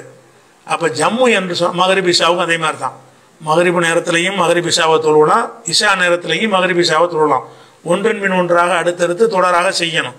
அப்படி செய்வது வந்து அதுக்கு பேர் வந்து ஜம்மு செய்கிறது ஜம சேர்த்தார்கள்னு தான் வருது ஹதீஸில் சேர்க்கிறதுக்கு என்ன அர்த்தம்? நடுவில் ஒன்று இருக்கக்கூடாதுன்னு அர்த்தம். சேர்க்க ஒட்டணும். ஒட்டு அப்படின்னா நீ அந்த லோகரை தொழுது விட்டீங்க ரெண்டரை காத்து. நீங்கள் சுண்ணத்துலாம் தொழுதுட்டு வந்துட்டு உங்களுக்கு சுண்ணத்துலாம் இதுக்கு தொழுறீங்க பிரயாணத்திலேயே உங்களுக்கு நாலு ரெண்டு கடமையும் கடமையே எல்லாம் குறைச்சி விட்டான். லோகர் தொழுகை நாளாக இருக்கும்போது சஃபரில் இருக்கிறனால உங்களுக்கு எல்லாம் ரெண்டு ஆக்கி விட்டான். சலுகை. நீங்கள் அந்த கடமையும் எல்லாம் குறைச்சிருக்கும்போது மறைய சுண்ணத்து போல் தொழுகிறீங்க சலுகையை பயன்படுத்திக்க வேண்டியதானே அந்த ஒரு விஷயம். ரெண்டாவது வந்து லோகரை தொழுதுட்டு ரெண்டு சுண்ணத்தையும் தொழுது விட்டு மர அசர தொழுதுன்னா அது ஜம்முல இணைக்கலை நீங்கள் சேர்க்கலை வேற ஒன்றை கொண்டு பிரித்து விட்டீர்கள். அப்போ ஜம்மு என்ற சொல்லில் இருந்த இது வந்து ஜம்முங்கிறதும் கஸ்ரு என்பது நம்மளா வச்ச பேர் இல்லை. இந்த செயலை கஸ்ரு என்று சொன்னதும் அல்லாதான் தகுசுரு. நீங்கள் கசுறு செய்வது குற்றமில்லைன்னு அல்லாதான் அந்த பேரை வைக்கிறான். ஜம்மு என்று வைத்தது ரசூல்லா தான் நினைஞ்சிருக்கிறாங்க வச்சிருக்கிறாங்க. அப்போ ஜம்முன்னா சேர்க்கிறது. சேர்க்கிறது என்று அதுக்கு பெயர் வைத்திருக்கும் பொழுது அது பெயர் வைக்கிறது மட்டும் இல்லாமல் அதை செயல்படுத்தி காட்டி இருக்கும் பொழுது ரெண்டு ரெண்டு தொழுகைக்கு மத்தியில் சுண்ண தொழுதிங்கன்னா கூடாது. ஜம்முங்கிற அடிபட்டு போயிருங்க ஜம்மு செய்யலைன்னு ஆயிரும். ஜம்மு செய்யலைன்னா நீங்கள் அசர் தொழுகை அசருக்கு முந்தி தொழுது மாதிரி வந்து தொழுகை செல்லாமல் போயிடும் சேர்த்துட்டீங்க ஏதாவது இடம் பிரிச்சுட்டீங்கன்னு சொன்னால் இப்போ லொஹர் நேரத்தில் லொஹரை தொகுத்துட்டீங்க லொஹர் மட்டும் உங்களுக்கு செல்லணும். அசர் வந்து செல்லாது. ஏன் செல்லாதுன்னா நீங்கள் பிரிச்சிட்டதுனால நீங்கள் அசர் நேரம் அசர் நேரம் வருவதற்கு முன்னாடி அசர தொழுகைன்னு வந்துடும் சேர்த்தா மட்டும்தான் அந்த அந்த தொழுகை ஒரிஜினல் தொழுகை ஆகும். அதனால சுண்ணத்தை கொண்டு பிரிச்சுட்டீங்கன்னு சொன்னால் முந்தின தொழுகை நிறைவேறும் ரெண்டாவது தொழுகை நிறைவேறாது. அல்லது அசரில் ஜம்பு செஞ்சீங்கன்னு வைங்க. அப்படி செஞ்சீங்கன்னு சொன்னால் நீ லொகரை எதுக்கு அசரில் தொழுகிற பிரிச்சுட்டீங்கன்னு சொன்னான் பிரிச்சுட்டீங்கன்னா நீங்கள் லொகரை வந்து அசர் நேரத்தில் தொழுகைன்னு அர்த்தமாயிரும். சேர்த்தா தான் அந்த லோகருக்கு வெயிட் வரும். இல்லைன்னா அசர் மட்டும்தான் உங்களுக்கு செல்லும். அப்படின்னு பார்க்கறதுனால ரெண்டு ரெண்டு க- ஜம்மு செய்கிற எந்த ரெண்டு தொழுகைக்கு மத்தியிலையும் வேற எந்த விதமான காரியங்களுக்கு தொழுகையை கொண்டு மட்டும் இல்லை லோகர் ரெண்டுக்கா தொழுதுபிட்டு சோர்லாம் நின்றுட்டு வந்து மராசர் தொழுவலாமா? அது ஜம்மு கிடையாது. ஜம்முன்னா இணைப்பாக போய்கிட்டு ரெண்டையும் சேர்த்து நீங்கள் என்ன செய்யணும்? ஜம்மு என்கிற காரணத்தினால தான் அந்த நேரம் தவறி நேரம் இல்லாமல் தொழுகிறது உங்களுக்கு அனுமதிக்கப்பட்டிருக்கு. சலுகை வழங்கப்பட்டிருக்கிறது. அது மாதிரி தொழுது விட்டு ரெண்டு ரகா தொழுதுட்டு அரை மணி நேரம் துவா செஞ்சுவிட்டு ஒரு அஞ்சு நிமிஷம் துவா செஞ்சுட்டு மரம் வந்துக்கிட்டு அசரை சேர்க்கலாம்னா சேர்க்க முடியாது. ரெண்டுக்கு சேர்த்து ஒரு தொழுகை மாதிரி போயிடணும். தோற்றத்தில் ஒரு தொழுகை மாதிரி தெரியணும். அதுதான் அப்போ அதுக்கு பிறகு ஜம்மு சேர்த்தல்னு வரும். அப்போ ஜம்மு தொழுகைக்கு மத்தியில் தஸ்பீகோ திக்குரோ உண்பதோ பருகுவதோ இல்லை சின்ன உரையாளர் நடத்துவதோ ஃபோனில் கொஞ்ச நேரம் நோண்டிக்கிட்டு பார்த்து கொண்டு இருப்பதோ அதுக்கு பிறகு ரெண்டாவது தொழுகை தொழுவதோ ஜம்மில் சேராது. ஜம்மு என்றால் நீங்கள் தொழுகையிலே கண்டினியூவாக இருக்கிறீங்கன்னு தான் அர்த்தம் அப்படியே. இக்காமத்து மட்டும் சொல்லி தான் நீங்கள் இப்போ வித்தியாசப்படுத்திக்கிறீங்களே தவிர மற்றபடி என்ன செய்யணும்னா ரெண்டு ஒரே மாதிரியா ஒன்றை ஒட்டி தான் அடுத்தது இருக்கணும் அப்படிங்கிறதுனால எதுவுமே செய்யக்கூடாது. அழிக்கப்பட்ட சமுதாயங்களுக்கு மறுமையில் தண்டனை உண்டா? பல சமூகங்கள் இவ்வுலகில் இறைவனை ஏற்க மறுத்து பின் இறை தூதர்களின் பிரார்த்தனைக்கு பிறகு அழிக்கப்பட்டு உள்ளனர் இவ்வுலகில் ஒருவர் தண்டிக்கப்பட்டால் மறுமையில் அவருக்கு தண்டனை இல்லை என்ற ஹதீஸின் அடிப்படை அடிப்படையில் அழிக்கப்பட்ட சமூகத்திற்கு மறுமையில் தண்டனை கிடையாதா? மேலும் தன்னை ஏற்றுக்கொள்ளவில்லை என்பதற்காக ஒரு சமூகத்தை இவ்வுலகில் அழிப்பது நியாயமா என்று மாற்று மத சகோதரர் கேட்கிறாரு. இம்ரான் என்பவர் கும்பகோணத்திலிருந்து இதை கேட்டிருக்கிறார். இதில் வந்து என்னென்னு கேட்டால் ஒரு மனிதர் வந்து அல்லாவை ஏற்றுக்கிறல ஏற்றுக்கிறலைங்கிறதுக்காக வேண்டி அல்லாஹ் வந்து உலகத்தில் அழிக்கலாமா அப்படிங்கிறது தான் கேள்வியுடைய சாராம்சம். ஏற்றுக்கொள்ளலை என்பதற்காக எந்த சமுதாயத்தை நல்லா அழிக்கவே கிடையாது.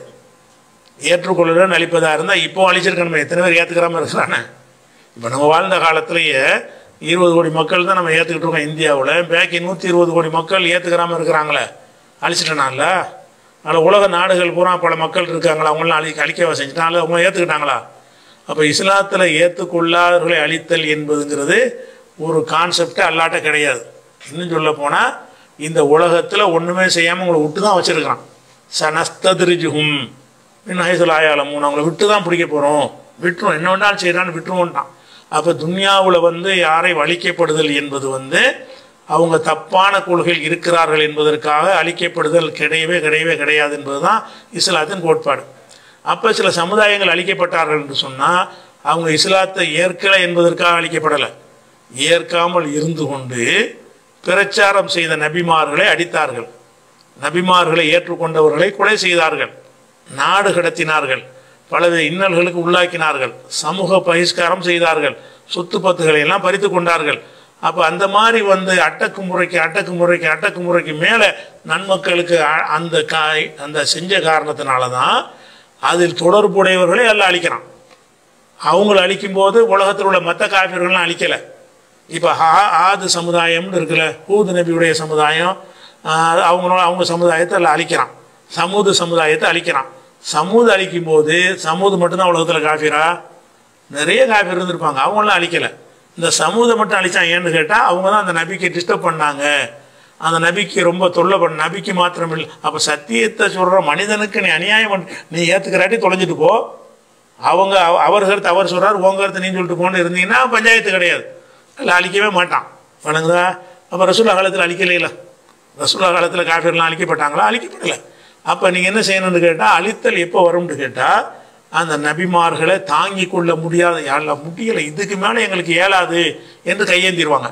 எத்தனை வருஷம் கத்தனை என்ன சொல்கிறோம் இது ஒரு பையன் தேர மாட்டாமல் இருக்குது. அப்படின்னு அவங்க அந்த நபிமார்கள் கையேந்தும் பொழுது அழிக்கப்படுறாங்க. எதன் காரணத்தினாலன்னு கேட்டால் இவர்கள் அந்த சத்தியத்தை எதிர்த்து களமாடிய காரணத்தினாலேயும் எல்லை மீறி களமாறிய உயிர் பலியெல்லாம் எடுத்தார்கள். பலரையும் கொன்றார்கள். அந்த அந்த ஒன்றுக்கு தான் அவங்க அழிக்கப்பட்டிருக்காங்களே தவிர அழிக்கப்படல. அல்லது என்ன செய்வாங்கன்னா சண்டைக்கு போரில் வந்து அழிக்கப்படுவாங்க. போருக்கு வர்றது அழிக்கிறது தானே. இவங்களும் அழிக்கப்பட அவங்களும் அது உலக நியதிப்படி உள்ளது. ஒரு இவங்க ஜெயிப்பாங்க ஒரு அவங்க ஜெயிப்பாங்க. அப்படி இல்லாமல் அவன் அளவுக்கு இஸ்லாத்தை ஏற்றுக்கிறாம ஒருத்தர் இருந்தான்னு சொன்னால் அவனை விட்டு பிடிப்பான்லாம். ஆகிறது வரைக்கும் விட்டு கொடுப்பானே தவிர துன்யாவில் தண்டிக்க மாட்டான். அதனால் வந்து உலகத்தில் அழிக்கப்பட்ட சமுதாயம்னு எடுத்துக்கிட்டிங்கன்னா நூஹு நபி சமுதாயம் அழிக்கப்பட்டதாக குரான் சொல்கிறது. அவங்க என்ன பாடுபடுத்தினாங்க என்பதும் அதே குரானில் இருக்கிறது.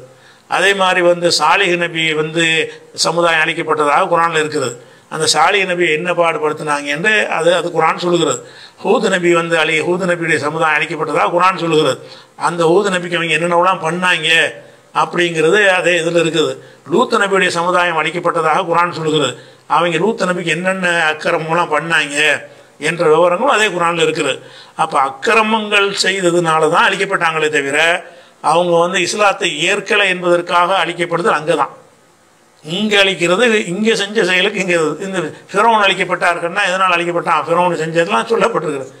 கொன்று குவித்துறது குழந்தைகள்லாம் கொள்வது ரொம்ப கொஞ்சம் நெஞ்சம் கிடையாது. அவள் ஃபிரோன் அழிக்கப்பட்டான் முசா நபி காப்பாற்றப்பட்டாங்கன்னா வெறுமனே அழிக்கப்பட்டான்னு மட்டும் இருக்கா? ரீசன் இருக்கா? என்னோட அவன் செஞ்சான்னு சொல்லப்பட்டிருக்கா இல்லையா? அப்போ செஞ்ச செயல் உலகத்தில் ரொம்ப எல்லை மீறி அநியாயம் பண்ணும்போது எல்லாம் அணிஞ்சிருக்கிறான் அழித்திருக்கிறான். அது கூட நபிமார்கள் இருக்கும்போது தான் அழிச்சிருக்கிறான். இப்போ நபிமார்கள் இல்லாத இந்த ஒரு காலம் இருக்குதுன்னு வைங்க. இந்த காலத்தில் நான் வந்து ஒரு பிரச்சாரம் பண்ணுறேன்னு வைங்க. பயங்கரமாக இறங்கி பிரச்சாரம் பண்ணுறேன் என்னை போட்டு அடியே நடிக்கிறாங்க. அதனால எல்லாம் அழிக்க மாட்டாங்களா? நபிமார்கள் இறை நான் தூதரை அனுப்பி இருக்கும் பொழுது எல்லா அநியாயத்துக்கும் கணக்கு தீர்க்கிறவனாக இல்லை இல்லை துன்யாவில். நபிங்கிற வரம்பு மட்டும் நான் ஒருத்தர் ரெப்ரசன்டேட்டிவ் அனுப்பியிருக்கிறேன். அவர் இறை தூதர்னு காட்டுவதற்கு அத்தாசியில் கொண்டாந்து தர்றாரு. அற்புதங்களை செஞ்சு காட்டுறாரு. அதை பார்த்தாலே உனக்கு தூதர்னு தெரிகிறது. அப்படி இருந்து நீ அவரை எதிர்த்து உழவு செஞ்சேன்னு சொன்னால் அதுக்காக தான் அழிச்சிருக்கானே தவிர வேற வேறு அழிவுகள் எல்லாம் இயற்கை அழிவுகள் எல்லாம் நல்லவன் கெட்டவன் பார்த்து வராது. வயநாட்டில் இப்போ போச்சுன்னா வயநாட்டில் எல்லோரும் நல்ல முஸ்லீம் போனால் காஃபி போனால் எல்லாரும் தான் போவான். சுனாமி வந்து பூகம்பம் வந்துச்சுன்னு சொன்னால் எல்லோரும் தான் போவாங்க. நல்லவன் கெட்டவன்கிறதுக்கான அழிவு கிடையாது. நல்லவன் கெட்டவன் அழிவுங்கிறது உலகத்தில் அல்லாஹ் கூட்டுக்கவே கிடையாது. எதுக்கு மட்டும்தான்? மறுமையில் வந்து மட்டும்தான் அவனுக்கு தண்டனை இருக்குது. துன்யாவில் வரும் என்று சொன்னால் அவன் அது செஞ்ச என்ன அநியாயம் செஞ்சுருக்கிறானோ அதுக்கு தகுந்தவாறு எல்லாம் நினைஞ்சிருக்கிறான் அழிச்சிருக்கிறான். அதனால தான் ஹூதுரை சமுதாயம் ஆது. இந்த ஆது சமுதாயத்தை பற்றி சொல்லும் பொழுது ஓ உத்திபி ஊஃபி ஆதி துன்யா லானத்தன். இந்த உலகத்திலையும் லானத்துக்கு உள்ளானார்கள். ஓ யௌமல் கியாமா. கியாமனாலே உள்ளாவார்கள்.